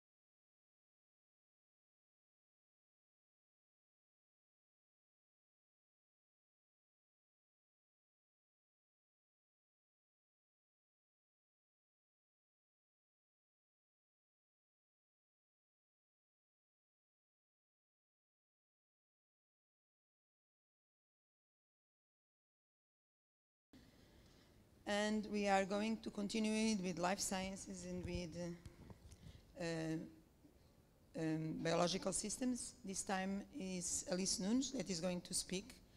She is a researcher at the cE3c, and she's going to, to speak about promoting the resilience of agroforestry system to climate change, ensuring ecosystem functions and services. Thank you. Thank you. Uh, so, good afternoon to everybody. Um, today, I, I brought here uh, a part of the research work that we have been doing related with promoting the resilience of agroforestry systems to climate change. And just change the, my hand. So, starting by a very uh, general overview, we can see here the map of the extent of global agriculture around the world. And now we'll be talking about the specific type of agriculture, which, uh, is, um, which are these agroforestry uh, systems. That, in its basic definition, these are agricultural lands, but that have more than 10% of uh, uh, tree cover. And these agroforestry systems that we've been hearing more and more to talk about, they are quite important because uh, mainly they, by integrating um, the um, woody vegetation, mostly trees, with crop production and also sometimes with livestock production, they take benefit of this interaction, this ecological and economic interaction between these activities. And this is why most of these systems are actually providing a wider variety of goods and ecosystem services than do agricultural lands per se or forestry lands exclusively. So they represent 43% of all agricultural land areas globally. And uh, because of these features of combining different activities, they are often associated with high conservation values. And now uh, we jumped to these agroforestry systems, and now I would like to talk about some areas that are occupied by these agroforestry systems. And these particular areas are drylands. This is because we've, we've been developing most of our work in these uh, dryland areas, not only in Portugal but in other parts, but today I will speak mostly about the examples from Portugal. Um, so these drylands are specific areas because, well, these are areas when the precipitation is low, and so it does not compensate for the evaporative demands uh, that are imposed by high temperatures, and so these are naturally water-limited areas. And this makes these areas quite prone to uh, desertification, which is uh, land degradation that is caused not only by these climatic constraints that we find in drylands, but also, of course, associated with the type and intensity of land use that we make in these areas. So this leads to this desertification. And because I will be talking mainly about what we've been doing in Portugal, I would like to highlight, sorry, that uh, most of the Mediterranean basin is occupied by drylands and also that these areas are highly susceptible to climate change because, um, because of their characteristics and we are expecting an overall increase in aridity in drylands. And so what we should be expecting for the Mediterranean basin and actually are already um, facing uh, are these, has been, as has been told in the previous uh, communication, a decrease in precipitation or change in precipitation regimes, increased droughts, increasing water demand for agriculture, uh, higher risk in livestock production, and so on. And so we have to face these challenges and try to cope with them as much as possible. And uh, now I jump to the particular case of Portugal. So I don't know, perhaps most of you are aware that uh, the uh, dryland areas in Portugal are mostly concentrated in the, southern, in the southern part of the country and also a bit in the uh, northeast. And as you can see from these maps, we have been already facing an increase in aridity over the last decades. And this increase in aridity is mostly threatening the type of ecosystems that dominate here in the southern part of the country, which are oak woodlands, dominated by cork oak and by holm oak. I guess most, many of us are familiar with this type of ecosystems, agroforestry ecosystems that we call montado. Um, montados are very are remarkable ecosystems. They are quite important because They provide different types of ecosystem services, and we are not talking only about the most obvious ones, cork extraction, livestock production, and so on, but they play a very uh, essential role in regulating services like soil conservation, water, um, water regulation, and also pest control. And of course, for many of us, they have a high cultural importance because we are uh, uh, used to these uh, beautiful landscapes and for other reasons as well. And of course, in the basis, we have these uh, ecosystem processes like primary productivity and nutrient cycling. Despite the high importance of these ecosystems, which harbor a remarkably high biodiversity level, they are under threat. And this is not only because of climate change, but, but as I said, because climate change effects coupled with the uh, intensity of land use and the type of land use that we choose to have on these areas. And so we are now witnessing low natural regeneration of oaks and also a high mortality of adults. So we're losing oaks, which is a key feature of this type of ecosystems.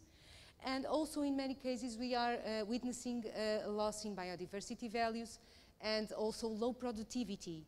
And this has not only economic, but also not only ecological, but also economic consequences, for instance, in the productivity of pastures for livestock production.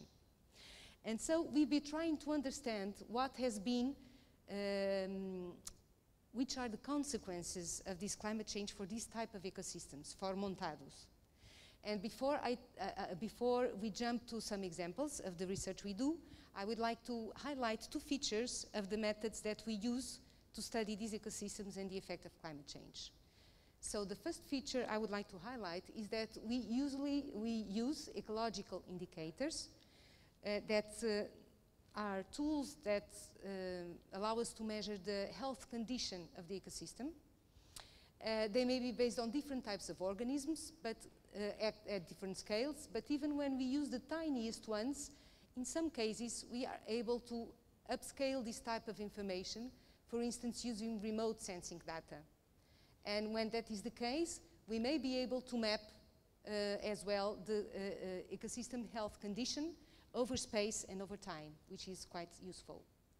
Another feature I would like to highlight about the methods we use is, um, well, first, to study climate change in the ecosystems, of course, we need to witness this change in climate. And uh, because in many cases we do not have these long-term data, a common approach is to study spatial climate gradients, uh, assuming that they will mimic what will happen over time due to changes in climate. But of course we know that uh, what happens in the same site over time is dependent on the characteristics of that site, for instance on its soil, topographic characteristics, uh, climatic legacy, and so on. So in many cases, we also study, we have to validate this, this spatial approach by studying the same site over time and see what happens. Besides these empirical and uh, observational studies, we also have manipulative studies, which are in fact the ones that more directly gives us, give us a cause-effect relationship.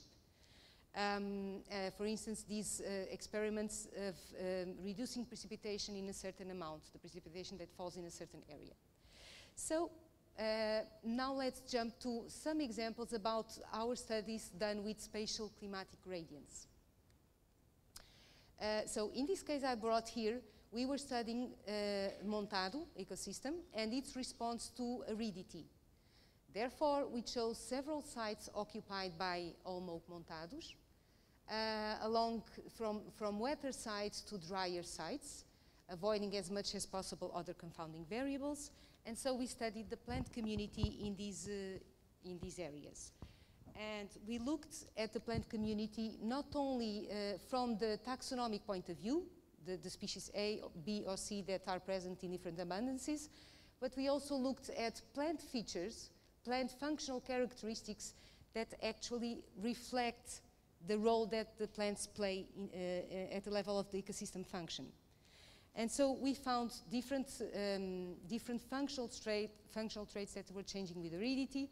But what I would like to highlight is that with this information, we were able to build a multi-trait functional diversity index that actually showed a, a monotonic, non-linear decrease with increasing aridity, despite the, the, the noise that we see here.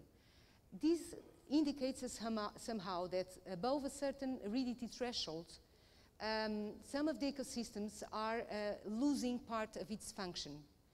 Uh, and so these type of models can help us how? For instance, to build maps, uh, maps of the areas at risk, at higher risk of desertification or loss of ecosystem services. And this information may be useful, useful for land managers, policymakers, to focus on that area, uh, on that areas uh, to implement mitigation strategies, restoration efforts, to uh, decrease the intensity of land use or change it. Okay? This is a type of application of these types of models that can also inform other, for instance, uh, other conventions of desertification, biodiversity, and so on. Now I will jump to another example where we've been studying climate gradients uh, over space. Uh, in this case, we were interested, as I told you, uh, we are losing oaks, cork oaks and holm oaks. And so uh, we have been having several uh, funding programs that have been financing uh, afforestations or reforestations with oaks. So the idea is to promote oaks and to combat desertification. And sometimes these oaks are, um, are planted alone, and in, in, other situations they were planted with umbrella pines. Allegedly, the, the pines would facilitate the establishment of oaks. And so this has been done for many years, more or less using the same recipe. And the question is, do we know which are the best solutions? Which are the, which are the most successful from different points of view? And we cannot, we do not have an answer to this question. And so our idea was to study these reforestations, once again, in different levels of aridity, uh, we looked at different, different um, characteristics such as the oak natural generation, productivity of these systems, soil quality, and so on. And I'll just summarize very briefly some of the most important results. So we found out that um, pines were not bringing any beneficial effect for oak natural regeneration. So they would not be needed for that. Also that in terms of habitat complexity, oak-dominated reforestations were able to harbor potentially a more diverse biodiversity. They, ha they, they have a higher habitat complexity. In terms of productivity, when we compared reforestations with the same age, we found out that uh, oaks grew more without pines. Well, we can, could discuss this in more detail, but uh, and in terms of soil quality, pile, pines did not show a, a relation with soil quality, which was more related with aridity. So therefore, we should question what are the pines doing there, if they make sense, and in which conditions they make sense.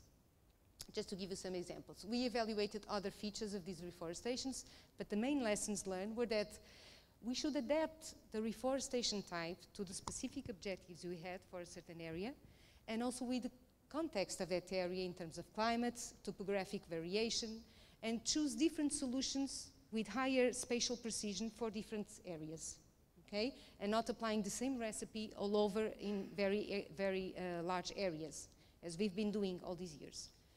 Uh, and this could be an effective way of adapting to climate change. Well, let's, let's now jump for some examples of studies that we do over time. Uh, uh, these, the, the, results of this work are in this ebook that is available online if you want to see it later. So I brought here, uh, from studies over time, I brought here an example of uh, work that has been led by my colleague Adriana Príncipe. So what she did very briefly was she used aerial photographs to study the same area over time and to, um, to model the rate of oak natural regeneration over time. Uh, and to do this model, she used several predictors from climate variables, topographic variables, and what she found out was that uh, microclimates, so topographic variables, were very, very important for these rates of oak natural regeneration. And this is quite important because we may be able to predict where uh, natural, regeneration, re natural regeneration is more likely to occur at a faster rate, and so decide where we should invest our efforts in replanting oaks, for instance. And besides that, this model was also very su successful predicting the, the success or unsuccess of some of the plantations that were already done in that area. Some of them were done more than once because all the trees died. And if we know where the implementation and establishment of these volks will be more difficult, we should uh, assist these reforestations with irrigation, providing shadow, and so on, to improve the success of these reforestations at high spatial scales. Finally, other example I told, I, I brought about uh, uh, studying responses over time. So in the same areas, uh, some of the areas that we studied with montados, we studied them over uh, climatically contrasting years, so over time. And uh, the, the, idea here is to, uh, to be able to study the resilience of the plant community to these fluctuations in, uh, in, in, uh, in, climate over years, and to be able to propose adaptation measures to deal with it. Uh, I, I, just brought here some examples of the, of the field work, because in ecology this is all, all, a very important part of our work. And regarding these studies over time, I just brought here a simple graph well, that shows here we have the long-term precipitation of the sites that we study, okay, over here. Uh, and what we found out was that historically wetter sites have higher functional diversity of this uh, trait, which is onset of flowering. They have higher functional diversity than historically drier sites. At the same time, wet years have higher functional diversity than dry years.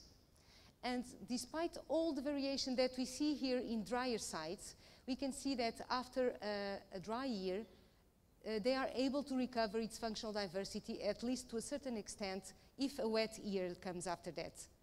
But we do not know how long they will uh, keep this resilience of recovering in wet years. That is why we are studying this uh, over many years uh, to to be able to find those uh, thresholds that will likely occur because we are expecting uh, several dry years in a row as a consequence of climate change. Okay? So finally, uh, the last example about some manipulative studies we've been doing. In this case, we've, um, we are installing them in LTER Montado sites, which are uh, sites where we're conducting long-term ecological research. They make part of an international network of sites, and in this case we chose Companhia das Lezírias, Herdade da Ribeira Abaixo, which is the field station of COOL, uh, of cE3c, uh, and also um, Herdade da Coitadinha in Barrancos, to install these, uh, these uh, uh, drought experiments. So we are following, following here an international uh, drought experiment protocol, to enable to compare our results with the, the others from other countries as well and we are uh, reducing precipitation by 50% and also making an extreme drought treatment. Um, and the idea is to see the consequences for the plant community, for the, the, the herbaceous plant community subject to these treatments. And so we already chose the areas that we are studying in the different properties. Uh, we've done the, the baseline sampling this spring, and we are in the phase of installing these rainout shelters uh, which has been quite challenging as well. Last slide is just to give you exa some examples of outputs that we're getting from these projects. So besides publishing in, uh, in, uh, in, papers, in, in, journals of the area, for instance, uh, related to land use policy, to uh, forest ecology, ecological indicators, agriculture, we've been also participating in uh, science reports which are very, very, very important to transfer the knowledge we get for, to the society. I also highlight this uh, climate change adaptation plan that we done to Mértola, which is at the very core of the semiarid areas in Portugal. And of course, this was done also because we had uh, many, um, many meetings with different types of stakeholders from municipalities, NGOs, landowners, and so on. And this is really a dialogue that is important to keep uh, and to nurture the, the kind of research we do, we do and also to transfer that knowledge to society. And that's all for today. Thank you.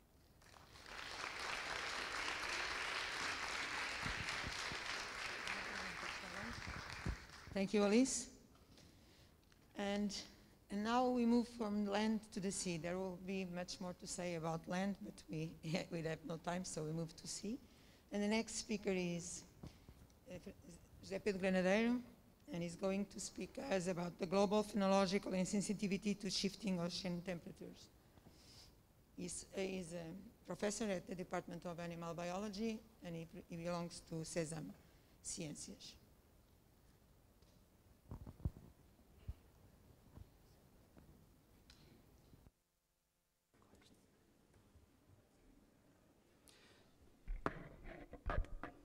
So, good afternoon, everybody. Thank you very much for the invitation. Congratulations on keeping this great initiative.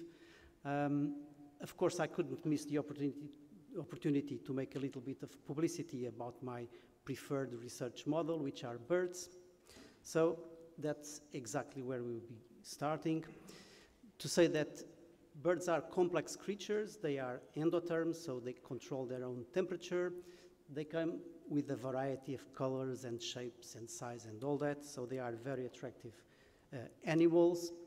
Uh, they occur almost everywhere on Earth, at least on the main ecosystems, from the poles to the equators to desert areas, even in urban ecosystems, so everybody knows birds. And of course, they are very, very popular, which means that they are relatively easy to study, not as difficult as mammals, so to say. For instance, um, so they, they are a very convenient group for research.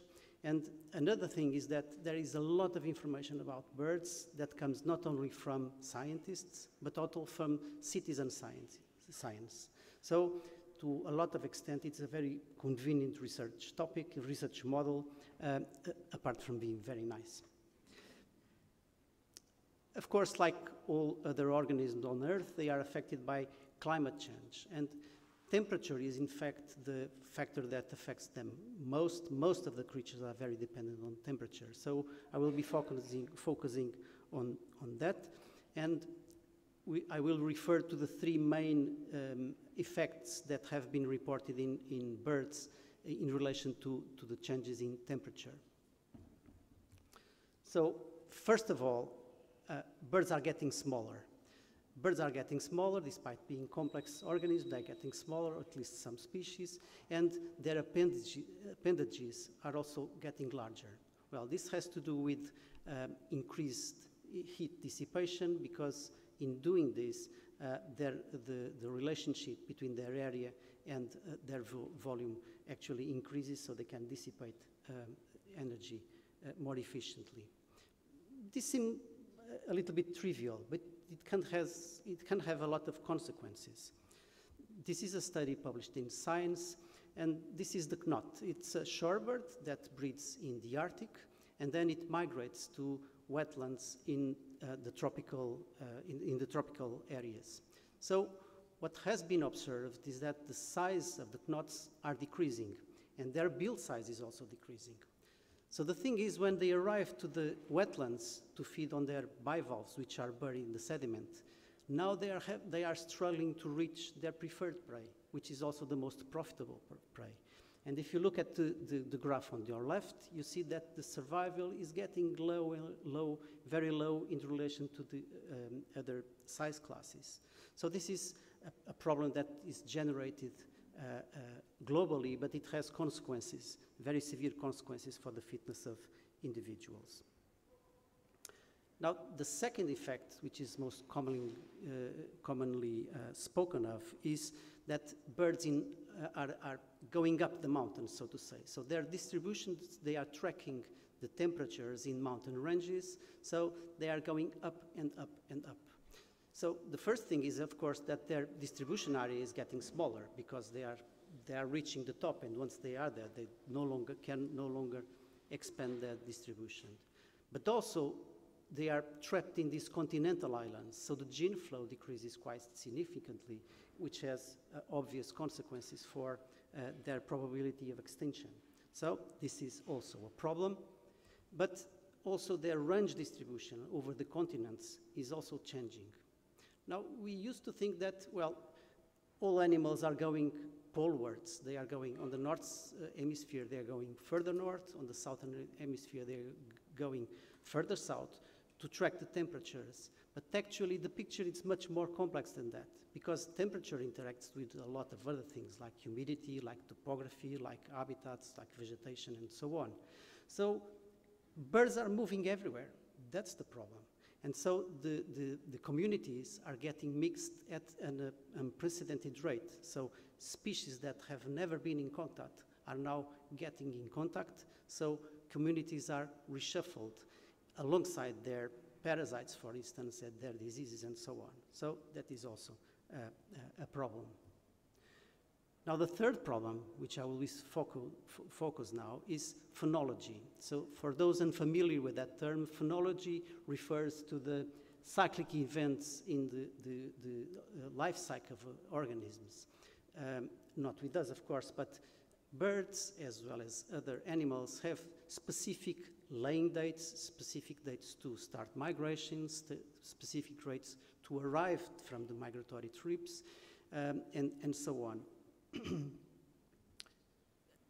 we all notice that uh, in Portugal, for instance, the swallow are coming earlier and earlier each year. We now see swallows in January or February. We, th that, we, we, didn't, we never saw that again. Uh, we have never saw that before. And of course, they are also laying earlier because spring is uh, uh, getting earlier. So this is these are not our swallows, but these illustrate exactly that phenomenon. So swallows are laying their eggs earlier. So what? What's the problem? Well, the problem is that uh, phenology of the predators and of the prey have to be very well synchronized because it has evolved to be so. So take the great tits, for instance. The great tits have a specific day of hatching their chicks because when the chicks require the most energy, that's when the caterpillars, which are their prey, are at their highest abundance. So we have a perfect match, a high synchrony between the availability of prey and the requirements of their predators. Now, we know that a lot of species are changing their phenology, particularly prey. So what happens then if the predator cannot adjust their phenology? Well, we have what we call the phenological mismatch, phenological trophic mismatch, in which the birds, in this case, will be trying to raise their chicks under very unfavorable conditions. so we get to our research and the topic I would like to, to, to, to speak about. So we study this in seabirds and we studied the, the, the variation temper of whether the seabirds were changing their phenology in relation to changing temperatures. So the work is actually a large international collaboration of a lot of, of people from a lot of, of sites. Um, well, let me speak about seabirds first. I'm sorry. Uh, seabirds are very interesting uh, uh, animals, first of all, because, because they make these spectacular colonies like the one, this one, which, in which we work in the South Atlantic. Um, and, and also, because they are so tame, we can study their phenology with very, very high degree of detail. And also, many of them breed in oceanic islands. So that issue of moving around and shifting their distribution is to, to a certain extent controlled. So they are good models to study this phenological uh, um, problem. So the, our work is actually, as I said, a large international collaboration, which is a gathering of huge amount of data on phenological variation over time of seabirds belonging to these five major uh, orders of, of, birds. Okay, so we compiled information from bird species with very different ecologies, very different sizes, very different locations. And uh, so this is the, the, the, the, colonies that were studied, belong to uh, around 60 species, 120 something populations, time very long time series of phenological data, mostly laying dates and hatching dates, and I'll be speaking only about laying dates. And what we did was to see whether the phenology changed in relation to the change of sea surface temperature, because we know the sea surface temperature influences the, the abundance of their prey. So what we wanted to see was whether across time there, the, the birds have anticipated their phenology, have kept them constant, or have changed it to uh, breed, uh, to, to make chicks hatching later. So the first result is not truly exciting. It shows that at the colony sites, actually, the temperature of the sea has shown a positive trend. So the sea is warming. Everybody knows that, but it's confirmed with this study, um, which just considered the areas around the main colonies that we included in this, this study. This is particularly so in temperate regions, also in tropical regions and in the Atlantic and the Indian Ocean. So the most striking result actually is that as a whole, seabirds are not moving their phenology. So despite the fact that the sea is changing and the temperature is increasing, seabirds are apparently unable to change their schedule, so they are keeping their laying dates and their hatching dates more or less constant. Well, when we look at the graph, we see, well, but there are some outliers. There are some, some, some points that some species seem to be anticipating their, their, their uh, hatching dates. So is this to do with, with temperature? Oops, sorry. No, it has not. So regardless of the direction of change in, in the sea surface temperature, seabirds are actually unable to change their schedule of laying, which is a problem for the trophic mismatch. So in conclusion, what we can say now with this very long and comprehensive study is that seabirds are unwilling or unable to adjust their timing to in this changing world. In fact, the changes are very, very modest in relation to what we observed in birds in terrestrial habitats. And this probably has to do with the fact that seabirds um, have very long development periods. For instance, some seabirds take more than two months to incubate their egg, more than three months to raise their chick. So there is very little leeway to, to adjust their, their annual calendar, if, if you want. And what we also know is that many of their prey are changing meanwhile. So there is, they are at this very high risk of trophic mismatch. So they are unable to move on a very on a fast-moving world, which is of course a problem, and it's a problem that adds to many other threats that they have elsewhere, including persecution, uh, interaction with fisheries, and so on. So, given that we uh, have been unable to do very much of significance in relation to climate change, I think we have to tackle these more direct threats to avoid the extinction of this, of this very iconic group of creatures that live in the oceans. And thank you very much for your attention.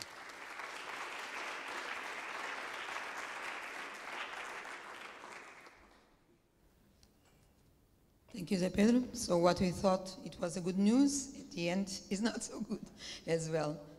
So we keep with the sea, and we are now uh, listening to Catarina Frazão Santos, and she's, more, uh, she's going to speak about integrating climate change in ocean planning.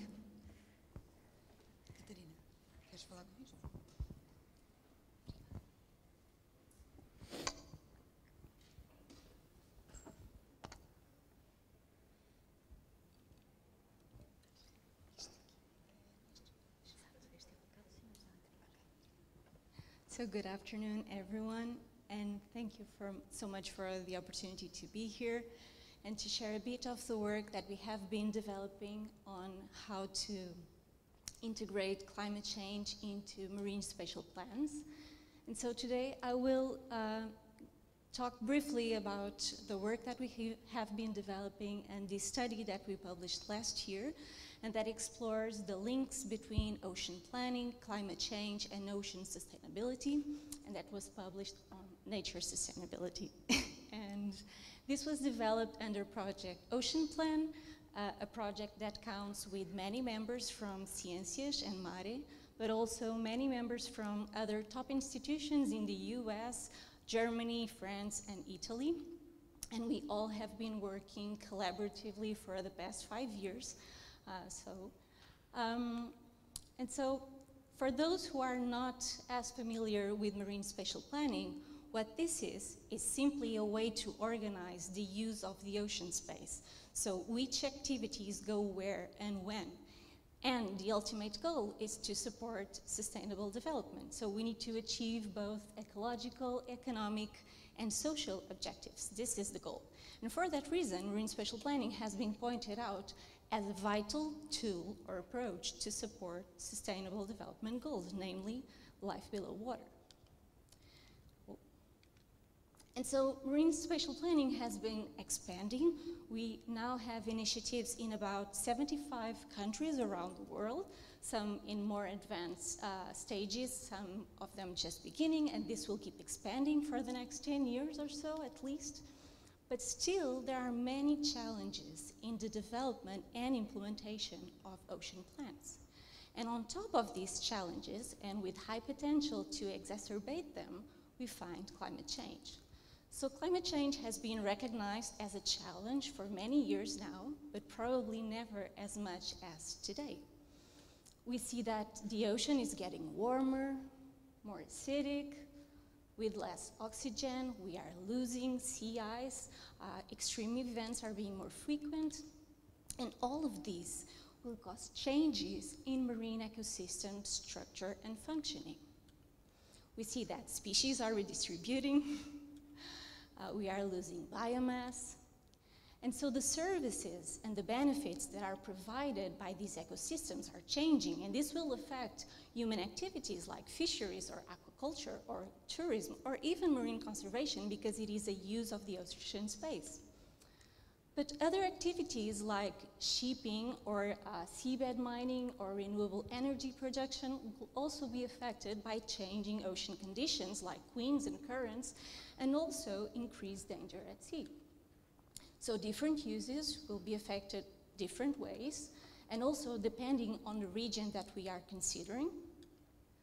But what we know for sure, and this is a drawing by, by Baz Kohler, a visual artist that makes some amazing uh, cartoons, what is for sure is, is that the way that humans use the ocean and benefit from the ocean are changing and will continue to change.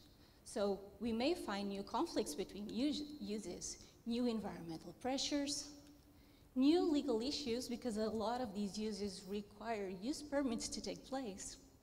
And all of these will affect marine spatial planning. However, climate change tends to be neglected in ocean plans. And why is this important, you may ask? Well, first, because if we have plans that operate in a changing ocean, properly addressing and integrating climate effects is vital to keep these plans viable, relevant, and sustainable in the long term. And second, and most importantly, because if we build climate uh, smart ocean plans, ocean plans that consider climate uh, information, they, in, in, in themselves, they can contribute to climate adaptation and climate mitigation. So how can we support the development of climate smart marine spatial planning? So through the analysis of several studies, we identify these four key steps. First, recognizing the problem, then integrating knowledge on climate impacts, then supporting adaptation and mitigation actions, and finally, supporting flexible and adaptive planning. So recognizing the importance of the challenge may seem obvious and basic, but it is not. It is the first step so that we can develop climate smart ocean plans. And why? Because when plans and policies and strategies address climate change only in a very vague and general way, what happens is that the challenge is not properly addressed in actions and management measures. So we need this. Then we need to integrate knowledge on climate impacts. And how? There are several ways and tools. One of them is by using modeling and mapping tools, and these can pertain to identifying areas where marine ecosystems will undergo bigger change, or using global projections to identify expected changes in ocean uses like fisheries or aquaculture or shipping. These are, are actually um, examples of studies that do this. But we can also use species distribution modeling to assess areas that are more prone to change. As this is the example of a study conducted last year in the US, where they use about a thousand projections for marine animals to assess how relevant ocean current plans are and how sustainable they can be to the future. We can also use vulnerability and risk analysis So not only identifying spatial temporal changes in ecosystems and uses, but also knowing where the consequences of such changes are most significant. We have an example in Moorea, French Polynesia, where they used the assessment of social ecological vulnerability of small-scale um, fisheries to support the National Marine Spatial Plan. Or in the US, where the assessment of cumulative risk of human activities towards marine habitats was used to support two planning regions. But we can also use a process called visioning or the creation of spatial use scenarios. So these scenarios are imagined futures and they are used to select management alternatives.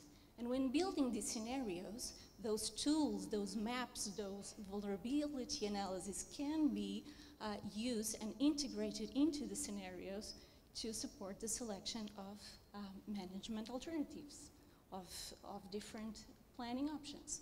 And this is an example from the Western Tropical Pacific where the creation of visions for MSP um, was supported by the development of climate change scenarios, both optimistic and catastrophic, developed by stakeholders in a co-creation process. So with this information, we can then support climate adaptation and mitigation actions through MSP. First, because MSP, Marine Spatial Planning, provides a holistic way to look at the management area. And this is fundamental to ensure that when we take uh, adaptation measure towards one sector, it is not maladaptive towards another. Then MSP also has the potential to support ecosystem resilience by decreasing other non-climate related pressures such as pollution, for example. MSP also has the potential and ability to allocate space for the protection of key areas with marine, key marine species and marine uh, habitats, or even by identifying and protected areas known as climate refugia, areas that are less prone to change.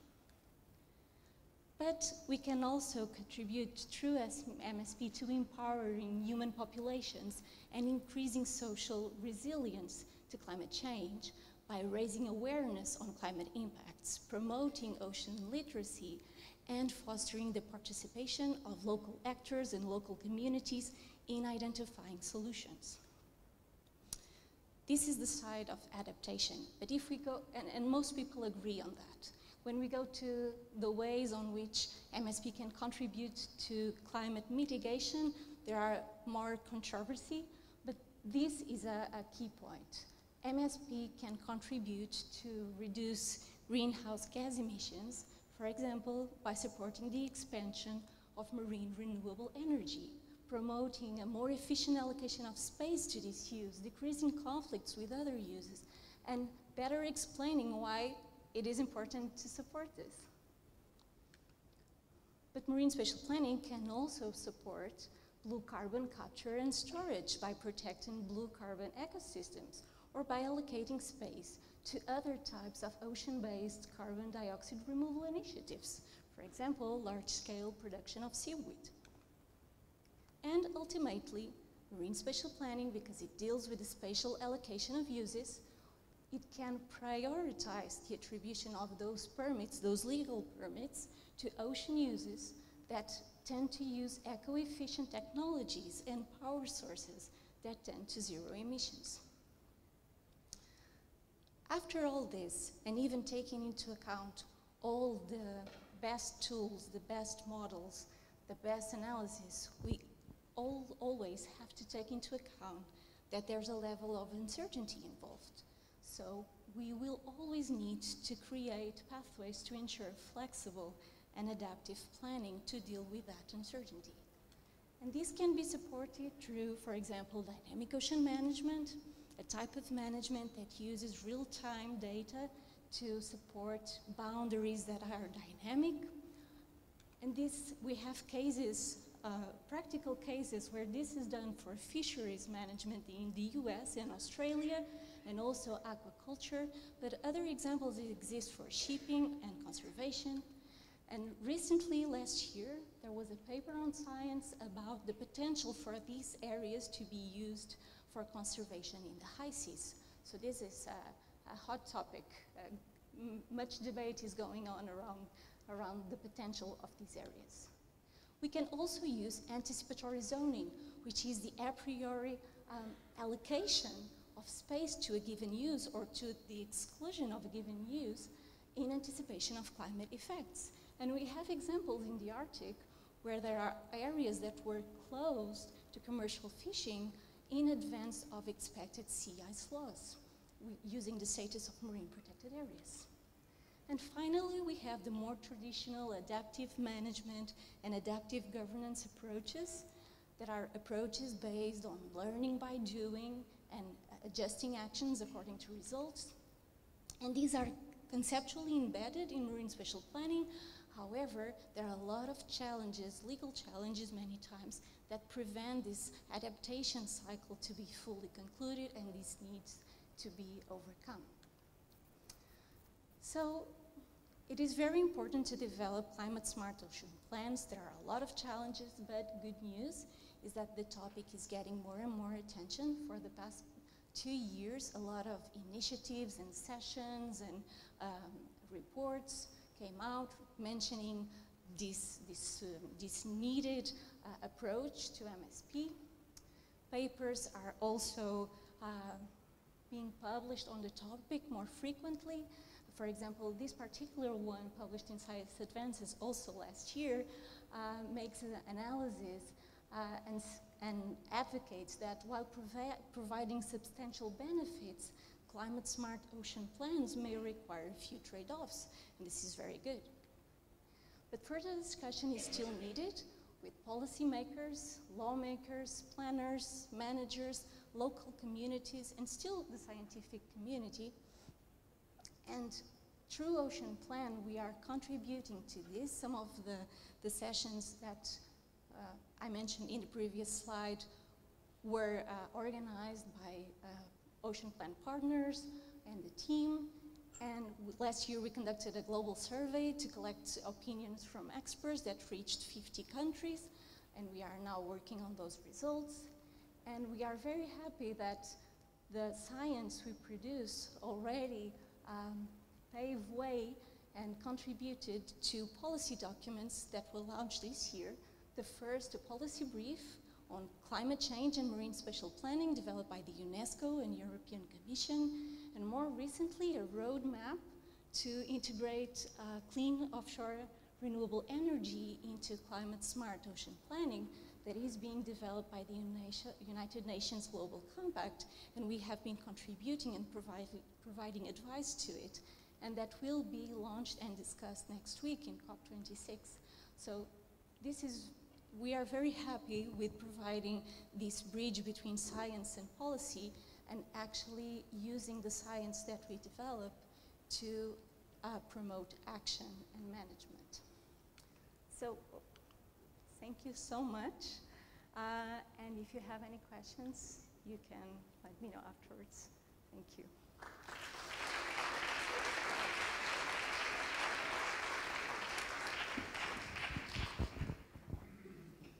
Thank you, Caterina. I don't know if I said that Caterina is a researcher at SMARE. Sorry for that. So now we move from Earth to other planets, but still keeping the topic about changing atmospheres. And we have the talk of Pedro Machado from the Institute of Astrophysics that is going to speak us about how this change their ability. Thank you, Pedro. Pedro is from the Institute of Astrophysics. First of all, uh, good afternoon, and uh, thank you to Ciências for the invitation and for the opportunity to share with you our ongoing science and prospects. So, uh, astrophysics can provide extreme cases and help to put in context what is happening on Earth. Also, I think it's important for comparison. I will uh, cope with that in some cases along this presentation. Well, let, let's have a look. That four planets that you saw before in the square are the only four cases with uh, Earth-like, Earth-type atmosphere in hydro hydrostatic equilibrium. So Venus, Earth, Mars, and Titan, that is a moon from Saturn. Here, what you see, and these numbers are important, but I will uh, ask you for um, joining me in, I will pinpoint some numbers that are important. So let's start with Venus and Earth. So, come on, these planets on, on the planet, on the solar system, they were formed more or less at the same time and from the same material from the protoplanetary nebula. So same time and same bricks, I would say. So it's expected as an educated guess that the primordial atmospheres and structure and density and, and so would be quite similar in the primordial planets. However, the evolutionary path, the temporal evolution, it's utterly different. Let's see why. At least, of course, there are some open questions that we want to tackle uh, also with our, our uh, research. But let's see first here that Venus and Earth have more or less same size, more or less same density. The distance to the Sun, it's around 70% uh, for Venus than the, the distance for Earth. But after, the, what is similar for now, these days, is totally different. So let's see the solar constant from the beginning is almost a double. This is one thing that I, I ask you to keep in mind. Second, you see the surface temperature 460 degrees for Venus at surface? Wow. And the super, superficial pressure, it's 92 bars, almost like being one kilometer deep in the ocean. The pressure is huge. Wow. Let's now look to the uh, composition. And again, the, from the beginning, I, we, we thought that the composition might be very similar. And we see the carbon dioxide on Venus is 96%. Look to Mars, 95%. And nitrogen, 3% for Venus and 3% for Mars. Hmm, there is a clue on that? Yes, a huge clue. If we remove the, the carbon dioxide from Earth's atmosphere, we will have the 3% on relative composition. That will be the 78 point something of nitrogen on Earth today. Wow. So, of course, oxygen is another story, but we, we had almost just traces of CO2 at the time. So the problem is the CO2 that was removed from the atmosphere on Earth. And of course, the take home message is water, this history of water. And of course, the greenhouse effect. So let's follow these leads in our investigation and see what happened with time to lead to this utter difference today. So,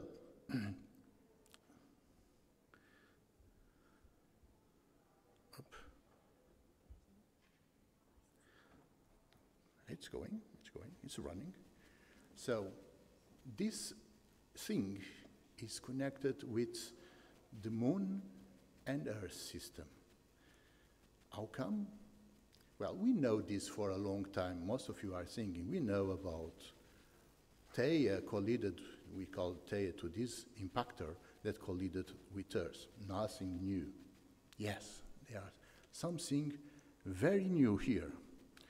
And what is new? It is new science that was published in Nature, but there are other uh, evidence about that, that the impactor, this is new, not coming in the books yet. This impactor was what we call uh, ocean world. So like Europa, moon, one of the moons of Jupiter, or Enceladus, another moon from Saturn, that brought this extra water to Earth that would, will be very important in the different temporal paths for Earth. So, if not, let's have a look on this. Plate tectonics. On Earth, we can see plate tectonics, but on Venus, no. Just one lid. How come? They are of the same size. They had more or less the same history, the same density. What's the difference? Follow the water, would say Hitchcock. So let's follow the water and see the difference.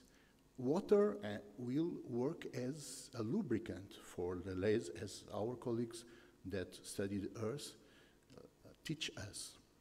Perfect. Of course, that we have volcanic, uh, tectonic volcanism on Earth. Also, what I show here for Venus with shield volcanoes and hotspots, we also have on Earth. I know, like Hawaii, passing by the, the, the lead over uh, uh, a hot, hot spot, and we have the islands in a line with this motion. We know that. Another thing that is also important for this history is uh, looking to the dynamo effect theory, so magnetic fields and the Faraday law.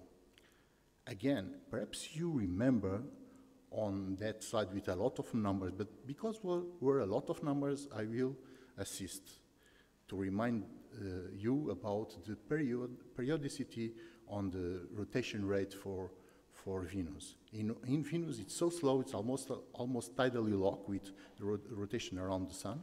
So one year on Venus is shorter than one day. So for the Faraday law that we need charged particles and speed, that will not work. So at least today, there is no evidence about an inner magnetic field on Venus, but also not on Mars. But Mars is much smaller. Much smaller, hmm, that's important. But another thing is that the rotation rate on Mars is almost, by coincidence, 24 hours, like on Earth. So Faraday, Faraday law might work. So what is the difference? Hmm, let's keep this in mind. It's connected with our research, and we'll see on next slides. But first, I also want to uh, connect the rotation rate with dynamics on the atmosphere. Of course, the fast rotators, let's say like Earth and Mars, well, the uh, Coriolis acceleration is relevant, so we'll have these uh, anticyclonic and cyclonic, and so it's, it's not just that, it's more complicated, but today I will just give a simple approach. Now let's look to the slow rotators, comparatively, like Venus and Titan, and what we see is that the atmosphere is in a super rotation, but huge phenomena of super rotation. For instance, on Venus, the atmosphere rotates 60 times faster than the solid globe. Wow. Okay, so dynamics are uh, a consequence, of course, of the rotation rate on the, of, the, of the planets, but also the magnetic fields, as we already pinpointed.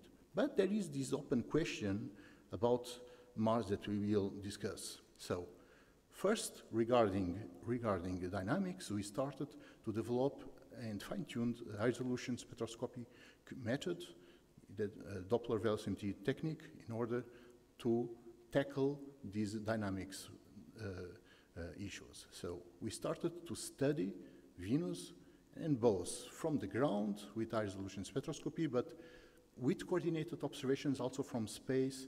So we have access to uh, ESA uh, space probes, but also from NASA, and we could uh, have these several, often I would say, coordinated observations that uh, proved to be highly uh, effective in, in, also to uh, in, in the way to, to produce science and to understand things. So also we also uh, use a, a state-of-the-art cloud tracking technique that allows us to follow features on the clouds or differences in opacity in, in, the, in the atmosphere, as you can see here, for instance, you see there? Beautiful hurricane on Venus in our observations. Wow. And with the rotation, it comes again. See? Well, this is on the night side, but we also perform the same thing with different wavelengths like the ultraviolet and others. And so we can, uh, because the optical uh, depth is different, it means, as a function of the wavelength, that we can survey, we can sense different layers of the atmosphere, and using ground-based and space-based observations coordinated, we can sense at the same time. So we can yield a 3D, uh, at least in the first approach, dynamic structure of the atmosphere. Also modeling for the dynamics is important. Here is one of our previous works regarding the Y-shape uh, global planetary scale uh, um, wave on, on Venus that is known for 60 years or more and was not explained and we, with modeling we could, uh, uh we could explain it as you can see. After we uh, started the collaboration with uh, Akatsuki Space Mission from Japan and using its particular orbit and sensors, we could uh, understand and discover and help to, to tackle these uh, global scale waves, as you can see in the infrared, in this, in this case, a stationary wave connected with the, the topography. And these, all these tools converge in order to uh, retrieve intense uh, I, let's say, uh, high density uh, results from the last uh, year. And we have, for instance, the discovery of a major, like a wall, a major disruption on the atmosphere of Venus where the aerosols come up and, and down. And is, this is really important. Also, something that is quite relevant is if you see here, if you see my cur cursor here, you don't see So I will try point to point. Here, the meridional, the Hadley cell, meridional flow. There is just one cell on Venus due to a runaway greenhouse effect that led to these very, very high temperatures. On Earth now, we can see from re very recent papers that the Hadley cell is expanding in latitude. Could be connected with that? I think so. And that connects with some of the presentations that we saw here today. For instance, the, the effects on Portugal. Could be connected? Yes, I think so. So, not just uh, uh, with winds, but also studying atmospheric waves, because of course atmospheric waves transport energy and momentum and could be uh, relevant, for instance, for trigger and maintaining the superrotation process on Venus. So on Venus. But we, uh, at this moment, we are studying these atmospheric waves on Mars with different instruments from Mars Express, a, a space probe from ESA, but also on Venus. You can, can see here some of the some examples of uh, atmospheric waves in different uh, in different planets. Of course, here we for interpretation we will be glad to discuss with our colleagues from Earth exploration. So it's good to be in Ciências where this is very easy to uh, discuss with e experts on these uh, fields too. They, some of them are here in the room, so I will be knock on the door. Another thing is uh, astrobiology, detection and characterization of chemical minor compounds with astrobiological interest. For instance, the historical uh, detection of methane on Mars, and so it's an ongoing detection by ExoMars and others. Uh, and on Venus, the, perhaps the claim of detection about phosphine pH3 that could be a biomarker that is very, uh, very thrilling. We are in a direct collaboration with Clara Sousa Silva in Harvard University, and we are using state-of-the-art uh, radiative transfer suites, for instance, like Nemesis, with, in the framework of our collaboration with Patrick Irwin from Oxford. Uh, well, we, a key process, a key topic also in our group is atmosphere modeling to all these planets that we were discussing now, of course that we compare with Earth and also with the exoplanets that I will uh, tell you in a, in a minute.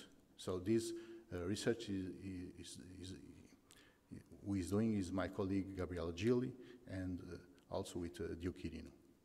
So here, with so many open questions about Venus, perhaps you heard that three missions in a row were selected this year, two from NASA and one from European Space Agency, where uh, I'm uh, co-PI of this new mission.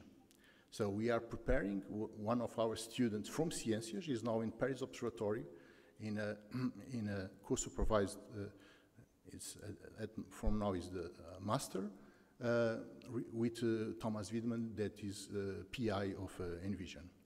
Regarding Mars, well, regarding Mars, Mars is very, you remember this thing about magnetic field? How come there is no magnetic field? It rotate fast. So the Faraday law is, is incorrect? No, no, I believe in physics totally. So what happened? You can see here the transformation of Mars, losing the, the northern uh, Mars, uh, the northern sea, the Borealis Sea on the northern hemisphere with time, and so the transformation till be a desert, arid and dusty um, thing as we know today. Of course, that uh, we are we have some ongoing uh, research here, looking and trying to describe and interpret the old, the ancient shorelines of these uh, seas on, on Mars, but is the size of Mars. Because as we know from the uh, temperature diffusion equation, a, uh, a, a, bread roll will cool down much faster than a bread from Alentejo. It's so simple as that. So he lost from the, and we can calculate easily the time to cool down, to lose the internal heat on Mars. And so the, the dynamo is not working well anymore. So it means that that explains the magnetic field that dropped down very fast and also no plate tectonic because the gradient of temperature is very low today. And also, of course, that is connected with no more water at surface on Mars. It's everything connected. We know on sciences that everything is connected. We must explore the, the strengths of these connections. So, of course, on Mars there is some ices, there are seasons, but the dust is the most important uh, factor in order to, to, to produce weather as you can see, global dust storms can cover entirely the planet. So solar panels for a future settlement on, uh, of humans will be a problem. So we tackled this, uh, this uh, problem and we started to study uh, um, the, the dust storms and we, we developed a, a, technique in order to yield and maintain a world, uh, planetary, I mean, planetary wind map along the um, along the dust storms. So finally, now the new adventure, new steps. So we detected more than 4,400 exoplanets. For now, we start to detect and to see if they had atmosphere or not, and some tiny things ex extra. But from now, we can, with the synergy of our observations and study of, uh, of the solar system planets and atmospheres, we can perform and give uh, to our colleagues that characterize the atmospheres of the exoplanet some proxies, some templates to compare. For instance, the transmission spectroscopy on Venus transit, and because we know what we can get from the data, and we, we know the observables from other uh, probes. Another thing is to look back to Earth from space. The real blue dot like the data from Rosetta that we have, looking back to Earth to see the impact of vegetation, of oceans, of clouds in a one pixel spectra on space. Yes, this is very important in this uh, collaboration with Ariel space mission that we are in preparation. I'm co-PI of the mission, as some of you know. And we, we are leading the working group of exactly of that, of, of the collaboration, of the synergy between um, solar system atmospheres research and the atmosphere is one that is a new adventure that is just starting. We want to know from the exoplanets and to disentangle if they have, have more or less the same size. We hear in the news Earth type exoplanet. Come on, Earth, Earth type, perhaps Venus type. And we will, I hope that in a new research day of science, I will say how we did it to discover this. We are now ongoing on this, uh, on this work to contribute with this. Perhaps we will see if we, at least is a big challenge. Of course, there are a lot of potentially habitable exoplanets. Not habitability, this means just water at the surface or not. Habita habitable exoplanets, exoplanets, that's a new thing, but come on. There, that, that doesn't exist, uh, such thing as a planet B. It's very simple.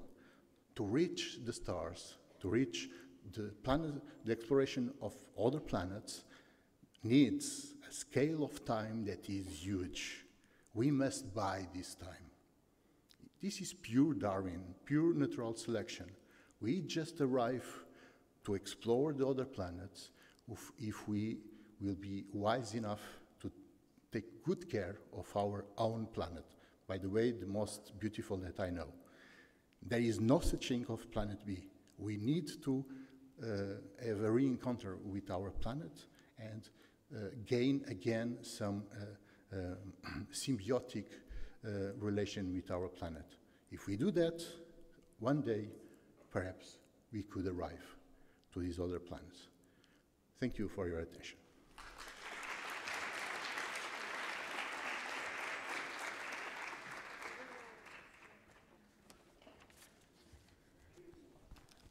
And we have reached the, the end of the presentations. Uh, we would like to thank all speakers and congratulate you for the work produced uh, that makes Ciências Lisboa proud.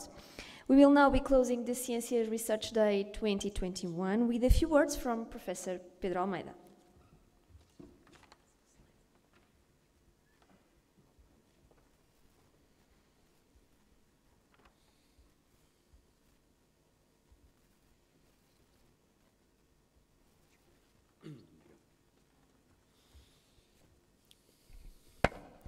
Good afternoon uh, to the ones I've not seen yet.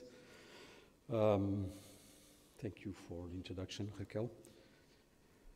It's up to me to uh, complete this journey um, the Research Day of Ciências, and I would like to um, tell you that this was a day to celebrate research, uh, during which some of the best science produced at our school was on display, using complementary layers from talks to posters, from lab visits to speed dates, with awards given to uh, researchers for the first time. And this is all a token of the engagement of our school towards research excellence. As we know, research stems from wonder and from curiosity. Wonder in face of the seemingly unexplainable, and curiosity for the pleasure of finding the explanation. One of my dear masters, a teacher of this house, once told me during one of the many chats we had along the years, you know, Pedro, research is in our essence. Today I was playing with my grandson and he was trying to discover how gravity works, dropping objects on the floor and observing the results. Some of those objects broke, of course, and so he found out that it was not a good idea to let them fall. As you have witnessed during this day, Ciências celebrates this curiosity in us, preferably without breaking things. Always to further understand how to help mankind with newer knowledge, particularly in some of the most complex and threatening problems of our times. We want to congratulate all of those that in sciences and around the world embrace the commitment of being both curious and systematic, each day producing more and better science. We are also vividly aware that a society built upon the principles of science and technology needs to be better informed about science and to become an increasingly active part of the scientific effort. This is why we at Ciências are strongly committed to science communication, either actively reaching for citizens and political stakeholders or inviting younger generations to visit us and share our sense of wonder about the unknown. Research is done for millennia. It is built, sorry, it has built our world as we know it. It will continue to surprise us. Seneca, a Roman philosopher from the first century, once said, A time will come when enduring research will discover things that are today concealed. Many discoveries are reserved to the generations to come, when the memories of our own existence have faded, as nature does not reveal all its mysteries at the same time. At Ciências, we will continue to encourage curiosity, to encourage excellence research, and to empower society to be committed with science. It is a long haul project. We must succeed. Thank you to all of you that made this day possible, and we see you next year in Research 2022 at Ciências. Thank you all.